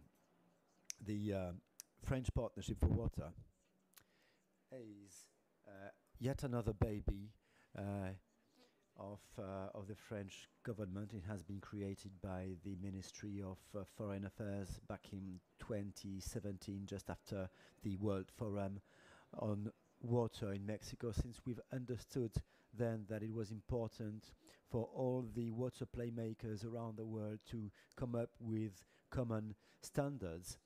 Um, we, we count 200 members, ministries, NGOs, universities, uh, cities such as Paris, Veolia, which is a private company, a private group. So this is what we're talking about, fresh water. And well, it's true that um, the French committee of the IUCN asked for it uh, last year because our members, our governance, has seen within water biodiversity in uh, through biodiversity uh, a huge stake and the IBS report has uh, confirmed that water biodiversity and especially freshwater bio biodiversity is uh, the most spectacularly drastically declining. A couple of weeks ago in Marseille I heard this, uh, this ghastly uh, number, this amount. Since 1950, we made dry 90% of the wetlands around the world. In the world, this is terrifying. Uh, this is outrageous. These waterlands are fundamental carbon sinks and leverages drivers for biodiversity, of course. That is extremely important when it comes to mitigation. Um, forest wetlands as well are very often close to, to, to, to water resources. So deforestation means less water, basically. So it's a, it's a vicious cycle. So um, water biodiversity, the the, the emergency for saving, protecting biodiversity is converging with the uh, adaptation and mitigation objectives, the climate ones. So we are here on stage with our partners, uh, not only on stage but on the field, with all our partners, although we represent the Ministry of Agriculture and private companies, other universities, scientists, cities, we uh, we are uh, the porte-parole of the, of the water industry. As Mr. Perrier reminded during the introduction, the um, nature-based solutions represent only 2% of all investments, of all measures, steps that are taken to find to come up with solutions when it comes to infrastructure building. So in the field of water, there, there is a lot to do still. So if there was just one message to send, that would be this. Before restoring, stop destroying. Protect first. Primum non nocere. Stop destroying. It's a good thing to rebuild, but stop destroying at first. That, that would be a, a good step. I don't know whether you see on the, on the screen there is a, a visualization of a publication we, we came up with. This is for the French uh, public playmakers uh, to make to facilitate their bringing solutions, nature-based solutions for France. We've made the same thing on an international level when it comes to water, fresh water, and to fresh water, fresh water. So this Association for Nature, uh, this uh, water and water-funded and nature-based solutions for nature, water solutions, water-based solutions for nature. Thank you for this publication. Uh, I'd like to give the floor now to Brando Crespi. You are Deputy uh, Chairman of Pro Natura International. This is a former organi organization. You base your work on fighting against, against uh, poverty, climate change, and, and fighting for biodiversity. What is your, your insight? What's, what are your observations on the current situations and when it concerns the solutions for tomorrow? Uh, first hospitality. Thank you to the French government and thank you to IUCN. We've been members of IUCN for many decades. Um, Natura was born in Brazil, and then after the 92 conference, we moved our headquarters to Paris, where we have essentially internationalized our work, which has been really focused on um, dealing with the interlocking problems and thus interlocking solutions around poverty, biodiversity, and climate. Um, in terms of biodiversity, with the Museum of Natural History of Paris, we've organized 13 of the biggest expeditions in the world. Um, you may remember the Radeau des Cimes, which is a tool, one of many we have um, developed in to explore the canopy of rainforests. And um, uh, our biggest expedition was in Papua New Guinea uh, now a few years ago, where we brought 180 scientists for a year and a half and came back with one and a half million forms of life, which are still today being studied in about 20 different institutions around the world. Um, we, in terms of uh, agroecology, we've done quite a lot of work, um, including in the Sahel, and uh, done a lot of innovation where we were able to work with local communities to take sterile Sahara sand and uh, with a combination of uh, uh, camel dung or uh, compost in some cases, and most of the time by adding biochar, we were able to um, generate 11 harvests a year. Um, so this is quite an example of the resiliency that natural systems, if they are fed, and um, I won't forget the other ingredient, which uh, in English we call elbow grease, uh, which is really the human effort. But um, the uh, we know today that natural systems are incredibly resilient and that we can regenerate uh, them uh, incredibly effectively. Um, going back to biodiversity and to what we are uh, really addressing here, um, I think uh, what I'd like to share with you is our approach to uh, protecting forests in Africa, which we think is um, based on the philosophy called uh, the trim tab factor by a philosopher designer called Leonardo da Vinci of the 20th century, uh, Bucky Fuller. Um, how do you bring about the biggest amount of change with the least amount of effort? And uh, what we know today is that charcoal is responsible for 70% of the deforestation of Africa. Charcoal is the second biggest business in Africa. It kills um, close to 600,000 women and children a year.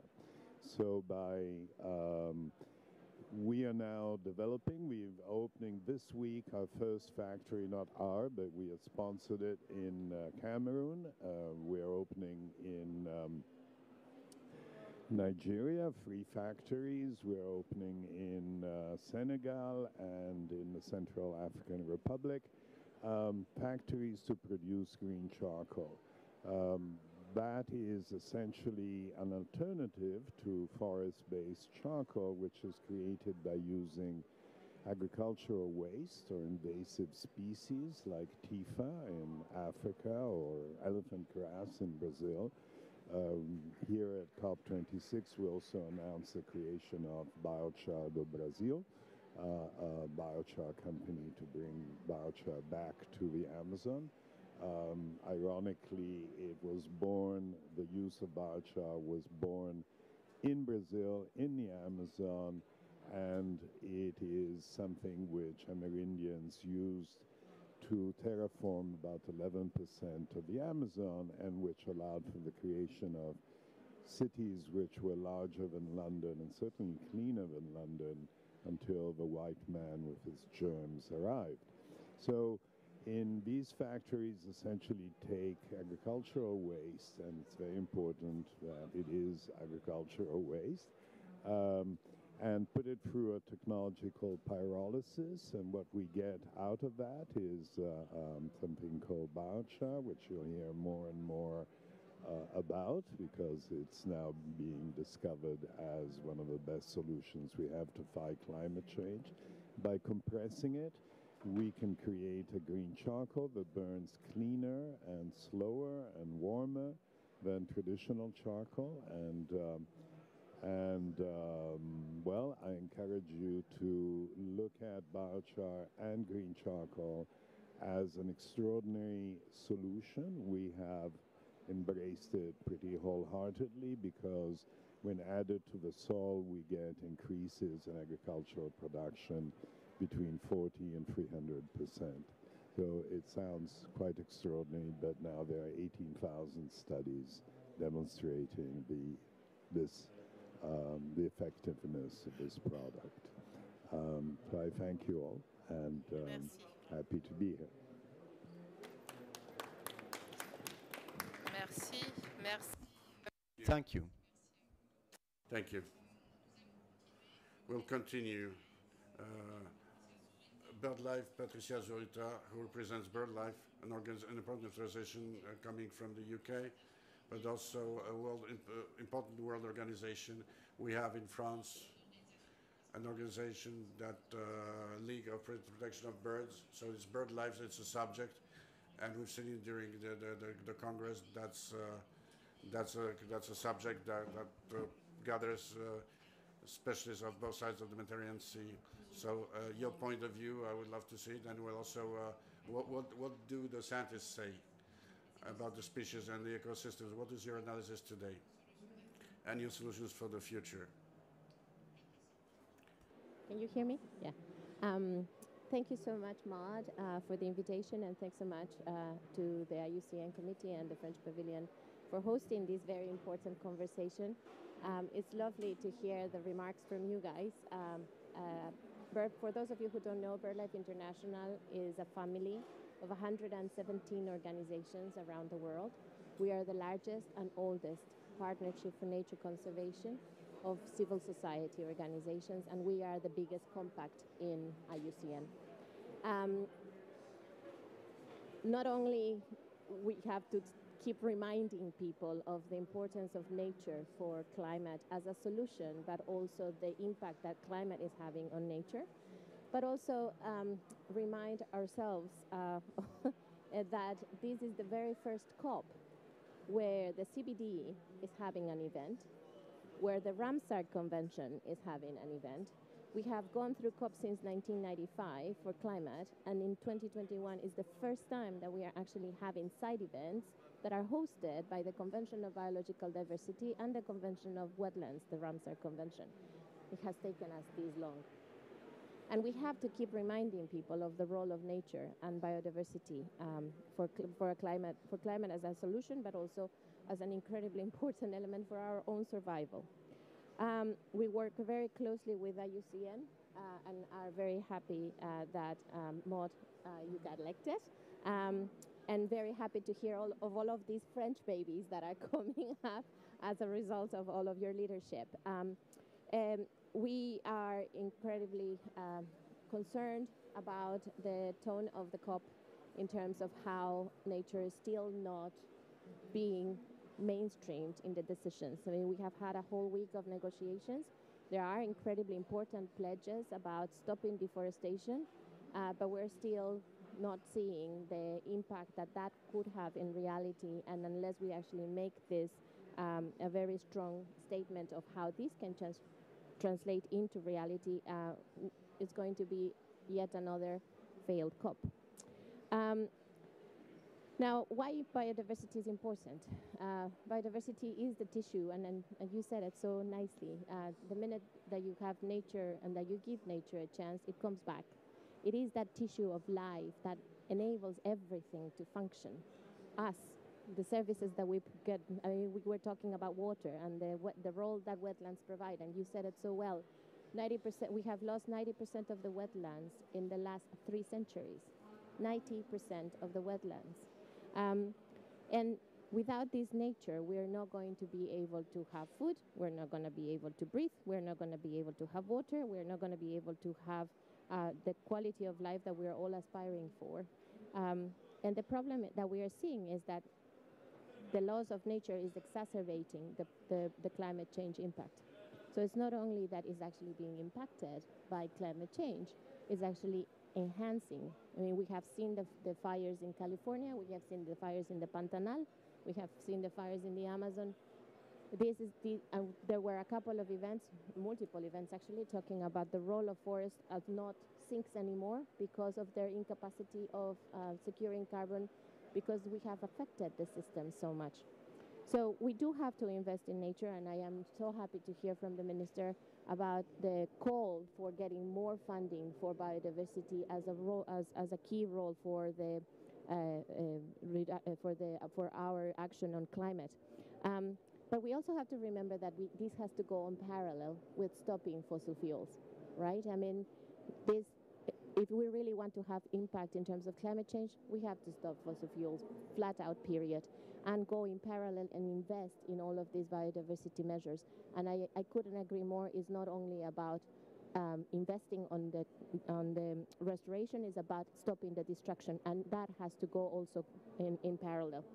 Um, we we also have to remember, and you who have worked in the Amazon so much, um, and for those of us who are all over the world working directly with indigenous peoples and local communities, that um, environment and a healthy environment and a healthy planet is now, um, we are advocating for uh, that to be a human right.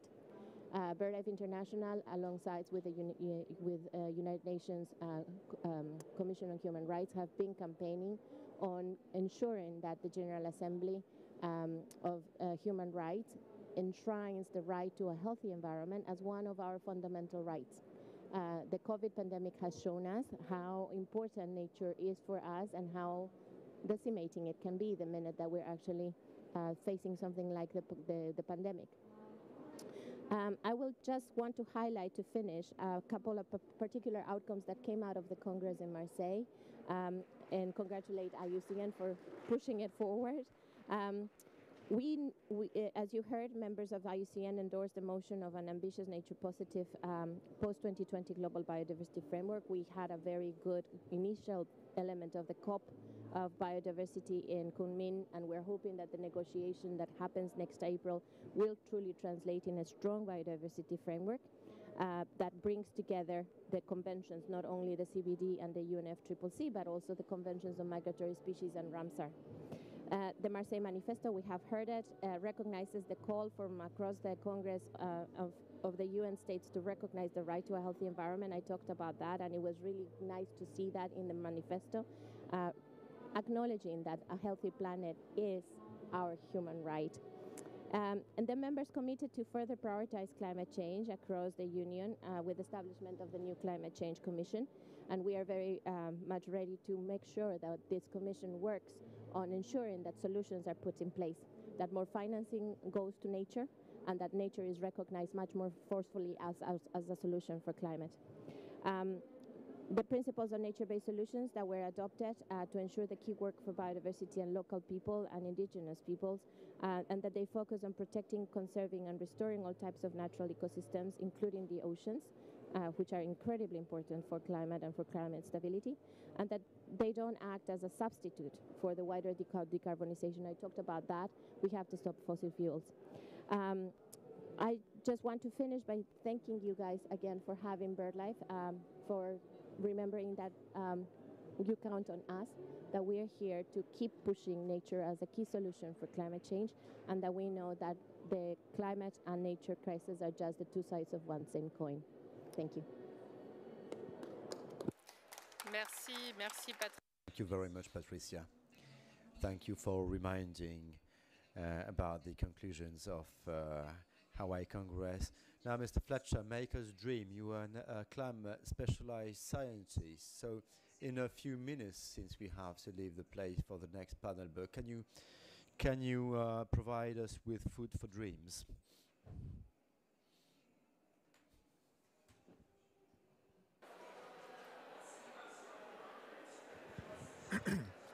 um, good evening, good afternoon. Thank you uh, to the French Pavilion.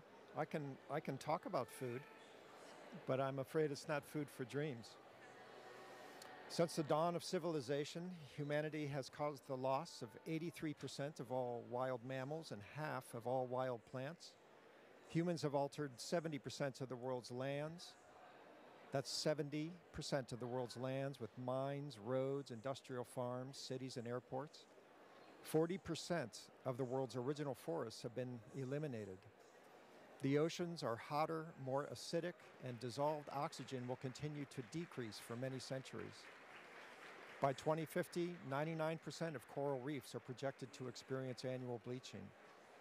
On average, 1.3 species go extinct each year, over 15 times the rate of extinction prior to the 16th century.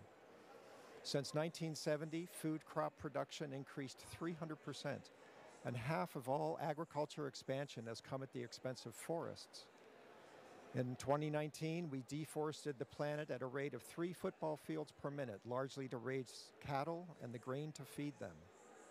43% of all ice and desert free land on this planet, two thirds of all freshwater use is for food production. And over 80% of farmland is used for livestock, but it produces just 18% of food calories. Cattle and the grain they eat use one third of available land surface on this planet, 16% of all available fresh water, one third of available grain production. 86% of all land mammals are now livestock or humans. The number one most important thing any, any of us can do is to stop eating meat. You can preserve nature, you can stop deforestation, and there's a medical benefit that you'll probably live longer. So, the dream, the uh, optimism is that right there in front of us, three times a day, what we decide to do with food is the most powerful individual solution that any one of us can take. Thank you.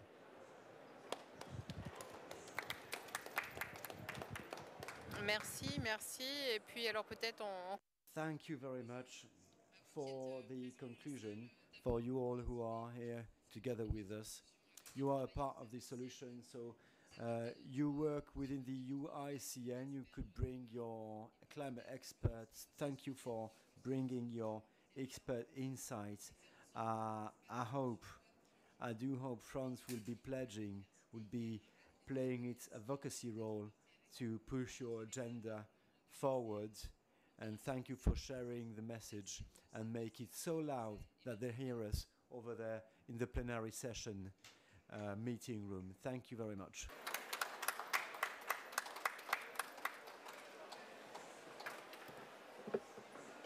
Bon, well done, c'était pas gagné, hein, c'était... On était beaucoup et tout, hein.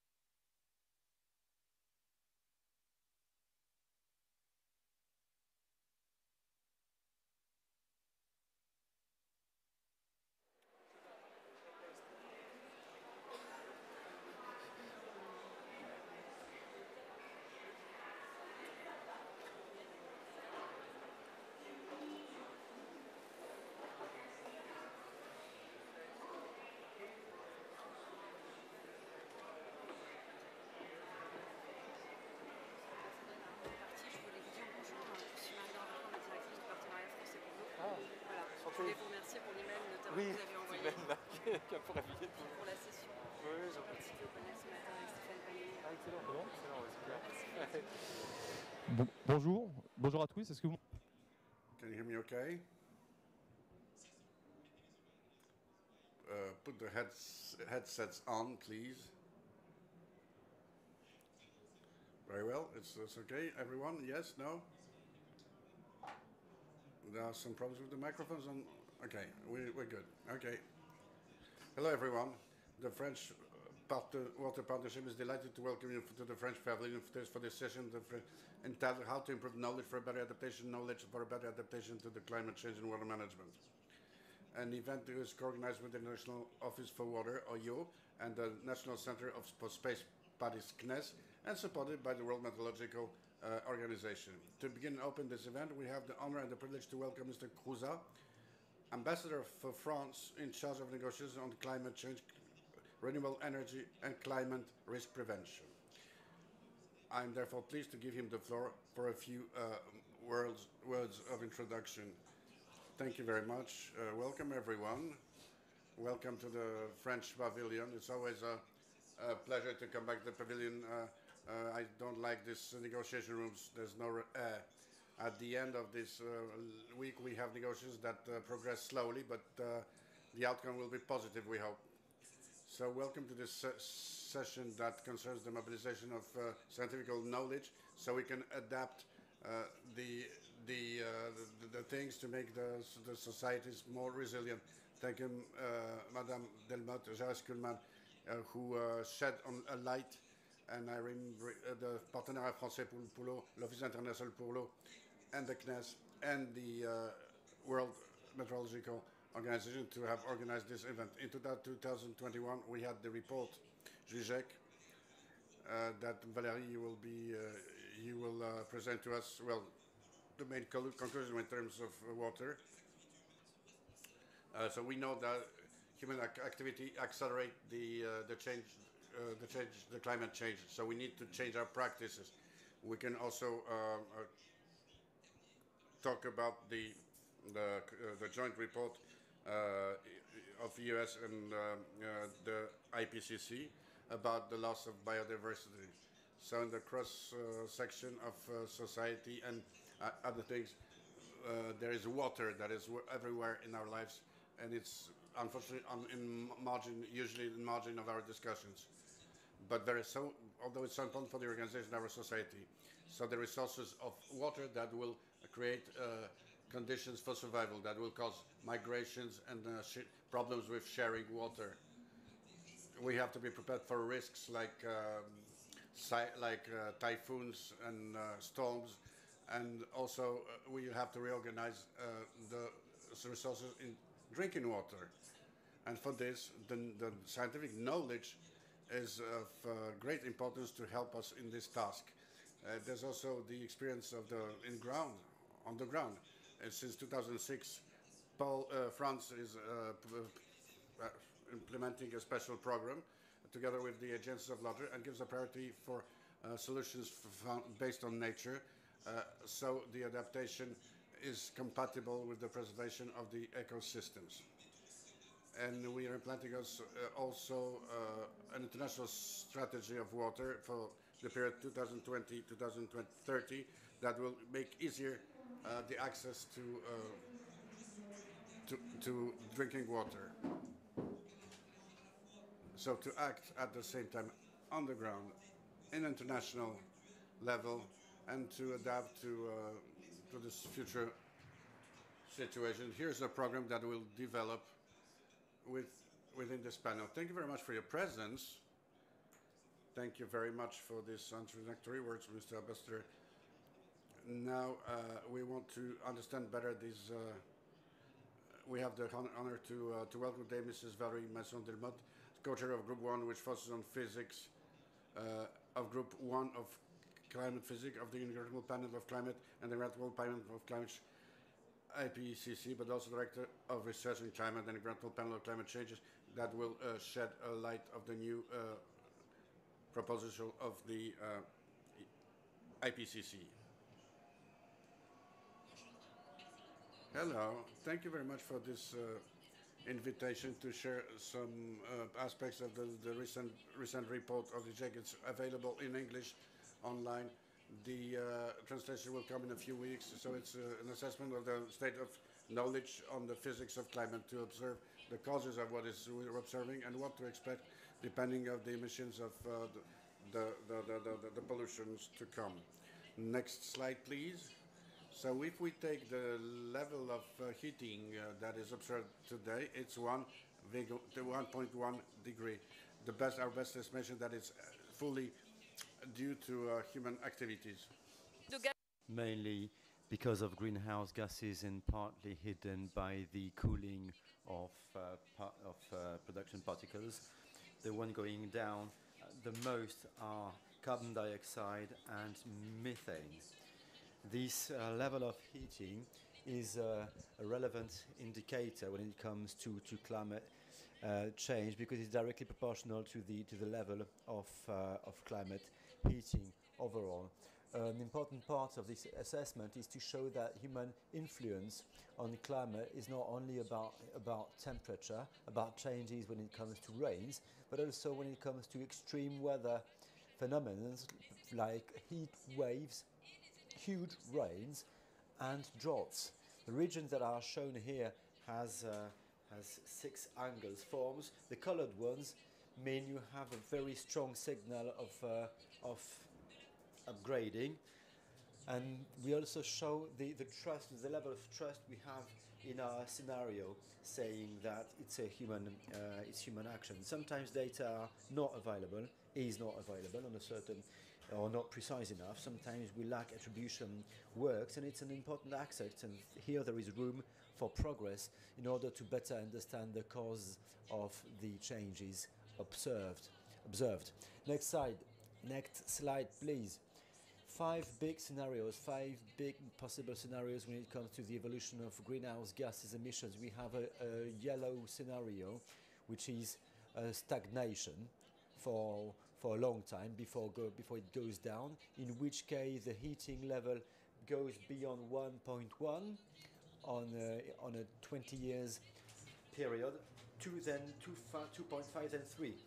Uh, if the greenhouse gases emissions were to go down, is blue and deep blue scenarios, then we'd have one degree and a half in the upcoming 20 years, but we could limit this enhancement during the next during the next 50 years uh, beneath one degree, which will depend upon our capacity to limit very quickly these greenhouse gases emissions.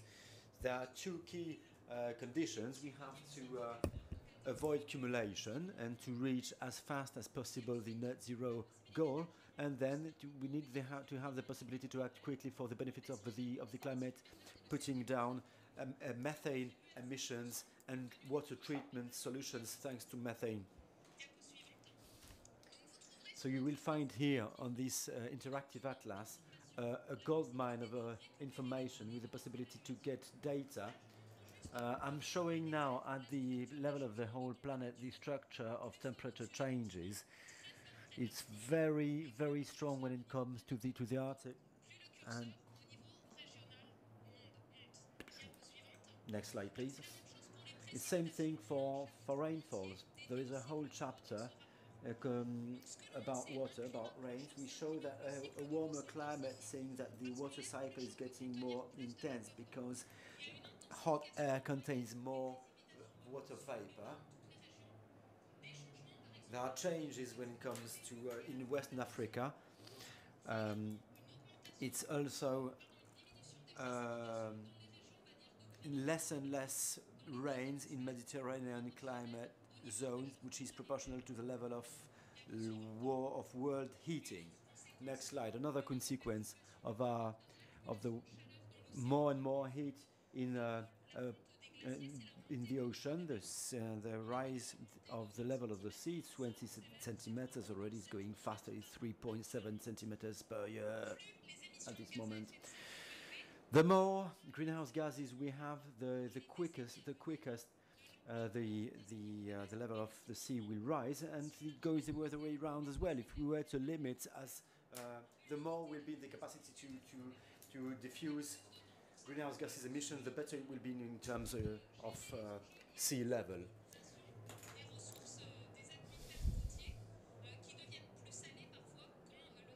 Plus, water is getting sal- salty more and more.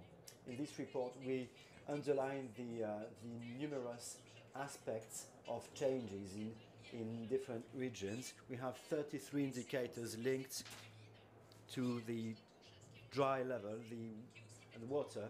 It's relevant as well for water management. There are other coast aspects. In each region, you can find a synthesis of the numerous features that have been observed and are already changing, and those we are waiting for different levels of heating. The, the, the small icon you see shows region for which we expect more and more drops for every fraction of expected portion of climate warming. It's in both hemispheres. So, for each region, more and more changes, simultaneous changes and multiple changes for this impact generating changes will occur with climate warming.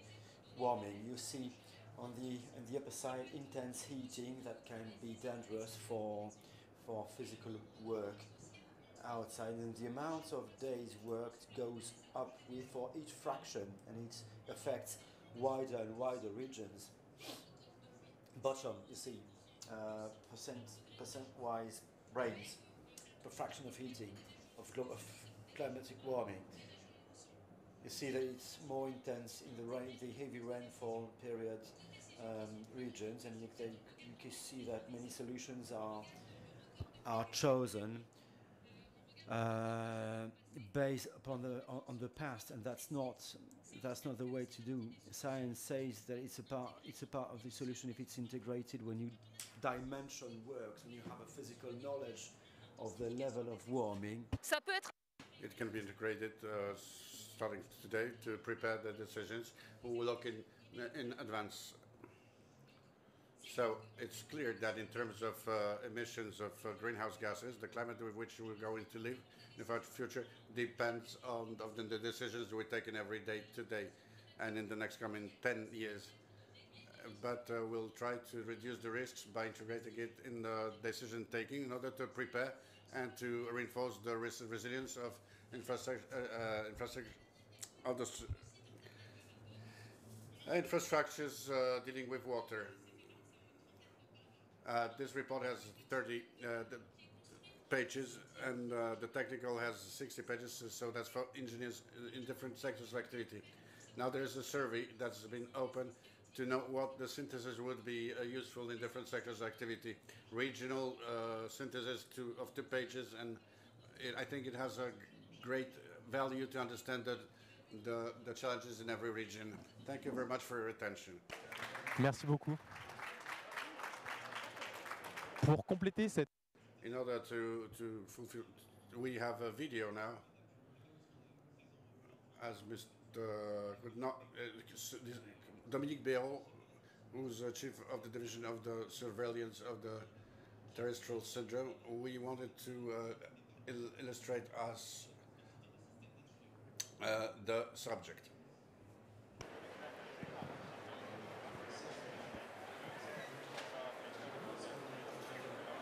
Alors bonjour tout le monde et je remercie les organisateurs d'avoir associé l'Organisation météo mondiale, l'OMM, euh, à, à cet événement.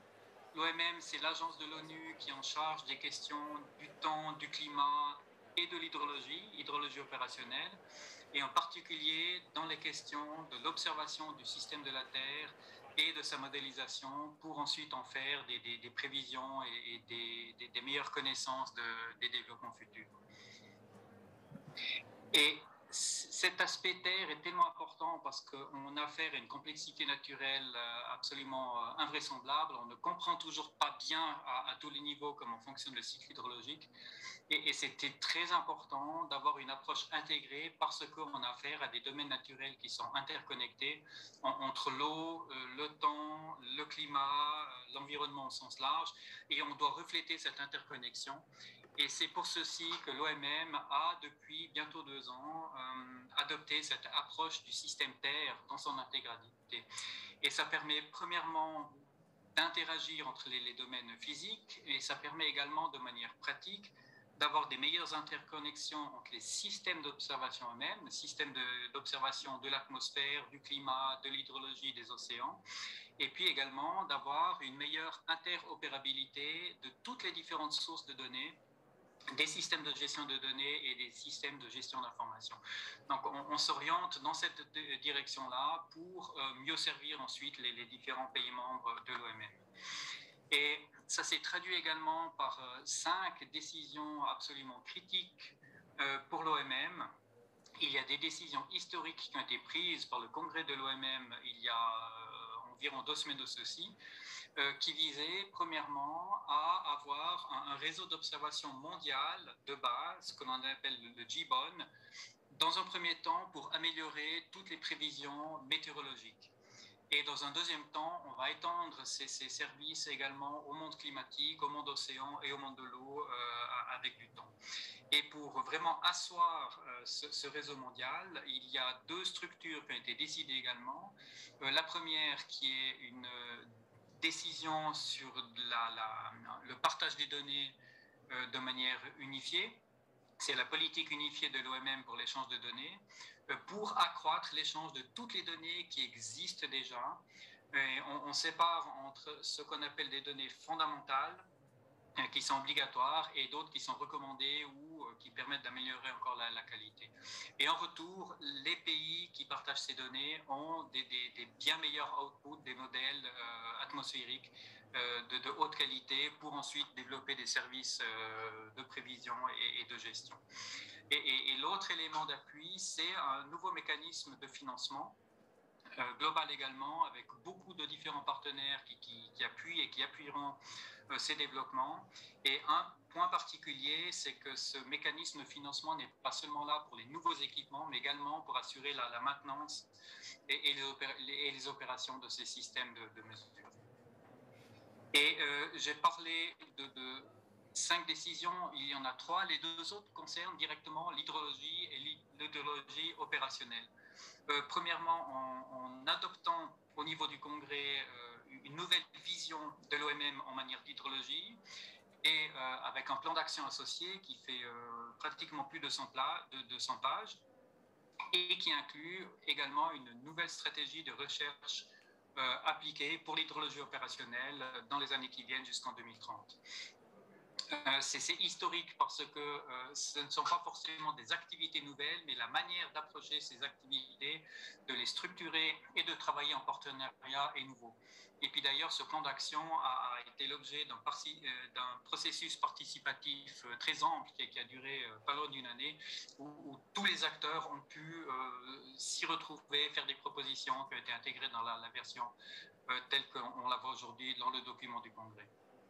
Et la, dernière décision importante qui a été prise par le Congrès, c'est une déclaration de l'OMM sur l'eau euh, qui vise à améliorer la situation, notamment par un meilleur accès à, à, toutes les informations et alertes précoces d'ici à 2030, euh, une meilleure intégration des notions de climat et d'eau euh, pour le développement et notamment l'atteinte des ODD, et de manière générale un renforcement des capacités pour la connaissance et, des systèmes d'information. Et tout ceci à nouveau dans un partenariat qui se traduit en termes politiques par une coalition eau et climat qui vise à accélérer l'atteinte des, ODD et notamment le numéro 6. Euh, et, tout ceci va appuyer la démarche, j'allais dire, plus traditionnelle de l'OMM en matière de, de, monitoring de l'eau et des, systèmes d'observation avec la nouvelle génération du monitoring qui, vient, euh, qui intègre toutes les, sources de données possibles. Hein, et en plus des traditionnels, vous allez retrouver bien entendu le satellitaire, euh, des nouvelles technologies, les observations citoyennes, l'Internet des objets et, toutes ces nouveautés où on va essayer de trouver des, des, des, des, des ponts pour construire des standards pour pouvoir comparer ces données et, les utiliser de manière interopérable dans tous les, réseaux de mesure.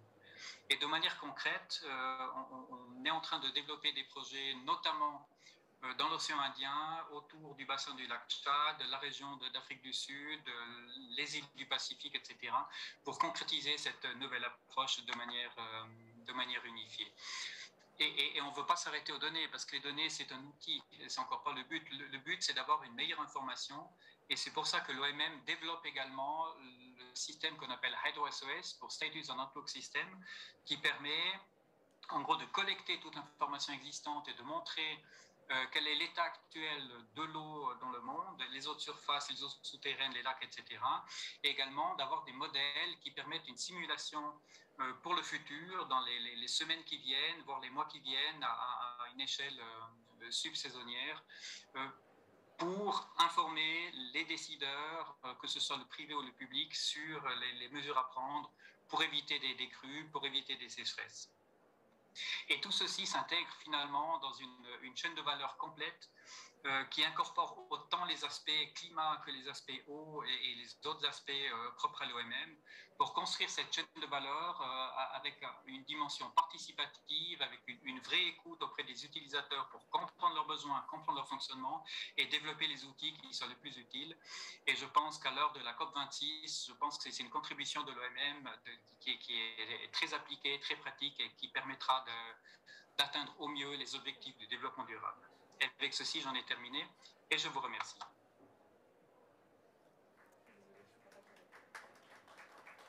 Eh bien, nous remercions. Well, thank you, Mr. Perrault and uh, Miss uh, Delmotte, for these words that gave us uh, the possibility to um, to draw the uh, the basics.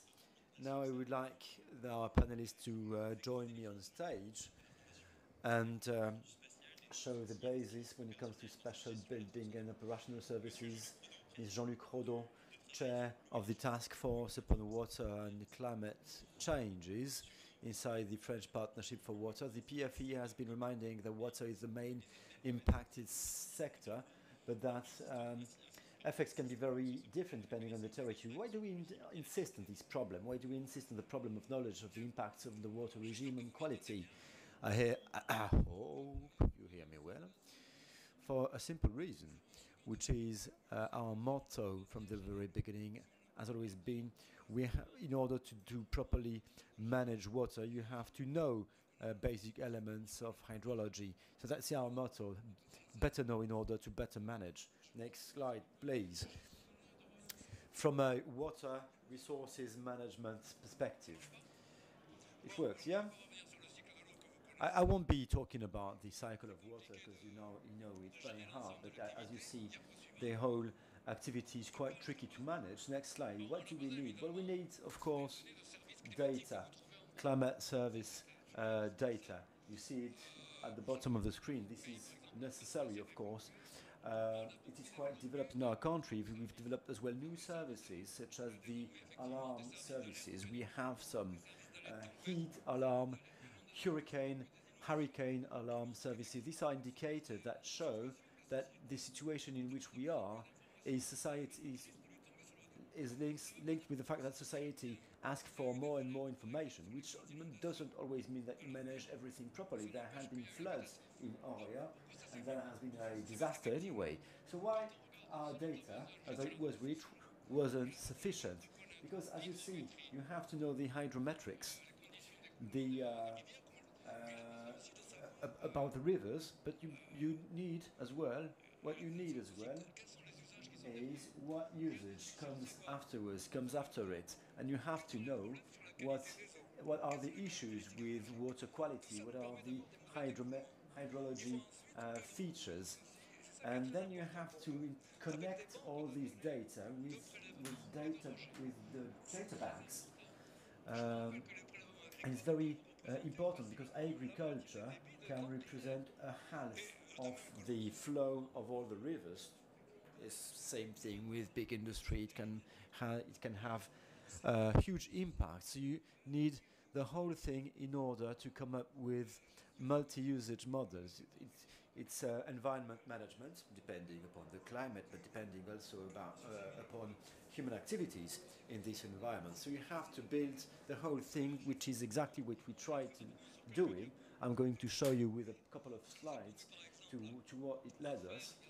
Uh, for instance, uh, five, six years ago, we've come up with a program called Explore. They aiming to forecast what is going to happen, what is to happen with our rivers.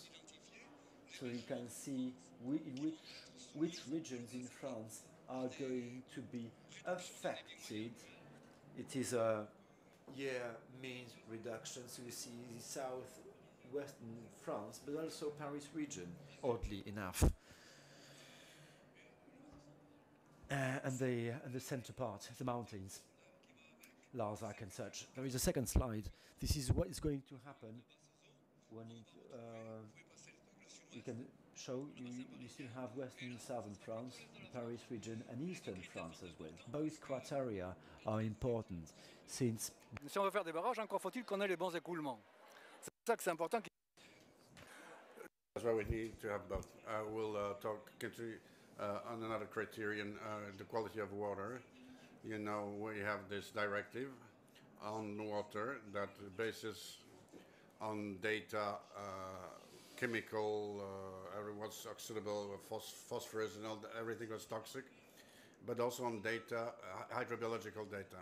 This is very much impacted by the uh, climate change. Of course, all the chemical pollution uh, depend de- depend on the water, but on the hydrometry, sorry, on uh, on it's, it's much worse for the biology because we have problems with temperature and uh, invasive species. We know, for example, that uh, we have in France uh, we had an invasion uh, of these insects. This, this is a kind of flight that is very dangerous, and an invasion our uh, uh, uh, uh, rivers of big fishes that uh, took the place of noble species. So we really have important uh, impacts. Uh, This is what the framework directive uh, forces to um, study.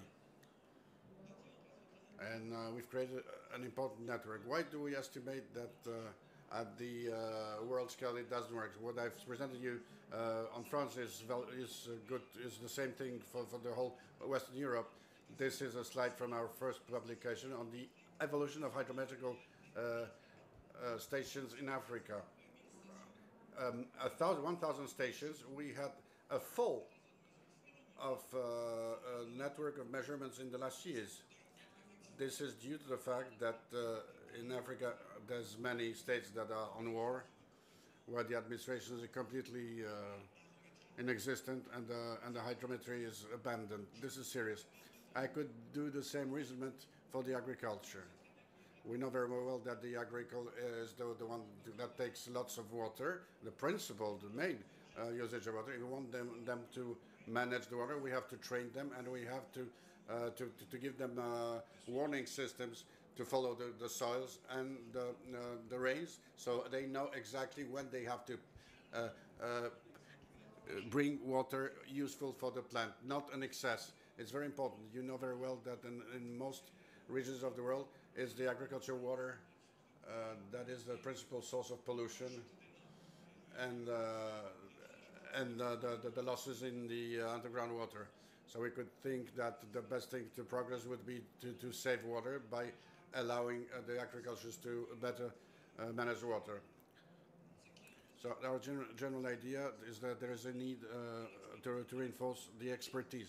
To get back to, um, I, I- let my uh, the, the next person to say that are means to, uh, to to fight with these challenges, but I'll let uh, Mr. Zaman to talk about the solutions to um, to uh, to, fa- to to face these problems.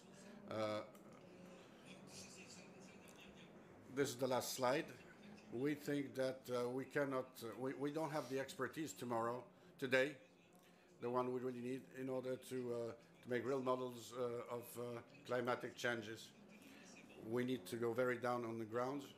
In France, for example, it's true that there are regions when you have droughts Hein. Donc euh, c'est très différent.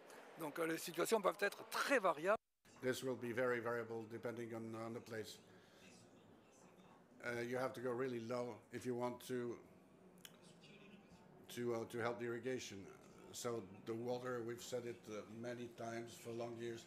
The um, mm, the IPCC ma- made out an expertise in, has expertise in the water, but it's not about the knowledge. There's also governance party. There's the monitoring, uh, monitor, uh, managing the, the usages, and uh, uh, great progress to, could be done in terms of uh, water management. Maybe not exactly what is done in developed countries, but uh, there's many countries today when uh, the, the, water is wasted. Uh, this is due, for a, due to a bad expertise and bad usage of the water. So this is a point on which we could make important progress especially as we know that the principal impact of the climate change will be on the water on these two aspects, these excess and the lack of water. So uh, we really appeal. Uh, so uh, the the IPCC makes us a, a, an expertise of the knowledge. I'm saying it, the knowledge on the subject, because uh, on the side, on the financement organisms, we like to, to finance things, but whatever is knowledge and governance, it's not a priority. That's why that's not uh, clear enough we have to, uh, to hit them with a stick. This is my message. Thank you. Thank you very much, Mr. Redaud, for these uh, words of warning that make us understand that knowledge is the, the basics for, for understanding both quantitatively and qualitatively for resources and a better forecasting of the impacts of climate change. I think we'll be we'll switch to Philippe Maison Grande. Uh, would you like to come here and take my place? Philippe Maisongrande is uh, accountable for the spatial, uh, for the Land and Hydrology Science Program Manager.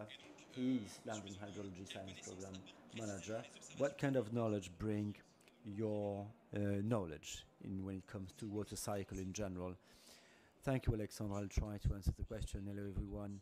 I'm very happy to be taking part in this session and I'll be trying to show you uh, to what extent and how the special industry and the CNES, the agency for which the agency for which I work, can be useful when it comes to water management and in order to face the topics, the uh, challenges linked with climate warming. So I've been trying to uh, represent the uh, the what's at stake challenges. We have sustained SDGs that are at the heart of our objectives. We have data that is a synthesis at the core of these SDGs in terms of uh, demography, in terms of biodiversity, in terms of global heating. When it comes to demography, uh, the uh, figures are quite approximative, uh, but quite but close to reality. We are, we are expecting 2 billion more people by 2050, which means, which means increasing pressure on energy and food. When talking about food, we always talk about agriculture. Agriculture represents 75% of the fresh water that's available. So 75% of our resources, uh, when it comes to fresh water, goes to agriculture. Agriculture is always linked. There is a correlation between the need for agriculture and demography. There are political things at stake as well, borders, uh, different countries uh, upon transboundary, the amount of countries on transboundary basins um, has gone up. There are biodiversity issues. The biodiversity, the uh, Earth observation has been crucial in order to describing uh, housings. It's a very, a very useful indicator to describe housings, given the fact that rivers, wet wetlands, and uh, coastal zones uh, gather lots of population, the, the, the, lion part, the main, main part of world's population, that these regions are also quite affected. There is uh, connectivity issues because of dams and pollution-related uh, issues uh, that, that are always correlated with health issues. And finally, global warming plus two degrees by 2050. Um, I, I, remembered one, thing. I, I, observed that uh, plus two degrees by 2050, this is quite plausible and this will have impacts when it comes to the water cycle with an acceleration. Uh,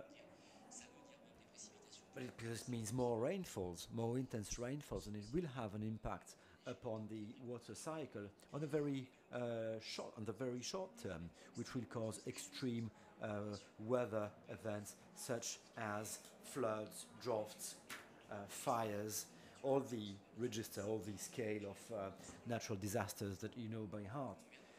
Uh, as we heard, the network of in-situ stations, uh, in-situ networks are melting, they are falling apart. As you see in the right part of the screen, what you see in blue is still operational. Uh, this is a slide, uh, an additional slide to what we've seen earlier. Um, it's additional information to what Jean-Luc has been showing earlier. This is, these are the topics.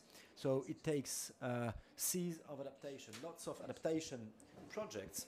Next slide, please. And that will imply, that will impact, that will affect different levels, uh, economic levels, security levels, uh, environmental levels. So we need reliable data, we need long-term data, both at national, international and local level. This is a picture of the first information we gathered when it comes to um, sea level.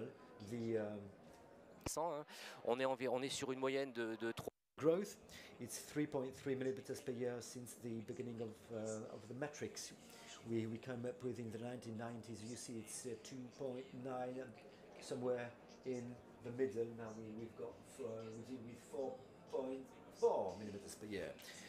This curve, this trajectory is quite interesting since this is the result, the integrated re result of everything that occurs at the continental level because there is a dilatation part in this curve, in this trajectory, and a part that is due to the heating, to the global warming, and to the sea level rise.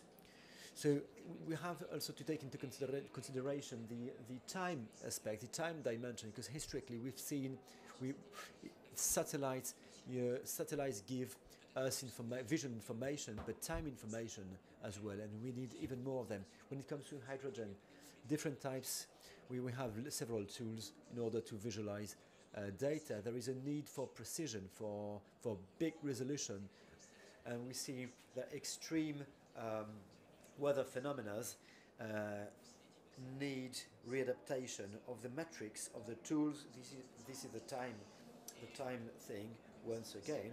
So when it comes to the resolution, to the precision, nowadays we have Sentinel satellites, so it's um, we have time scales. Well, it's a very, very five days. This is our precision when it comes to our time-based, time-wise resolution. In addition, the precision of this data is crucial. This data has got to be reliable, unless it's quite useless and pointless. So this data is validated uh, after in situ campaigns. We need in situ for the uh, for the satellites in, in situ uh, information.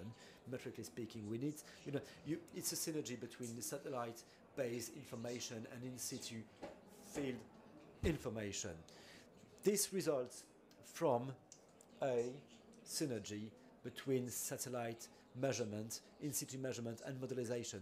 When lucky, you have you have got uh, you've got reliable satellite-based data. Sometimes it's more complicated, sometimes it becomes more tricky because it involves uh, um, all a, a, whole range of information that you don't always have, and that happens to be quite complex sometimes. So that satellites are very useful for certain kinds of information. So this slide is showing the uh, continental surface aspect, as we saw you can see here uh, the time uh, time evolution since the 1990s with evolutions, hydrologic evolutions. we have rainfalls, we have islands. We, this information changes the scale because it's not a world scale anymore, it's a, a basin scale.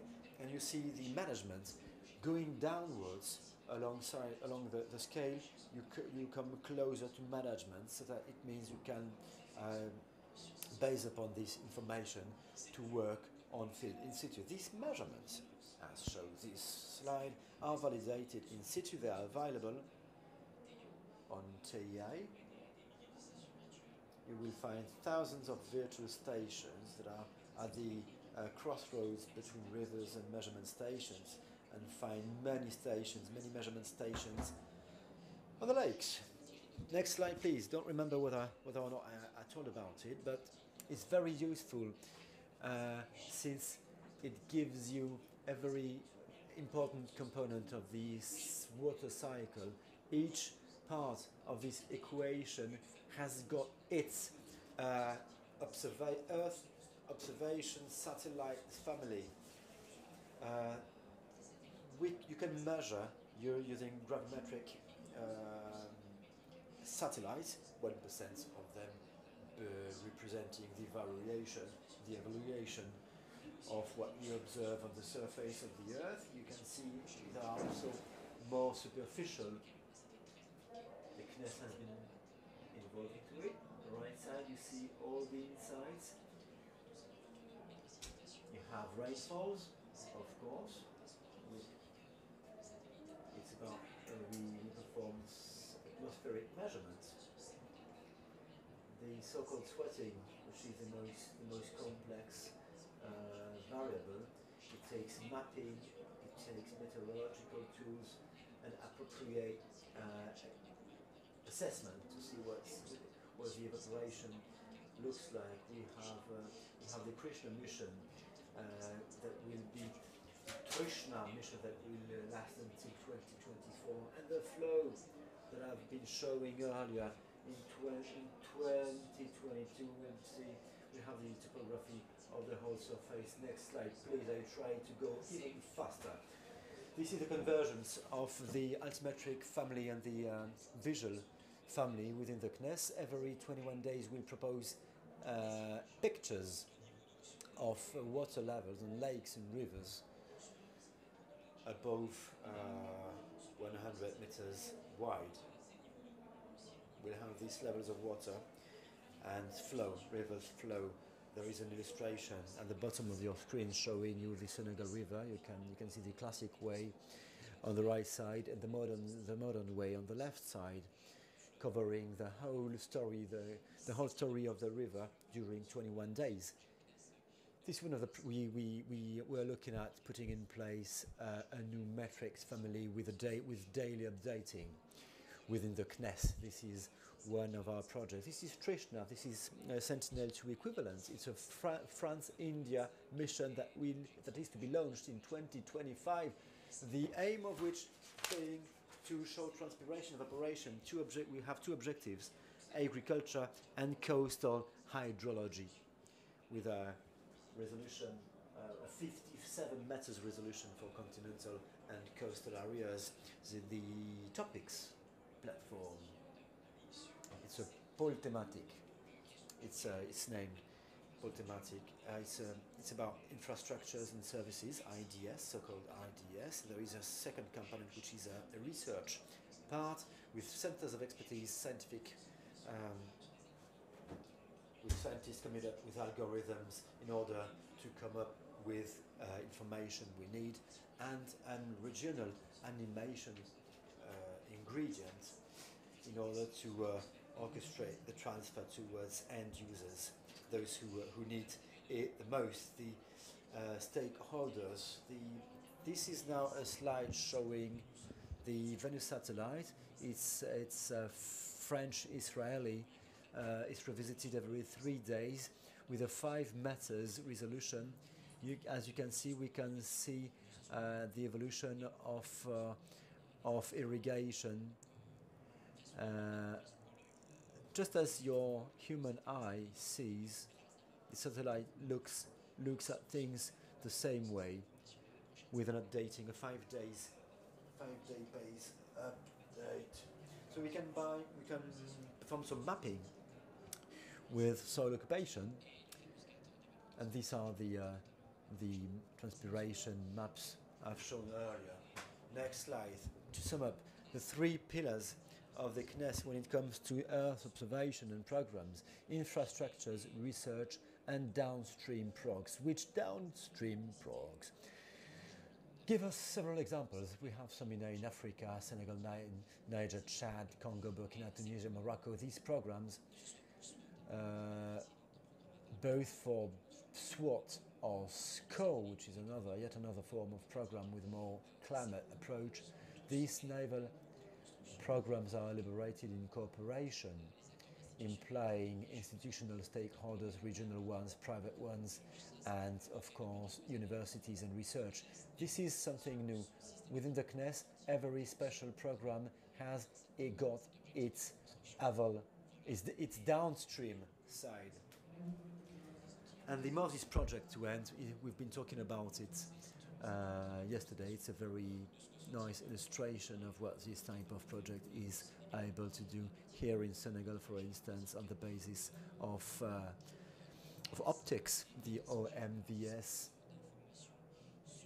has got information when it comes to uh, water management uh, in these uh, places where people grow rice. Uh, in that case, this is one example of uh, how we can spatial info.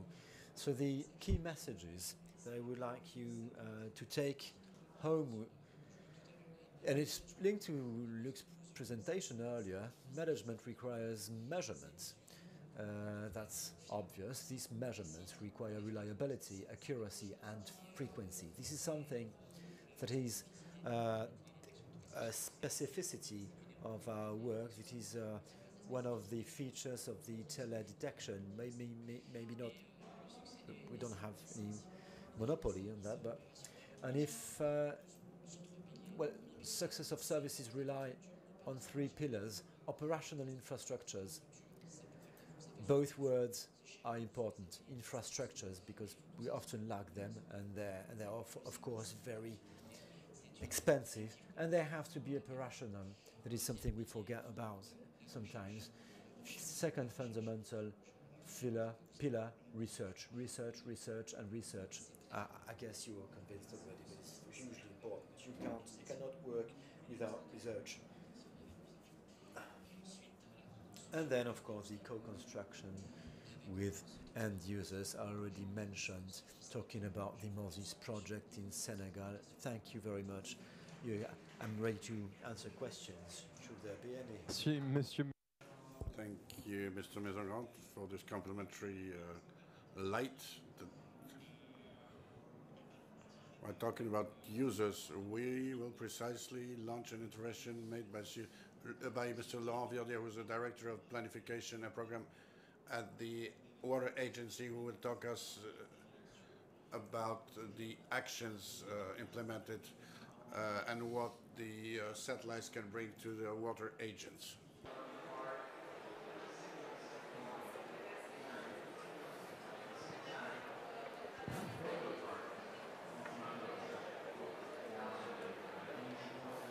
Bonjour à tous. D'abord, je regrette de ne pas être présent avec vous et de pouvoir participer au débat.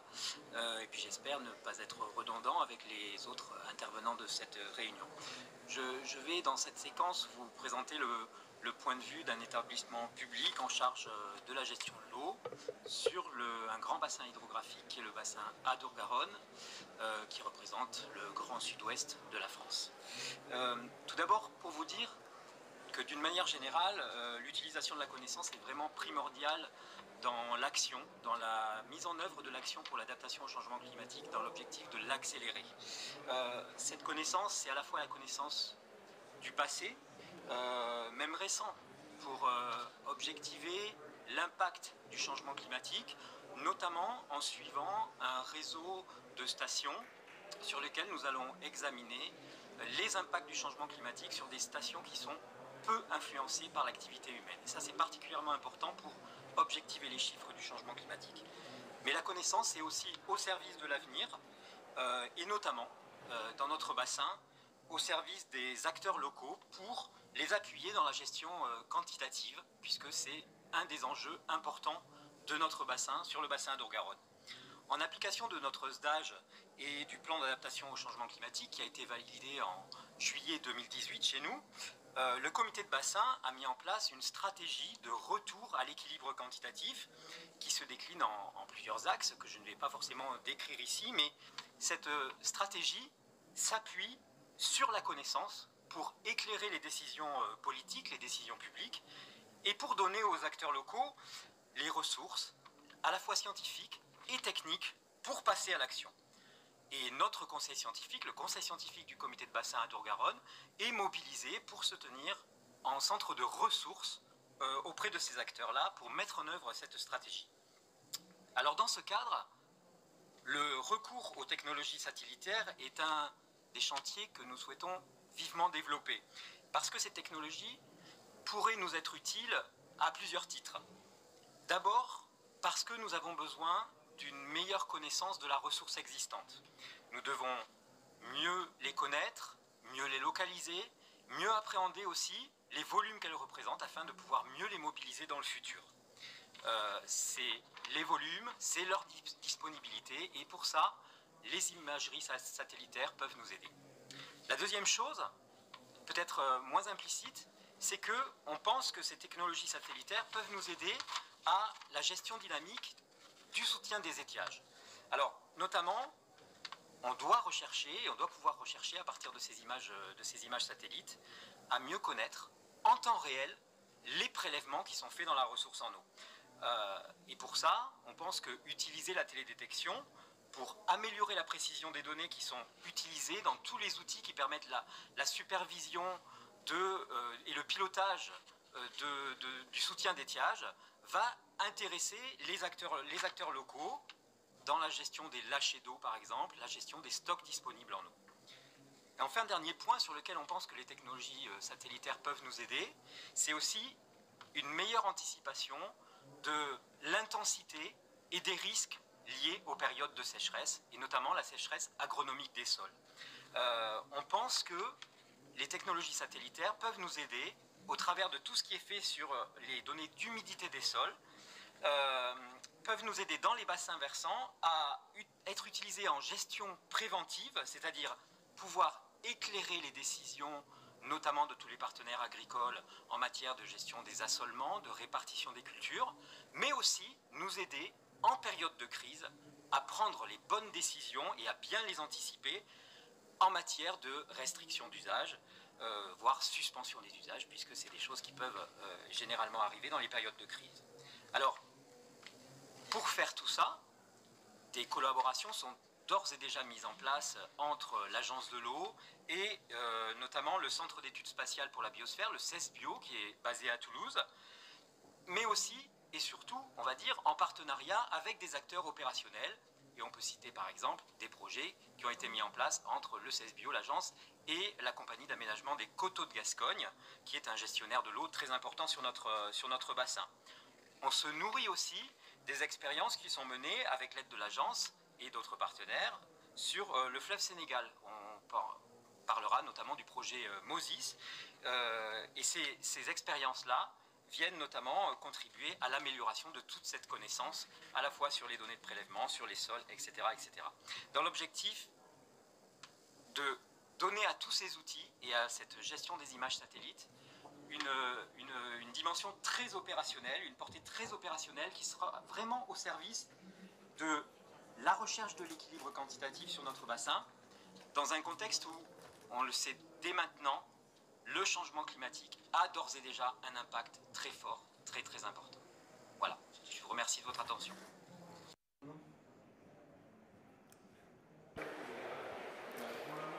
Nous remercions encore les, les agences de l'eau du coup pour cette euh, participation. Thank you very much for this uh, remote participation. I'll give the floor to Madame Agathe Bazil, uh, who is a director at CNRS, and she's responsible for ecology and, uh, and water at the CNRS. Madame Euzen, as a researcher in anthropology and uh, sciences of the environment, what type of knowledge uh, seems to you necessary to answer uh, to the problems and of uh, global changes. Thank you very much for this question. We, we uh, four o'clock. Thank you for for inviting me to um, to add uh, some information to answer to the challenges of the, the water, uh, completely uh, tied up with the cl climate changes. Something that is integrated fully integrated uh, in a whole uh, group, not only uh, climate, that's much, the water management. merci. Thank you for the slide. Uh, is apprehended uh, is in the CNRS. You, you know, it's it's uh, the biggest institution in Europe in, res in, research. We have 210 laboratories in Europe interested by the, the subject. That's 2,900 uh, scientists going from the climatology through the hydrology, the economy, the geography, the, the, uh, the chemistry, and, and, and so on. Just to show you that the diversity of knowledge, we're talking about the knowledge, we should go, we should say the knowledges that answers more the, uh, the size of the challenges connected with water. So all these scientists uh, allowed to answer at the same time to uh, scientific uh, challenges because there's a lack of knowledge. Everyone's going to present certain uh, areas, not only because we have no ways to monitor it, but, but there are new challenges that appear.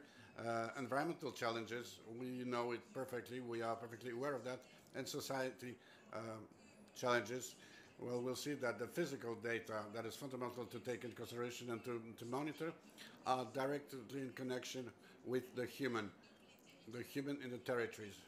And the knowledge is produced by diversity of knowledges uh, of the scientists who come in from a very different disciplines who will help and uh, will cross with the, all these uh, mm, elements in order to answer the, uh, the challenges. So we have to mobilize all these element to, elements to help the decision, decision makers, the managers uh, on international level, but also at the local level and regional level in a very precise way. If we uh, sum up this knowledge uh, concerning the water, that are disciplinary, uh, transdisciplinary, pluridisciplinary, they are necessary to answer to the complexity of the challenges. We're talking about measurements and the capacity by uh, sat observing through the satellites, and also the necessity in complement, uh, complement with the observation downstairs uh, in situ.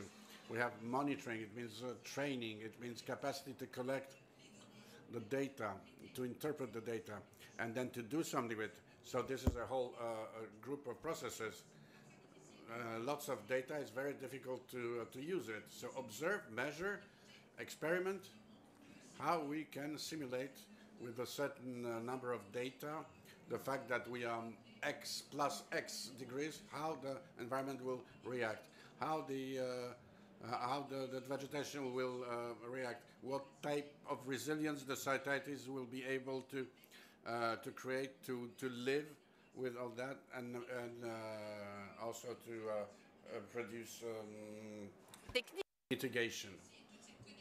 We have this this kind of very precise data through the satellite and others, plus the all the the history of societies that is fundamental to be taken into consideration because this is going to help us to better anticipate, to better accompany the societies and the territories in the process of transition through uh, which we have to go.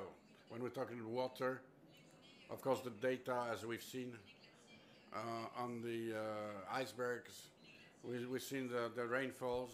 We're gonna get in. Uh, we're going down in uh, lower zones like lakes, like uh, the rivers, the small ones and the biggest ones, with all the transborder questions that may appear. Everything that is underground too. So this is a, a whole des spécialistes de mais aussi en interdisciplinaire.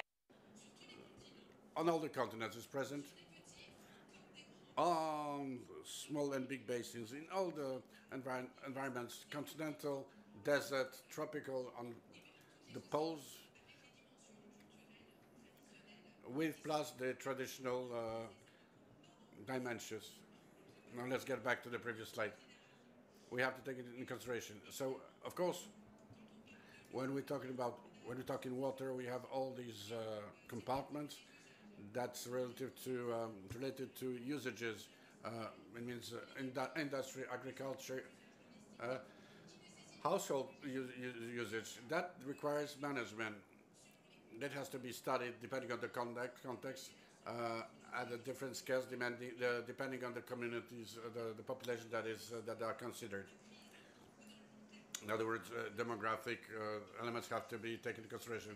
So that forces us to, to think about the governance. I heard in these days that we are referring to the French model in terms of uh, water management.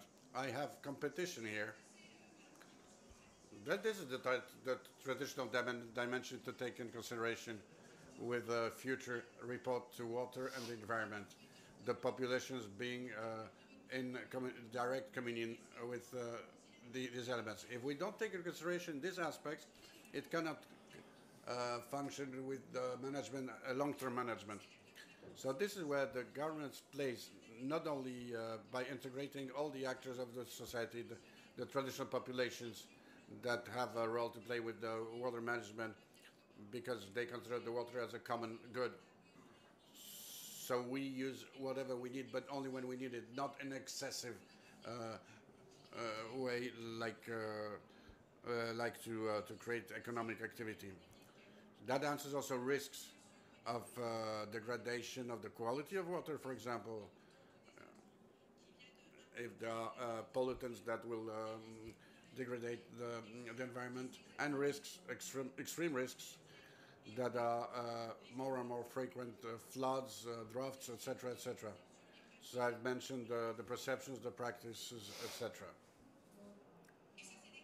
And these are questions that are studied also by the science and uh, that have to be taken into consideration because we consider water and the climate we hear the water and the health, chikungunya, water as a vector, but also uh, with all the challenges connected with, with the problems, uh, bacteriological problems with water. For example, COVID period. Period. Remember, some researchers, with the in partnership with the public actors and private sector, were able to make uh, to proceed to a monitoring in the framework of a, of a project that is called Obépine, uh, that is watched internationally to use water as a warning. In other words, to measure in rivers the presence of COVID, to monitor the emissions and to anticipate the place where there was uh, a certain number of uh, infections, and then to uh, use the water as a mean of analysis, analysis of the quality of the environment. It's monitoring at a very small scale to go to very uh, to the much bigger scales. The water and the uh, the food we said we, we, we talked about when we're talking about agriculture and through evolution of practices, food practices, water and the culture. Hey, here they are again. Here they go again. Uh, there are also the, all these uh, ceremonies. Uh, in, in relation with the environment, uh, the, the, fact that people dance, that they explain the reasons for, uh, for rainfall or lack of rainfall, uh, this relation with beliefs. This is something to, I'm sorry to use the occasion of what is happening around us to, uh, to mention this dimension without which, uh, in certain contexts, uh, adaptation and development projects cannot function. So if we don't work together, the scientists, the communities, the users, and the uh, actors of the socio-economical uh, world, we won't be able to preserve the resources, or the resource. So I continue. It allows, uh, uh as mobilize very many disciplines through all the cycles. It, we, we, we talked about the cycle of the water but the carbon cycle is also very interesting, and other cycles, they all together. It's interconnected. The interfaces, we've mentioned the atmosphere, but, but we also have the surface and what's under the ground. This is all interconnected, of course. Of course, this allows to consider the socio-hydro systems by integrating the societies and uh, territories uh, with the uh, hydrogeological processes that are in the world in order to understand the system uh, in which we are. We're going from the global to, uh, to local, and we go, we're talking about quantities, availability, access, or the lack, and the quality. Quality uh, on the uh, moni monitoring. Oh, here's the next slide that says what, what I just said, but on an, another form. We know it.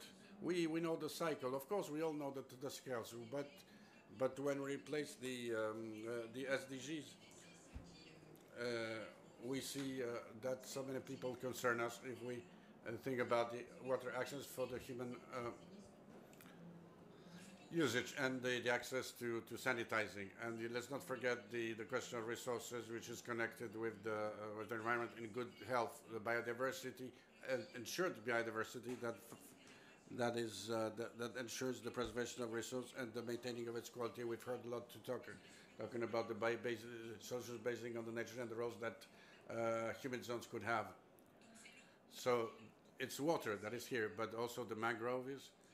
When we're in the uh, continuity term, uh, because we're connected with salty, salted water, saline water, and uh, and all the other elements that are represented through uh, the objectives of uh, sustainable develop development that are actually uh, means to attain these goals. All that is integrated in, and in dialogue with the objectives of sustainable development. development. Like the two other conventions with the desertification and biodiversity, to, to consider them overall, it will be very difficult to tackle the, uh, the challenges we are facing now. So as far as possible, we have to integrate them all to the context in which we are working, which is precisely what we try to, to do in the framework of a program that has won an international contest. I, I think uh, it's not an IPCC report. It's not a water report for the IPCC, but it's a program that, we, that is going to be funded by the French government, aiming at considering water not as a service for us, but as a goal in itself, a common good. Uh, the aim being to develop research and innovation to accompany transition. So that's what we are at at this moment, Me measurements, systemic measurements in order to face upcoming challenges and consider water as a common good. It's a 10 year program mobilizing, mobilizing the whole water French water community. Um, and we do hope this program will allow us to accompany, to support this transition. It's quite necessary when it comes to management as well. And there are six main challenges. In a nutshell, it's about anticipating,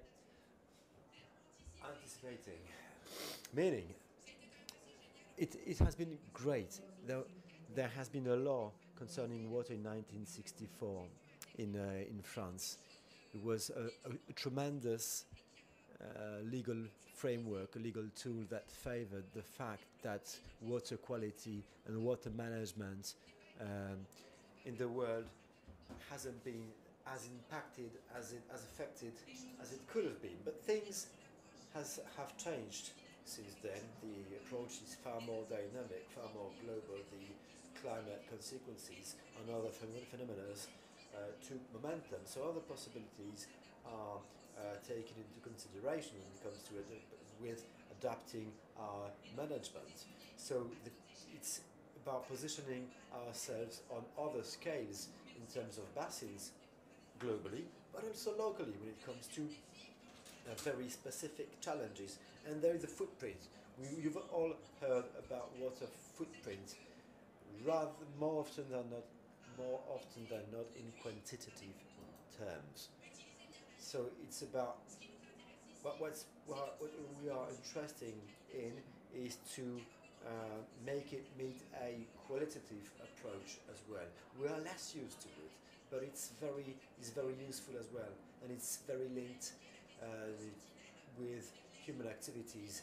Water Sentinel, we've talked about it, so talking about COVID, but we might use water as a middleman, as, a, as an indicator, as something that will crystallize some issues and that would be extremely relevant for health problems and for climate and for environmental issues. We have to come out this silo. We, we have to be talking about water, about the oceans, about biodiversity, but we have to uh, draw the dots between these topics to come up with solutions that will be adapted and resilient. This should allow us to support the transition towards a new resources governance and a, mo a more sustainable society. The sustainability science favors an approach that takes into consideration both uh, knowledge and data production, fundamental ones, and much more uh, specific, specific approaches with playmakers from the social and economical world, while uh, with mobilizing playmakers from every part, every stakeholders, NGOs, population, companies, private companies, uh, governments.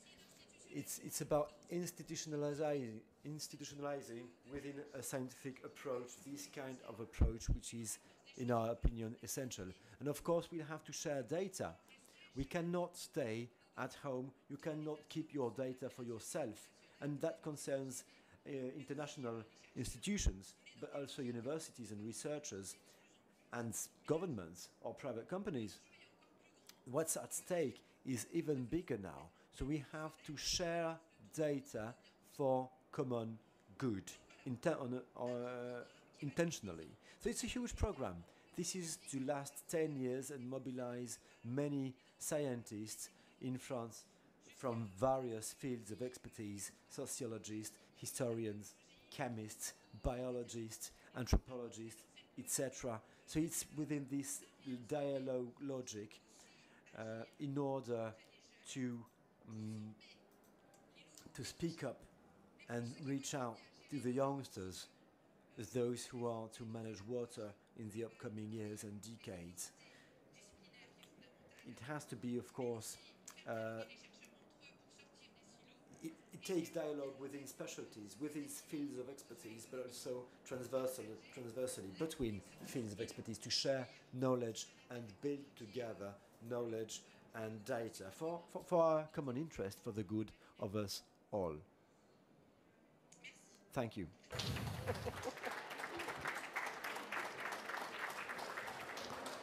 Merci, Madame Euzen. Thank you, Ms. Euzen, for this shared vision that allow us to understand data are not always figures. Behind every figure, there are many various human and natural causes, factors that uh, give us the possibility to take into account sustainability science. I would like now to uh, to propose uh, questions and answers or comments and answers session. Uh, should anyone want, if anyone wants to take the floor here, yes, I'm just going to uh, switch it on for you. Hello, Pierre Foulquin, uh, Sustainable Development Group Suez. About the satellites, I've been hearing about biodiversity measurement thanks to satellites. I don't think you talked about it. You, don't think you, you, you mentioned this aspect. A couple of words about it?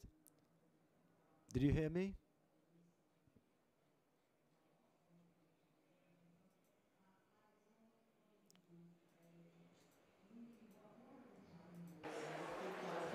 Ça marche?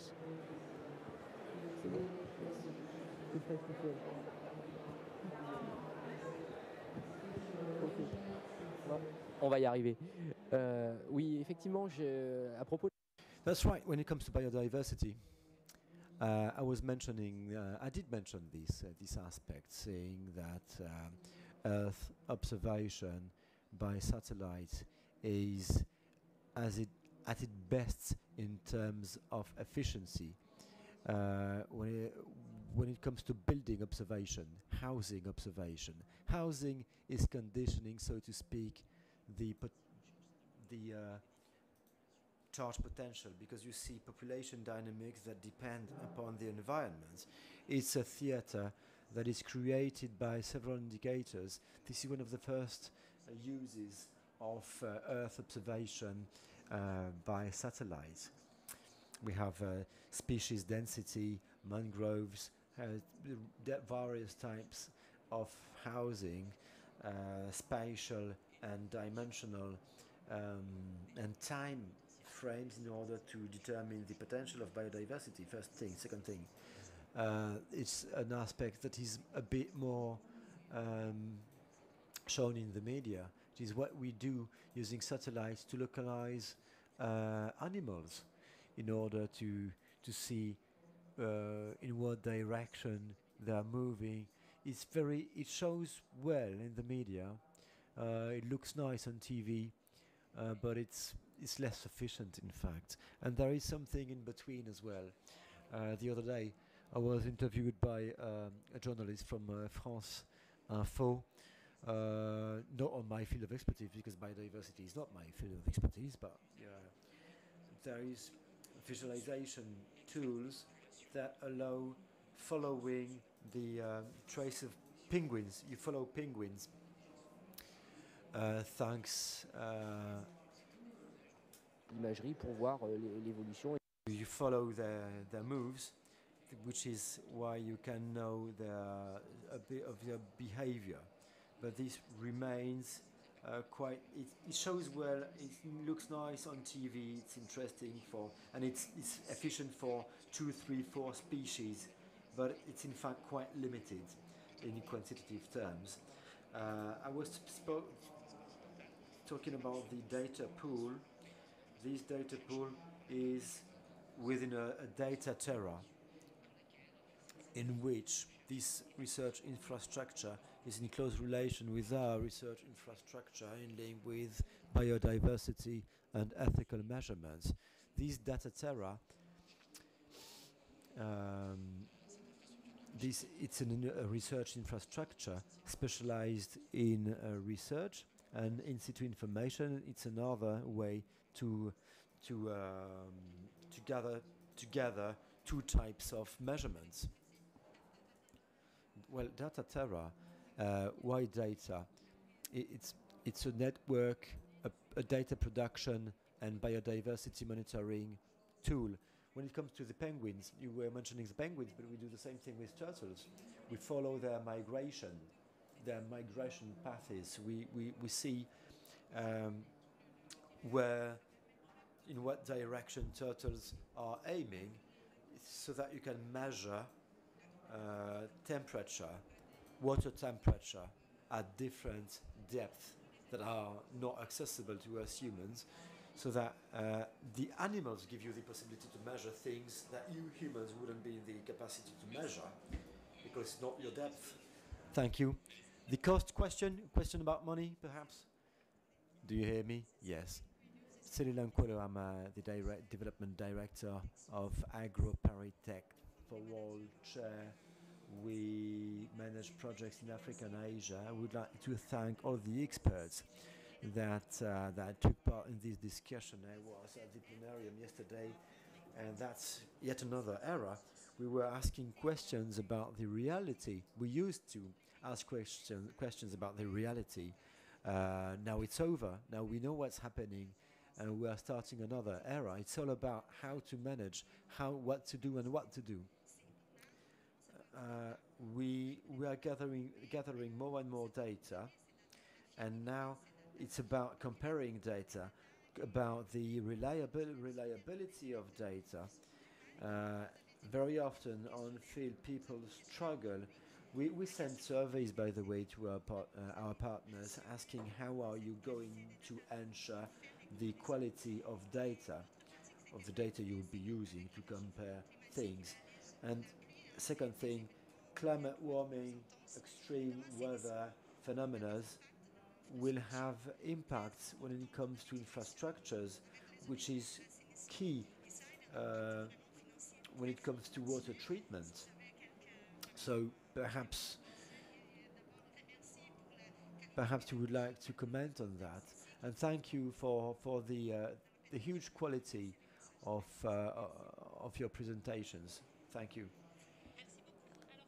Thank you very much. What I would wanted to mention is that in this whole work we've been we've we've uh, come up with identification of the uh, impactful climate phenomena. It comes from a, a survey we managed with climate services mobilizing key users, end users, and their knowledge for the for information building within an IPCC report, you cannot go to that to that you can you cannot reach that level, but you will find the most the deepest methods existing nowadays in order to build data that will help decision makers. It's event studies, specific ones that already have been a huge impact in order to see why, what has been modified and why, what are the implications for the future, and to what we could get prepared. And that can be solid, but there is also data quality. You mentioned that very clearly.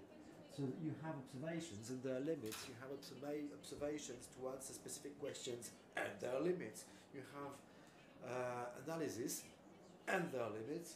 And you have climate models, global models, regional models.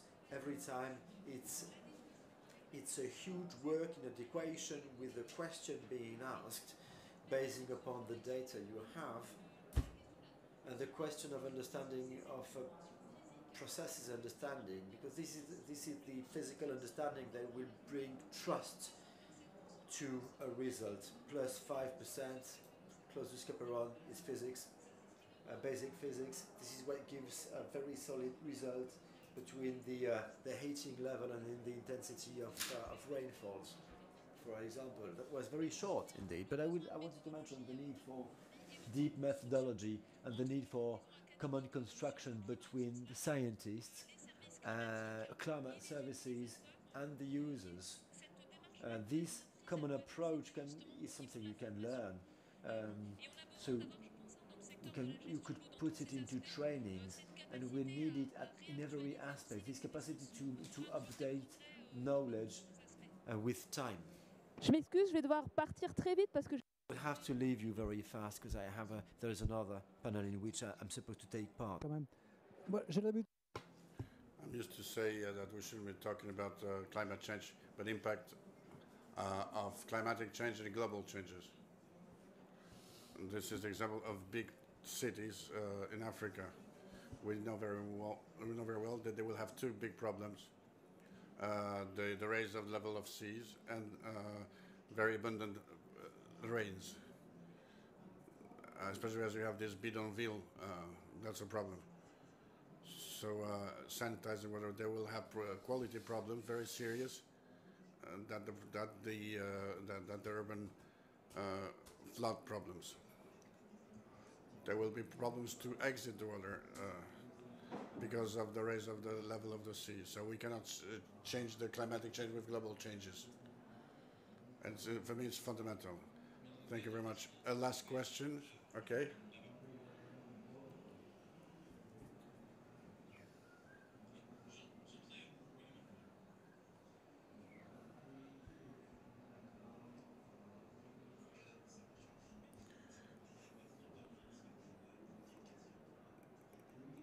Small question to. You were saying to associate the socio-economical world that doesn't have the same approach uh, uh, that uh, things in terms of risks and opportunities.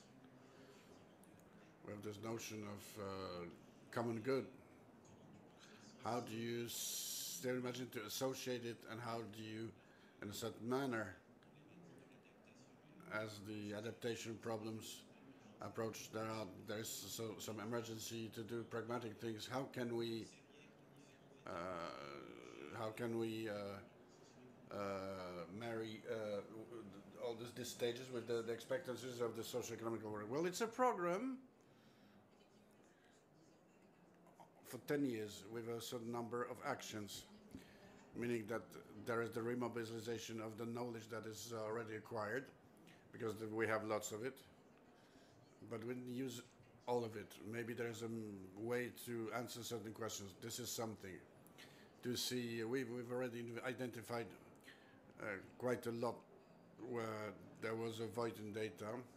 One of the first actions we'll try to deploy as a number of uh, sensors in experimental zones, but at the scale one, in order to have a monitoring of data, bigger one on the regions. This relying on uh, on, on existing uh, tools like uh, these workshop zones, where we have at the at the same time a certain number of systems uh, for measurement for there for 20, 30 years that could be that could be uh, completed and can uh, by other data and produce new actions. So we can cross-section the um, uh, the existing data that like we've never done before. That would be the first exercise. This is the first uh, uh, work uh, year. Throughout this first year, we have to continue to advance certain equipments in order to, to bring new data. This is the first thing. Uh, moreover, there's a whole process that will consist in dialogues. This is exploratory, this, uh, this, uh, this program. We'll try to organize a dialogue, a little slightly different from the existing one, in order to build together a certain number of questions and to bring uh, together answers by mutualizing our knowledge, measurements, whether it's measurements, uh, monitoring, or anything else.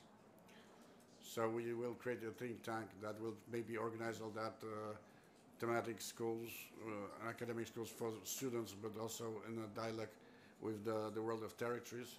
So this is it. We'll have a panel of uh, tools that will allow uh, in different times to bring answers and to build uh, to build a puzzle, if I may say so and we've built a program uh, a program for 10 years. That's just to give us uh, time to uh, to do things.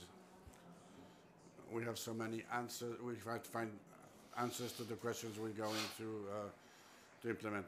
Okay, well that's it's ambitious, I know, but it has seducted the uh, International Scientific Council and the government accepted and uh, and we'll have time financement. So uh, we'll uh, we'll take on the challenge together.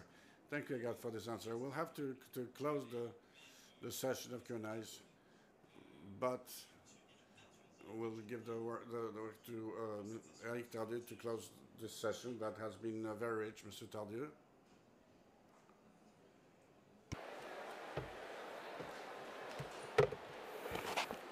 Merci. Bonjour à toutes et à tous. Euh, alors je, je, voudrais commencer par une, par une citation euh, qui, qui, me vient à l'esprit euh, euh, à la fin de cette session. C'est une citation de Topaz, hein, Marcel Pagnol, qui dit à je ne sais plus quel cancre au début de la pièce, je vous condamne à l'incertitude. Et j'ai entendu cette phrase assez jeune et elle m'a toujours marqué, je vous condamne à l'incertitude. Et je crois que ce qu'on a essayé de regarder aujourd'hui, c'est comment justement faire en sorte que cette incertitude, qui est l'une des caractéristiques fortes des impacts du changement climatique, en particulier dans le domaine de l'eau, puisse être levée euh, le plus rapidement possible et à, plus, le plus en plus d'échelles euh, possibles. Euh, on ne peut bien gérer que ce que euh, l'on peut bien connaître ou bien mesurer. C'est l'une des phrases qu'on prononce souvent, vous le savez, à l'Office international de l'eau. C'est un peu simple, un peu simpliste sûrement, mais c'est effectivement une vérité assez universelle. Et nous voyons bien des, variations de fréquence, des variations d'intensité euh, des événements léaliaux liés à, l'eau. Et donc, ces, ces incertitudes nouvelles nécessitent des connaissances nouvelles. Et à cet égard, je n'y reviens pas, le rapport euh, du GIEC, le tout dernier, constitue des avancées vraiment intéressantes en ce sens qu'il descend dans des échelles territoriales qui, se rapprochent de plus en plus des besoins de, la décision des acteurs publics, des acteurs privés. En France, on a l'habitude d'être euh, fier et à juste titre, je crois, de notre réseau de suivi hydrométéorologique hein, qui est mis en œuvre par un, grand nombre euh, d'acteurs euh, publics. On a eu une agence euh, de l'eau en témoignage tout à l'heure. Et c'est vrai que ce système d'information sur l'eau euh, français, qui est un modèle reconnu, euh, atteint ses limites aussi hein, dans, dans, le cadre des nouvelles modélisations qui sont nécessaires et de ces nouvelles euh, incertitudes.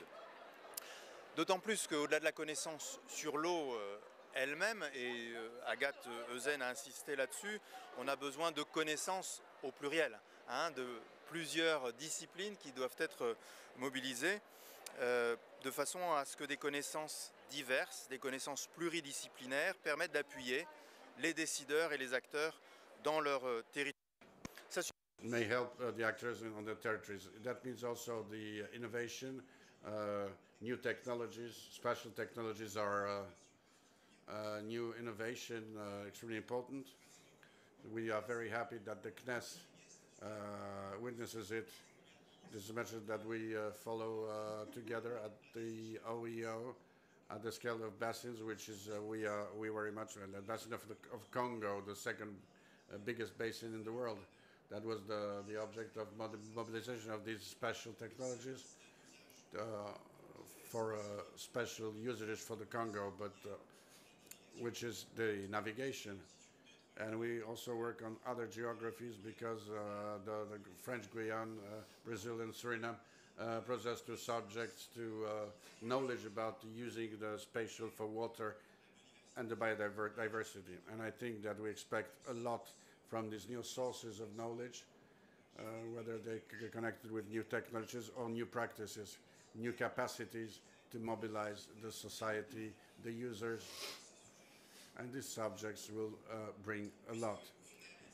As finally, and it's been said, it is about adapting not only our usages, but also uh, to adapt our societies and uh, our behaviors uh, in our relation to the water resources, in uh, challenges concerning the resilience, protection of uh, population, and we need we need knowledge, knowledge renewed all the time on systems of early alarming, because uh, water may uh, uh, may may create disasters. We know we know we know that this is one of the biggest and well-known uh, impacts of the uh, climate change on the on the resource in water. So all these usages of water, and uh, so it's the the users that will have to adapt, and that should enrich not not our knowledge shared knowledge. Uh, I think that's a, an element, particularly important element. Remembering that, that every context, hydrographic and human, is different. Uh, the, uh, the, the, the, challenges are crucial. And relation, human uh, relations with the resource and with users, that also has to be analyzed scientifically and valorized. So this is uh, how, by sharing our experience in the uh, of all our knowledge, we'll will obtain will will manage to take on the uh, challenges of the climate change by marrying uh, different uh, territorial scales globally, but also locally. By marrying uh, the, the, the different science disciplines without ever forgetting that this knowledge, the new knowledges, these networks, monitoring uh, reinforced networks will serve to taking decisions, better taking better, better decisions, and to uh, create solutions, and also uh, to to engage uh, better uh, compartments. Thank you very much to all our speakers and all of you for your attention. And I think that this, uh, with these words, the, the, the, session is over. Is over. Thank you very much for the for the speakers and uh, thank you also for the technical team.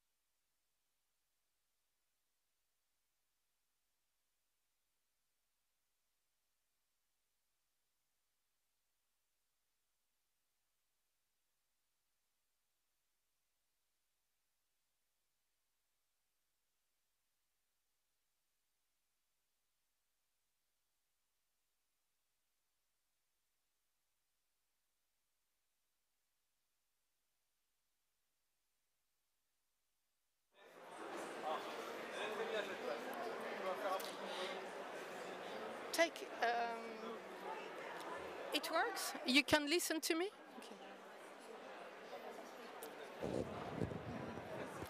On va commencer Shall we start?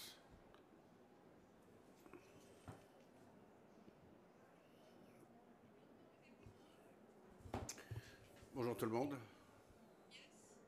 Oui Everyone, both here and online. Euh, bonjour à tous, bonsoir à tous. Welcome everyone. As we are broadcasted on YouTube, I will moderate uh, this uh, panel in English, but I saw that you all have headsets, uh, so we'll have a mix between English and French. In English, and there will be a mix between French and English speakers. As you all have, you know, a translation, thank you uh, for this translation. Uh, you will all be able to follow this uh, panel discussion. So I'm very glad to welcome you today in this panel discussion, artists committed to climate and the environment. But maybe what is under is the most important. New actors, you know, of environmental mobilization. And I'm very glad to welcome in this panel discussion four speakers, very important uh, and very much engaged in these environmental uh, issues. Uh, welcome, John Gerrard. Um, so you will tell us what happened this morning, something very big in the uh, University of Glasgow. You're an Irish artist and uh, you are here as also a part of the art climate COP26 program by Art of Change 21 with the support of the Schneider Electric Foundation. Lucy Orta, you're also part of this program. Thank you for joining this, uh, you know, this um, initiative linking art and the environment here for COP26. Lucy Orta, you're an international artist. Uh, from the very renowned duo, du, duet or duo, I don't know how to say, Lucy and Jorge Orta, and you also chair of art and the environment of the University of the Arts London. Welcome Cédric Carles, French uh, visionary, pioneer, and also co-founder of Solar Sound System, Paleo Energy, and many other initiatives. And thank you very much, Gilles Vermot Desroches, Senior Vice President of Corporate Citizenship of Schneider Electric. Um, Schneider Electric Foundation and Art of Change 21 team up for like more than five years together. We are bringing art and innovation at each COP since COP 21. And here again, we have you know, this program with this foundation. Uh, and so Gilles will uh, tell us more about how art and youth are important in his action. And now uh, the camera can't show uh, Yuli, but he's here, and it might be a very good transition when we will talk with John. You will understand why. Yuli Lucy, artist and activist from Tonga. So I would like uh, to start uh, maybe with the slide which is after, just to tell you that, as you have understood, there are three artists and innovators who are part of the, our program here, uh, Art Climate COP26. And there was also another action, uh, which was a Maskbook workshop which took place uh, some days ago and which is part also of this initiative. And maybe you will understand something later on the slide. That's why I want to show it to you now. So Maskbook was part also of this program with, uh, with um, a workshop which is uh, which took place and which had a great success uh, here in Glasgow. So let's start let's start with the next slide and let's discover and let's discover a sh very short video, just a few second video of Flare Oceania by John Gerrard, just which uh, just you know installed this morning at the University of Glasgow. We will see the image should, should move. Yes. So you can see a flare. Okay, you can also all go and see that now at the south facade of the University of Glasgow. And so, John, uh, thank you for joining our, yes, our Art Climate COP26 program. It's a great pleasure to have you. Can you please tell us a bit more about this huge installation and, okay, what is the story and um, and why, as an artist, is, was it important for you to be here in COP26? Um, thank you very much, um, Alice. It's wonderful to be here. Um, this is, you can hear me, yeah? Um, so this is a work called Flare. Um, it is exhibited on a six meter by six meter LED wall at the University of Glasgow. Um, and you can visit it tomorrow between 10 a.m. and 8 p.m. and then it's finished. It's only two days, so you have to go quickly. And the work uh, responds to a meeting with Uli Losi, who's here. Hello, Uli. Uh, which happened last year. Um, this is Uli. Um, which happened last year at Madrid at COP25 in which Uli responded to a work of mine called Western Flag that you can see here, which is a flag of smoke, which is a flag which remembers what's called the carbon legacy on Earth. And Uli said, This is very interesting, John, but I must tell you that the ocean is burning, the ocean is heating. And I went away and I thought about this idea of the burning ocean and came back to Uli with the idea of making an, a flare as an alarm for the heating ocean because Tonga, as the ocean heats, is threatened. The nation state is threatened. And this is both a flare but also a flag. It's a flag for a nation and a home, an ancestral home, which may simply disappear, which would be a great tragedy for both the Tongans but many people in the Pacific Oceanic region. But the reason, Alice, I think it's important to bring art to COP is because, in a sense, um, art doesn't achieve anything concrete, but what it can achieve is to move the public uh, in two ways. One is to feel more, to feel the fact that the oceans are heating, that they're absorbing up to 90% of the heat that the Earth is producing that's been trapped on the Earth, but also to move individuals to innovate, uh, to invent new worlds to tackle the crisis that we are immersed in. And um, uh, uh, Art of Change 21 is supported by the Schneider Electric Foundation, who are also very, very passionately supportive of innovation in electricity and in the digital, you know, to try and resolve some of these issues. So I just think it's important to bring big artworks here to try and move people to do, to, to do more. And John, just uh, maybe uh, a quick explanation about the technology because some people might think it's a video, but it's absolutely not. Okay, so maybe step back one slide and just play it once more. So this is a simulation. So it's a virtual world. It's based on a portrait of the ocean in, in, in, in Tonga, which Uli, Uli took pictures of for me. And it's produced in what's called a game engine. So it's a simulation, a virtual world. So it looks realistic, but it's completely and com totally algorithmic.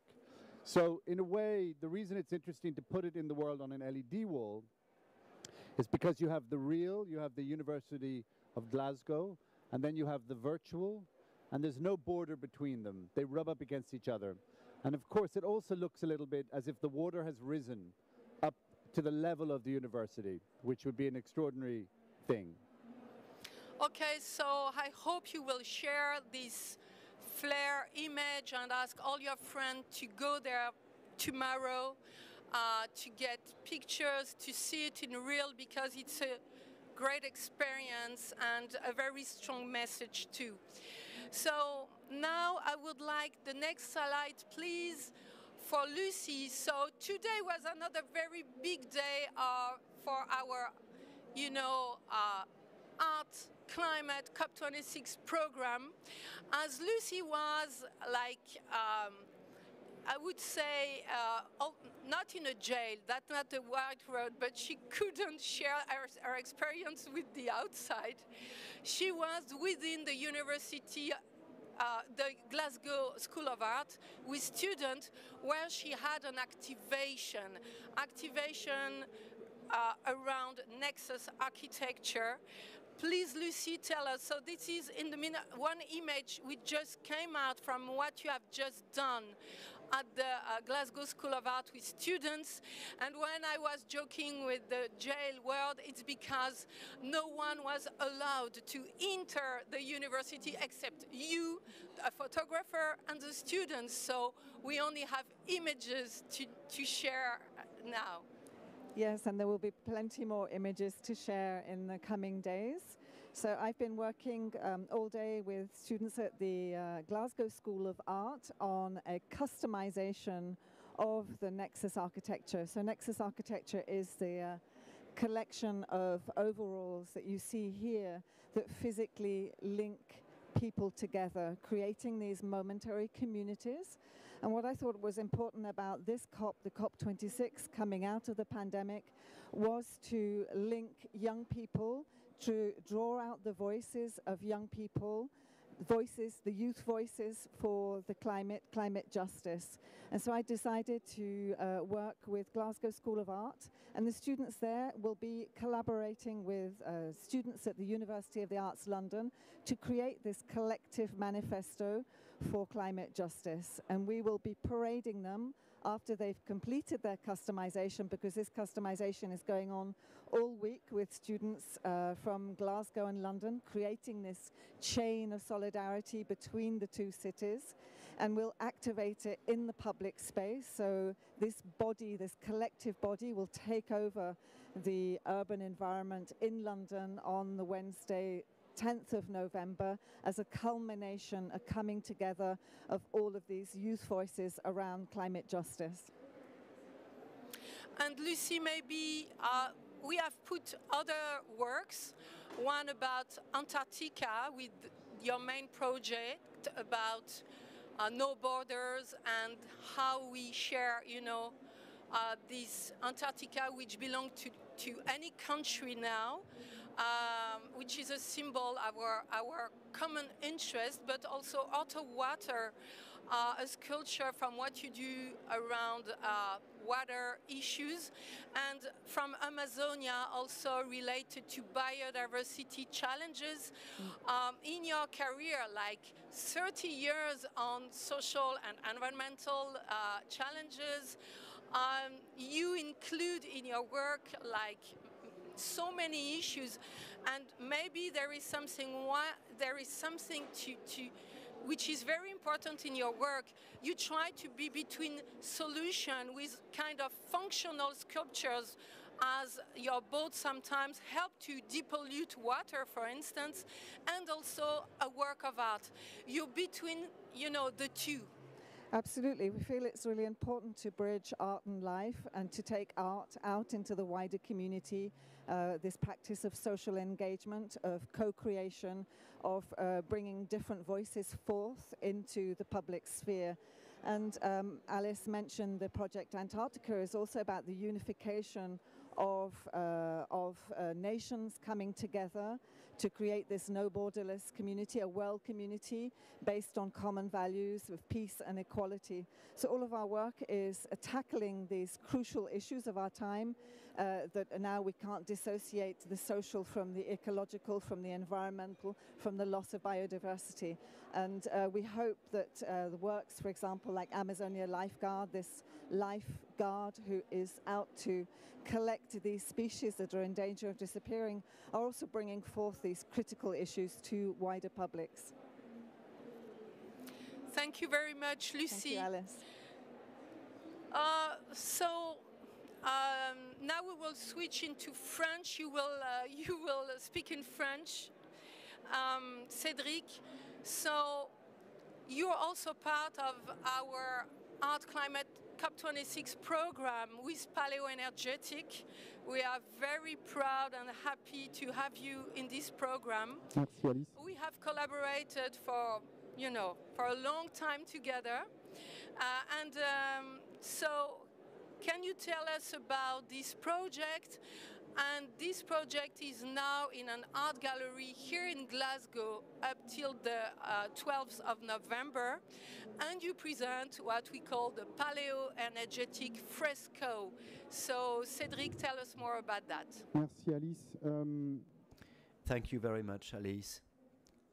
Uh, my career as, a, as, a, artist has been oriented upon uh, uh, teamwork and design. We've been working since COP21 upon a collective intelligence project, since working upon the tran- energetic uh, transition topics. We uh, noticed that many pat- patents ha- had become public, which was very important, of vital importance.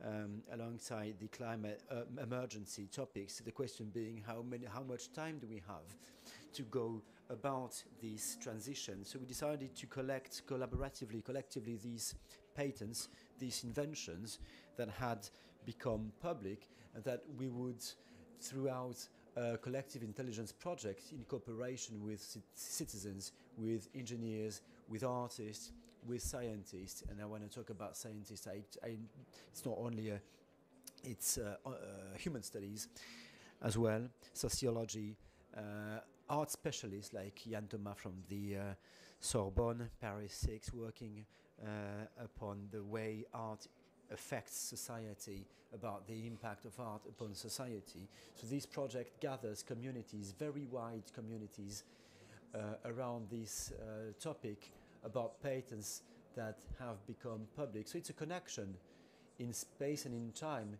bringing up, bringing true solutions that are public meaning they belong to us all. Because when something if something is of public domain, it's available for us all. So you can, so you can uh, find local solutions which are very often uh, technology based, which allow local communities to um, to appropriate to to to be empowered by technical solutions that are of public domain, domain now. One example, one concrete example, are dual that we uh, took out from this project. This project, it's a book, it's an, uh, it's an exhibition, it's transmedia, it's a project that is as well, that it's a virtual museum as well, and it's a, a project that is reinvented progressively, so its form is changing day after day. Uh, so it's not one jewel. We have several jewels that we found in the history of patents with a system. Uh, back back in the 1980s, there is there was uh, a way to, to replace alkaline uh, single-use batteries, uh, not as the ones we use now. They would be used. They would be one-time shots. Back in the days, and it, it, it's a 18 billion dollars market per year, we get 216 tons of batteries each year. So it's, it's 1 million, uh, you, you get to 1 million very often. It means you have 500 million tons every 10 years. So it's a, it's a, a huge ecological problem. Uh, I don't have time enough to speak about Africa, by the way, but it's linked with that. So we, we, find, we found a patent uh, that had been established back in the 1980s uh, by a guy from Austria who, uh, who would be working in the United States with the NASA. Uh, he was working with the Apollo mission as well. He was specialized in batteries, and we we are showing that in the past many many great ideas appeared and are now available for the wide public because the, the patent is over very often and it's in the public domain. And as it, as it happens, we have open source solutions.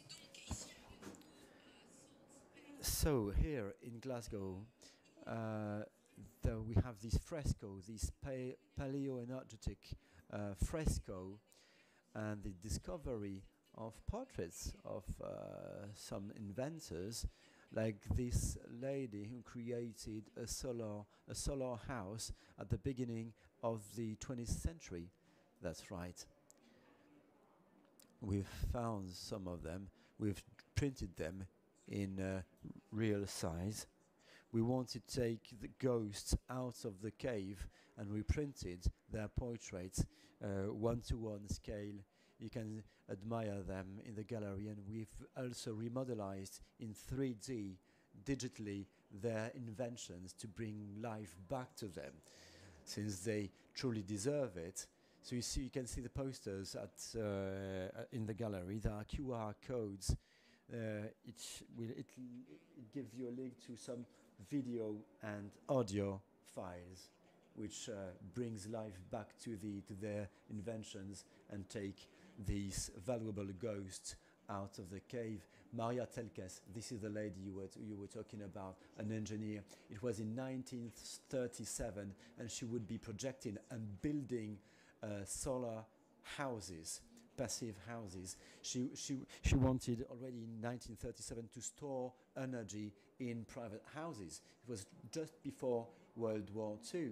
That's incredible. That's um, an extremely valuable ghost. And as, as it happens, the past is rich when it comes to that kind of invention. Dans cette galerie pour accueillir le public. And you are often in this gallery to, uh, to welcome the public and to explain, yes, we were, we've, we spent a whole uh, week here, and then the Sunday we'll give these, uh, the torch to, uh, to the, the students from, from Oxford, and he will go to Oxford for a, for a future ex exhibition.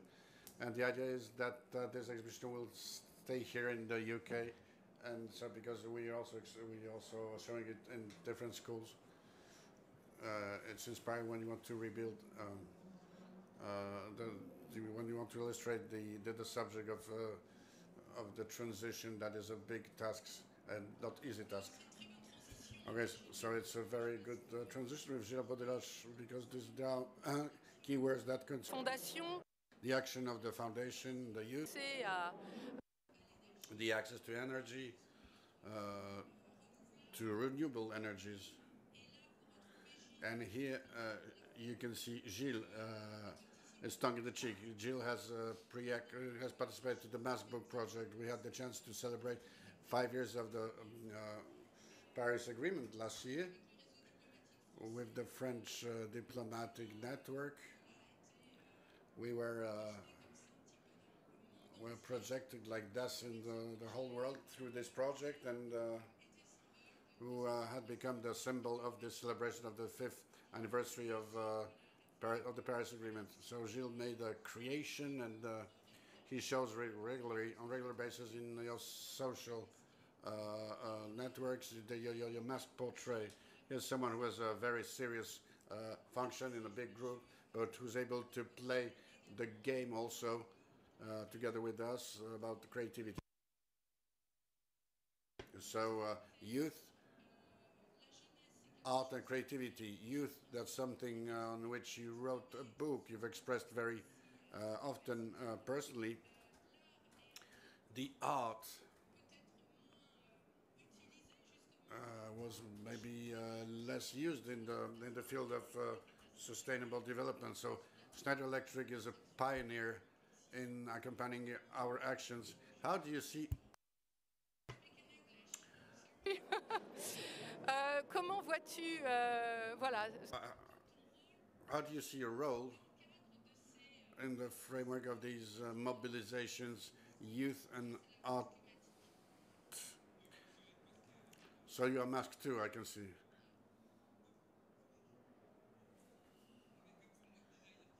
With uh, a little bit less of uh, artistic design. The question I'm asking myself quite on a regular basis, uh, since I've uh, been uh, dealing with uh, sustainable development in Schneider Electric, the sixth capital, French capitalization um, company that has transformed to to do energy efficiency and others. I'm asking myself in my life, in my choices, am I piloted by my knowledge or by my, my emotions? Est-ce que euh, la plupart des choses... Uh, most of the things I do is do, do I do them because I know them or because I feel them? I don't like this reflection, but I will take it as an example. I'm always uh, always watch at these uh, big CEOs who say I've changed a lot because at, at night I see my kids at, uh, eating at the table. They say, "Daddy, mommy, what are you doing? The planet is important," and so on and so on. So I do things. I have a list of uh, CEOs who explain their engagement for the sustainable devel development. Usually, I don't like it. It means they don't listen a lot to their uh, collaborators. But it means also that the emotions, the engagements, the convictions come also from things that are not really linear. So we have a person from CNRS, uh, we had Valerie uh, before, all these liner subjects that, that say that we should radically change everything and nobody does it. Uh, some do, but, but not enough. Lots of do it, not enough. I would say I, it seems that we all have to contribute, artists and others. And there's not many uh, artists who uh, take this subject as a key subject. When you're at the, at the COP like here, we can be amazed of all the people who are here for the first time, and you see them in groups, and you, you ask yourself, why, why these people are coming at the COP? I met this morning a group of uh, mm, women engaged for the climate. Why this group, not another one? Why a group of youngsters or others? Okay, we made an event with Alice. I would like to thank her very much and congratulate her. We made an event in Marseille uh, a few weeks ago with artists like that uh, around biodiversity. One of them said, I don't know why I'm here. I don't know what I'm looking for. I don't know the, if the artist has anything to say on the subject. Yes, they have lots of things to say on this on the subject. Me uh, this morning, uh, when I was uh, when I was facing the flag, uh, the flare of John, there was an emotion. You can read a big book, a very thick book, to, to explain how the nations uh, of the uh, OECD nations became rich thanks to petrol well, this flare, this flag in the sea that has a, a, a power through the uh, carbon emissions says it all in one image. And then, and so uh, first subject emotions, you have to call them to progress, and in a uh, in a in a company that is absolutely rational, like General Electric, where you have only engineers who design solutions of uh, energy efficiency, energy piloting, measurement of energy, its consumption, and so on and so on. All that to, to reduce the level of uh, consumption. They want to integrate also the uh, renewable energies. It's very interesting to, uh, to take a transversal uh, path, pathway, the pathway of art, to uh, to call people to uh, to make them move a little bit, and also to create correlations, weather coalitions of of thoughts and reflections. Second point. Uh, that was first one. Second point. I am amazed and interested uh, by seeing how, as I've been dealing with uh, uh, sustainable uh, development for 22 years at Schneider Electric, and I'm not the only one here. And at the beginning of my career, the, the people always ask me, well, what's, what's this sustainable uh, development? Why, why do you try to do that? There was artists, uh, he's, he's, he's somewhere here. The art has mobilized a certain number of actors that try to, uh, to mobilize others. At Schneider Electric, with our foundation, we try to open new pathways, complementary pathways. And I think that the evolution of the usage of uh, sustainable development expression today, we are happy to see touching the climate. All the companies, when we ask them what, their, what is their policy of sustainable development, they say they talk about climate because it's essential for our century. But we managed to do it uh, uh, so the temperature does not rise more than 1.5 degrees, and 80% of uh, uh, percent of humanity in 2050 uh, are below, uh, above the, uh, the poverty threshold, it will mean that we reach success. This battle for climate and the battle for humanity, of the fight of youth, of youngsters, there are three reasons, because never been so many youngsters on the planet, 1.5 billion uh, on the planet between 15 and 25 years. This is a great growth of demography. These young people need to find a position in the society, especially when they are from the, the uh, developing countries. We can see what what the, the COVID crisis made to the young generations for themselves and for, for the future, and also because they are the innovation of the world. The study you've talked about, uh, Alice, is to show that if the knowledge or should I say the knowledge is theoretical. If, uh, if the Nobel Prizes belong to people that are usually more than 40 years old, the tradition is to, uh, to find the, the solutions that, that change the world uh, happen in the heads of people who are under 30. The easiest thing is to talk about uh, computers, Facebook, everything that is digital. We all know here that this was born in people that were younger than 25 but you could, uh, since the beginning of the industrial era, you could take lots of lots of initiative of uh,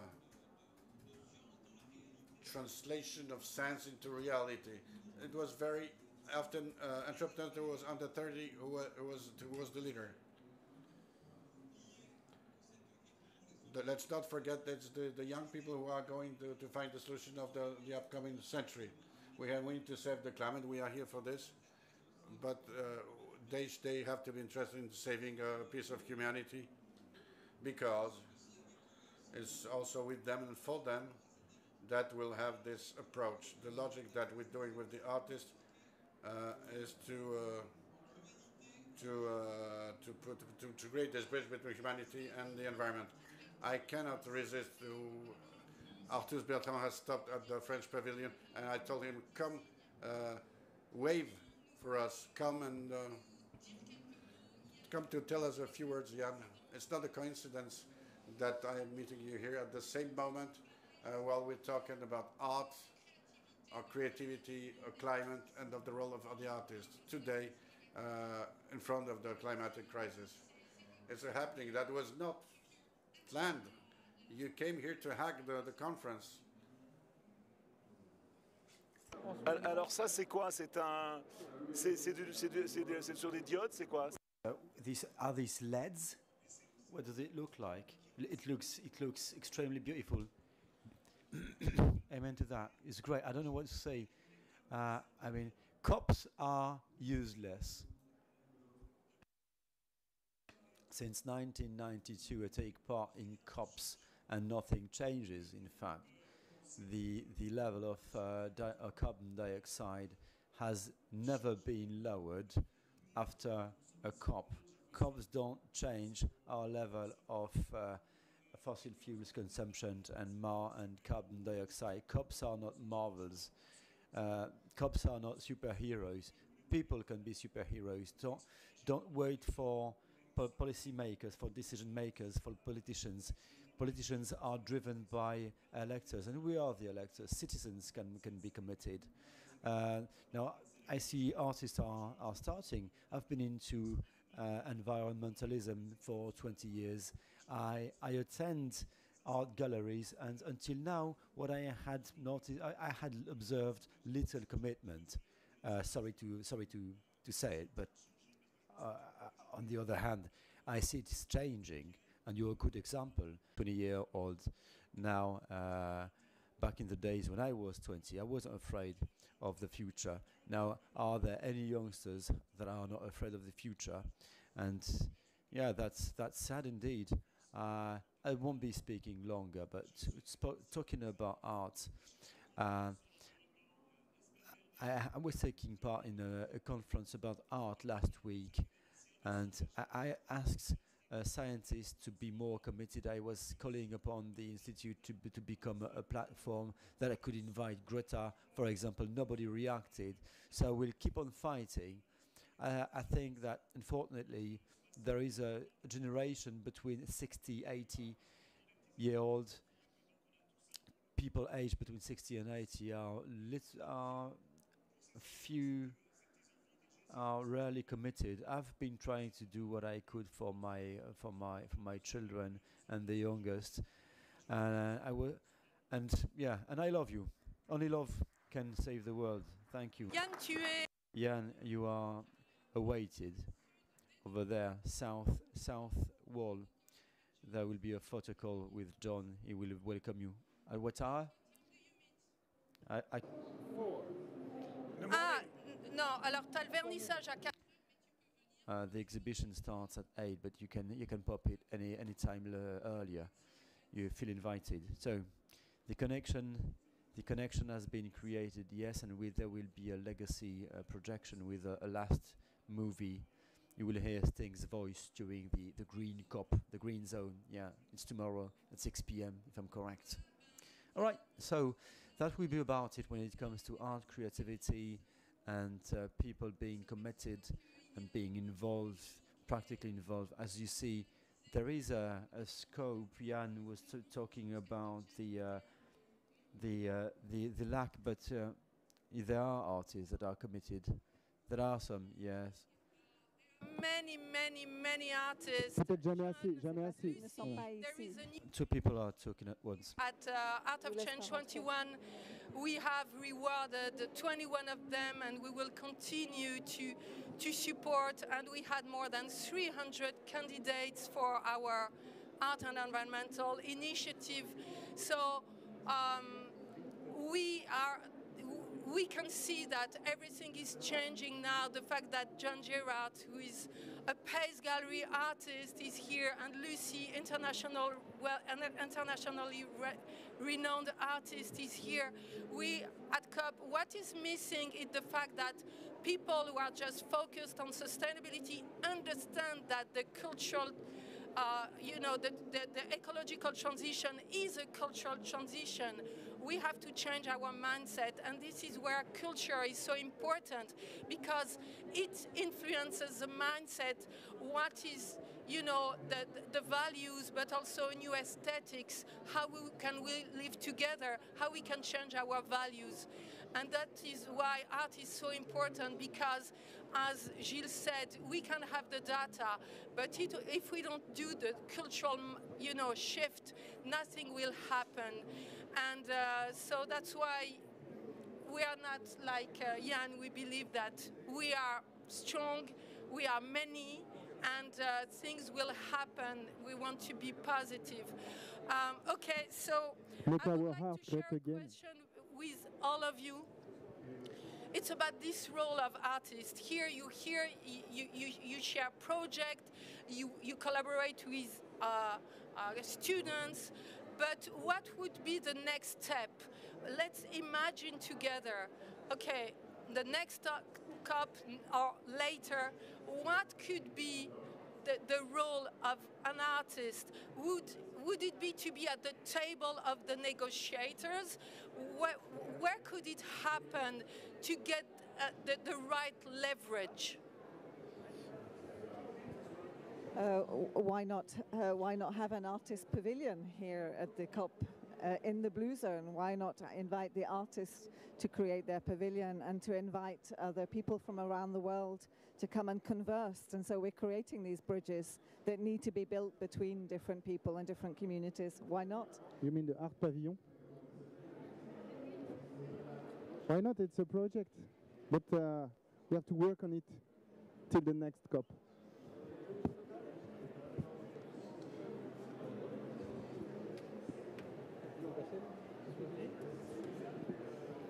Euh, bon, on pense qu'il faut créer un, un pavillon. euh, a, pavilion, uh, an art pavilion, yes.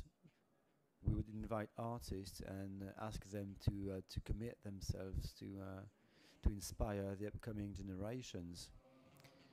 Because art schools are full of quite committed and motivated youngsters who would be happy to uh, to meet. They would work upon an, a commitment a program. I, I think it would be important. Uh, I work a lot with uh, art schools, uh, and you do too. It's very important, and it can be extremely valuable. I would say that um, it's important uh, to remember, you know, it's, it's, it, the, the importance of, of a kind of a poetic or a sort of a poetry or um, a communication which is, you know, more subtle. Um, and obviously, um, COP26 is, is very focused on outcomes but um, getting back to the idea of artists moving the public in different ways, the way that poetry can, or you know, the way that words, spoken words, don't cannot necessarily move move the public in the same way. So, I would say definitely bring artists to the negotiating table, but um, perhaps not as individuals speaking, but as strange poetic interventions at the table, you know, which will cause, you know, anxiety, you know, different types of emotions that, that, that are, you know, distinct from the ones emerging from logic, you know. Have to dance all together. Il y a cinq ans, Schneider Electric. euh, Five years ago, Schneider Electric, during uh, COP22 in Marrakesh, Morocco, had thrown, uh, had installed its pavilion, its camp, its base camp, with uh, a, a, an artist specialized in upcycling. Well, it's it's a bit of a buzzword today, this upcycling, and it doesn't sound as original as it would five years ago. And this shows to what extent the world has changed, which is good news. Uh, artists back in these days, in in some manner or another, would cross actions and thoughts in a way that would precede what we what we see nowadays. He was a pioneer back in these days. At noon, I was I was walking with with young people. This March for Climate. Uh, we see the potential in terms of commitment among young people. People want to express their their th- their worries, their emotions, uh, and this is this is what we see and what we hear.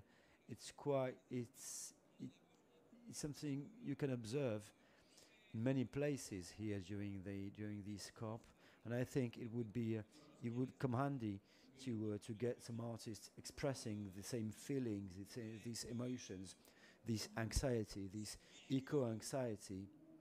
Let let's make the artist the tool that will push mentalities forwards and commitments, push them uh, forwards.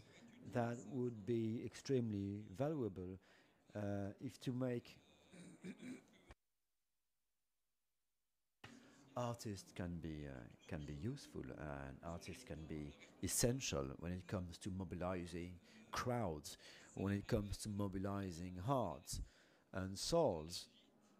Uh, they they move us. Artists have the power to move us, and make they can make us build new things and build motivation. vicious circle because I remember, John, uh, when you first came at your first COP, I guess it was your first COP in Katowice, uh, the COP 24.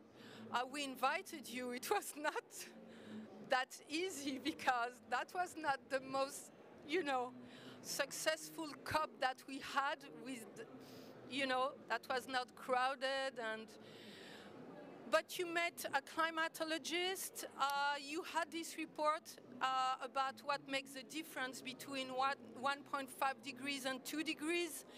and you get information.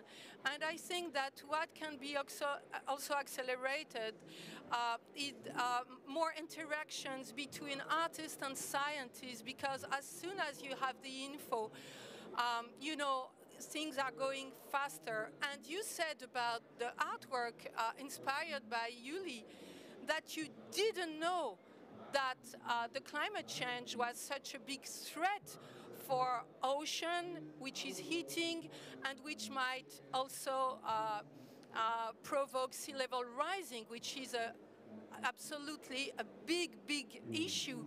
So it's also um, the fact to know the information in an, even in our, our super informed world, mm. you know, you as an artist, it was not that clear no. uh, that you got the information of the importance of that link. And it's when you realize that, that you say, I should do something. So there is also, uh, it sounds like we have all the information, but the mm. most important information with the good hierarchy is not always delivered. Yeah. Well, I mean, very specifically, I did not understand that the ocean is the great heat sink. You know, that it absorbs 90% of the, you know, excess heat that we're producing or that's been trapped by our activities. But funnily, you talk about Poland um, because when you invited me to come to COP, I had, it wasn't something I was familiar with you know, in COP24, it, you know, COP, it wasn't something I was familiar with. Um, you know, United Nations, Congress of the Parties, you know, it wasn't something that I knew. And I, I would observe that anybody who is, um, you know, connected with current affairs now in 2021 will know what COP is. I mean, this is becoming a much, much bigger deal in what I would call the common consciousness, you know, where people know about this gathering. Five years ago, they didn't know about this gathering. They might have heard of Paris, you know, as an agreement, but they didn't fundamentally know what it was. And I would say, in terms of the role of artists, I think you're going to see many more artists coming, turning up, you know, saying, you know, we are part of society. We should be part of this gathering because our voice is important and can be valuable. So, and actually, Uli, you said something very interesting to a group of students this morning. Well, you might even say it again, where you told them, you know, that their voices were important. Yuli, you want to come here? So, Yuli Luzi, you're an artist. Uh, yes, I okay. am. Yes, I am. From Tonga, and this when you both yeah. met, came the idea of Flare. Uh, absolutely, and I believe everything happened by design. Whatever that design may be, it may be science, it may be art. But I just want to acknowledge that. I want to acknowledge the energies of Scotland. Being here, it took me three and a half days. Without John Gerrard having this conversation in uh, Madrid. And when I saw what he was doing with the flag, basically I was challenging him to see beyond the eyes of our ocean. Is basically it's not only burning but it's on fire. And it, it will be become untainted for all of us. But for me personally what I was sharing with the students what matters for me is the voices of the youth that's what I'm here today I'm here it took me three and a half days or four days and I was the only official to being able to get out of Tonga. And I, there's an honor for me to acknowledge my ambassador of Tonga to the United Nations. He's humbly sitting here with me. He has in knowing what's going on. So, and I want to add on what the voices matters. Your voices matters until the end of this COP. And I have a strong feeling I've been finding this like everyone else. This COP, it will tend, the only reason why I wanted to, to, to say this, it's we are now negotiation, my feeling, this is a personal feeling, the negotiation is over. It's a matter of pushing, emphasizing what we can go forward and, and accelerating it. And I want to say something as an artist. how important art and how important science. What has been missing in the United Nations and the COP is uniting, it's uniting the science and art, like an, like an aeroplane. You have left wing and a right wing. Don't use that image. so it's pretty much what I want to say, and I want to acknowledge on behalf of the children of the ocean from the Kingdom of Tonga, and I want to salute and say thank you, John, and thank you, Alice, and thank you for everyone for raising their voices for us. The ocean is on fire, and it's basically we are the second country in the world which is vulnerable for any natural disasters. And I must say that your voices is matter. Thank you. Thank you very much. I was I was joking and I said, don't use the image of the plane because but um, thank you so much. It was so important to have your voice, Yuli, because you're the starting point of the, this artwork and you also are in the front line, you know. We are all facing climate change, even in Western countries, with heat waves, with also uh, extreme weather events. But more than, uh, more than Western countries where we live, you, uh, with the sea level rising and more extreme weather events, uh, you are in the front line. And uh, I think that artists feel that solidarity. We have people here working very much with communities. I'm thinking about Lucy, always including communities, people in her work, in always, of course, uh, uh, Cedric too, participatory project and how it can benefit, uh, you know, other countries uh, with the, these uh, open source solutions. Now there are many projects in many countries people can appropriate because they don't have to pay patent. And with Lucy, what you do for the seven by five, seven by seven or other projects is always related to community, to bring people and to try to spread. And the Antarctica World Passport, thousands of people now have this passport like I'm a citizen of the world.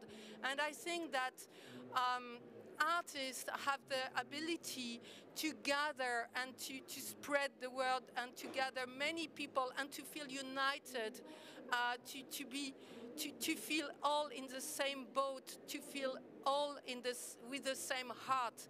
Uh, and uh, so I think it's very important to make understand that what you live is the same story than our. We are not different. We are in the same boat, and so we must be all responsible.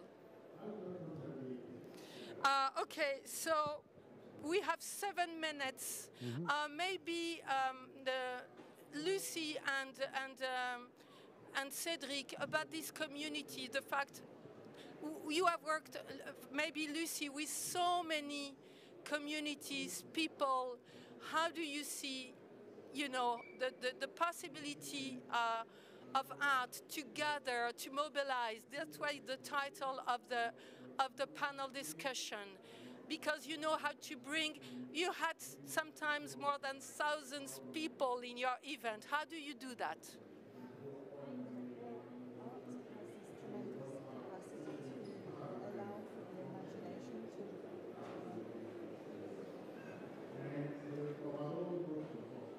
so art yes art has this tremendous capacity to allow the imagination to run wild and it can help people to think of a new kind of reality.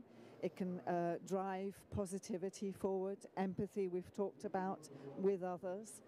And um, I really believe in this uh, a new practice of co-creating together. In fact, it's not a new practice, social practice, um, which began in the early 70s, but is now coming very much to the forefront of uh, a new kind of engagement where we're working together in collectives, creating common messages and uh, allowing those messages, messages to infiltrate uh, convenings like the COP So um, it's very, the, all the work that we've been doing over the last uh, 30 years is now coming to this important crux point where we now need to get this out even further and to activate other people into the messaging that needs to uh, find solutions. And art has this capacity for us to imagine those solutions and dr- drive those forwards.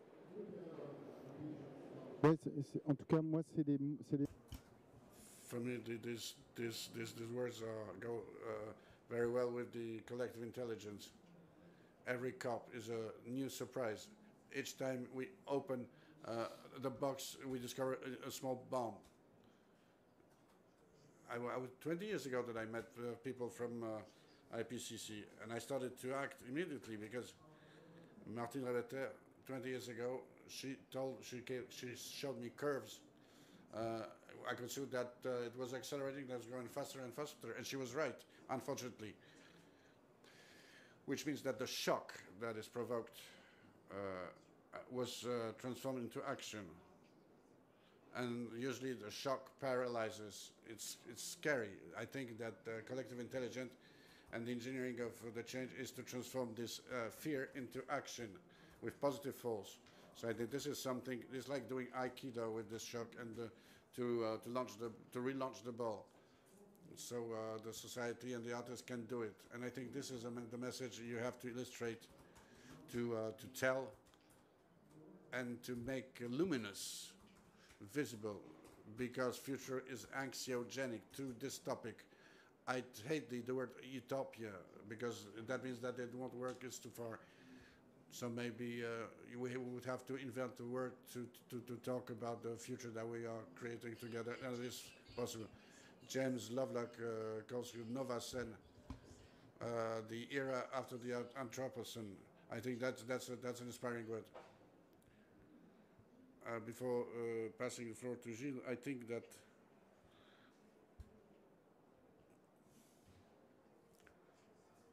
a should force the nations to unite.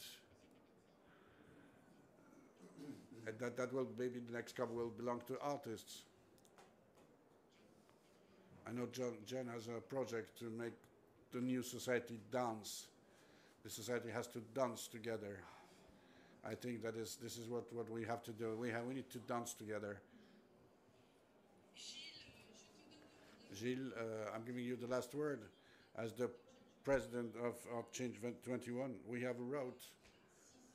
Uh, it's been six years uh, since we've uh, shared the, this conviction that art should be present during the cups. We, for each cup, we, we uh, managed to uh, invite artists and to create propositions. Whether the, the audience is big or small, we, are, we believe in our convictions and we go forward and we are convinced that we're opening precisely doors that some people don't always see but are necessary uh, absolutely and more and more. So I wanted to thank you for uh, this uh, common adventure this year and I would like to give you uh, the last word of the uh, afternoon. Sorry, I'm speaking French again.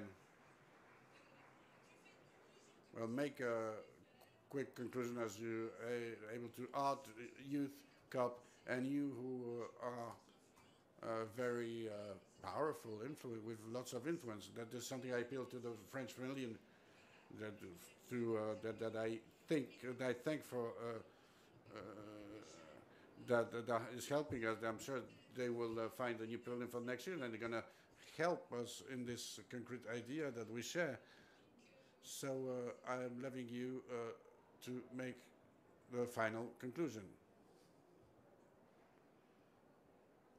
If the microphone was working.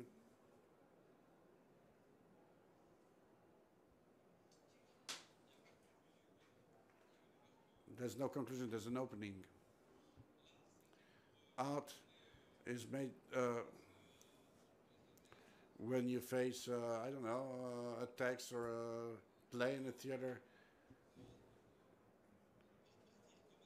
So you're not like before. So the, the challenge of the COP is also uh, to make us different from what we were before. because we don't know always why are we coming to the COP. It's not to negotiate the text. Not only, uh, it would be uh, ridiculous to, to think other than we are coming here to change other people. What should has to be use, useful for all of us. You are not negotiators. We're coming to the COP to change yourselves. This is the first point. Le deuxième point, The second point is that uh, it's essential to, to be mobilized today for the COP of next year. Imagine that the civic society was not present during this COP. The text would be the same, the one that's negotiated now.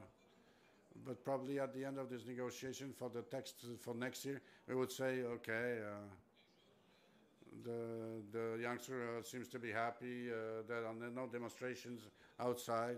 The companies uh, say, uh, okay, they uh, they deal with climate, so they don't have to come anymore. The NGOs think that we are big enough to not to move, and, but we'll, we'll work on our own. Now, if we're here, it's to to remind to people to um, to be careful that the tomorrow's sources are not the sources of today. I don't share, share the pessimism of Jan Toverson uh, while saying that the emissions did not were not reduced uh, as we wanted them to, to be reduced. We don't know what they had been if uh, if there was no no this mobilization of the 15 in la- of last year. The demography has changed uh, over the last 20 years lots of things have changed. Lots of efforts have been uh, implemented. Maybe not enough, but you have to uh, to say it because if we say anyway we we we go in the wo- head in the wall, we have to uh, to aim at the world uh, 1.5 degrees. That it's not a staircase. You have to, to, to, to make a maximum all the time to target this uh, world. Even if we don't manage, we have to. To do our best to say it's not true that we didn't do anything. The fact that we're changing our uh, modes of, consum- of consumption and others, when you take the curves, you can see that things have lots of things have changed. And again, I think that the future is probably this uh, the type of COP, COP did not change a lot, but the, the societies have, have changed. Uh, they played the, the challenge of biodiversity uh, that is being created a lot in reflection with uh, with the uh, with the interaction between biodiversity and uh, the climate. It's not right now who's going to tell uh, who's going to deny it. She's, she, she wrote a lot of things about it. Everything that you see in the whole world about it, we see that the uh, that the climate is against poor people, but we're not against poor people. But the artists have this uh, ability as an avant-garde to uh, to bring us to the synthesis of this subject. We cannot cut it like a like a sausage. Uh, uh, repair uh, one slice and then take care of the, the next.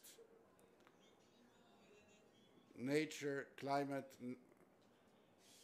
humanity com- complementary sides of the same reality.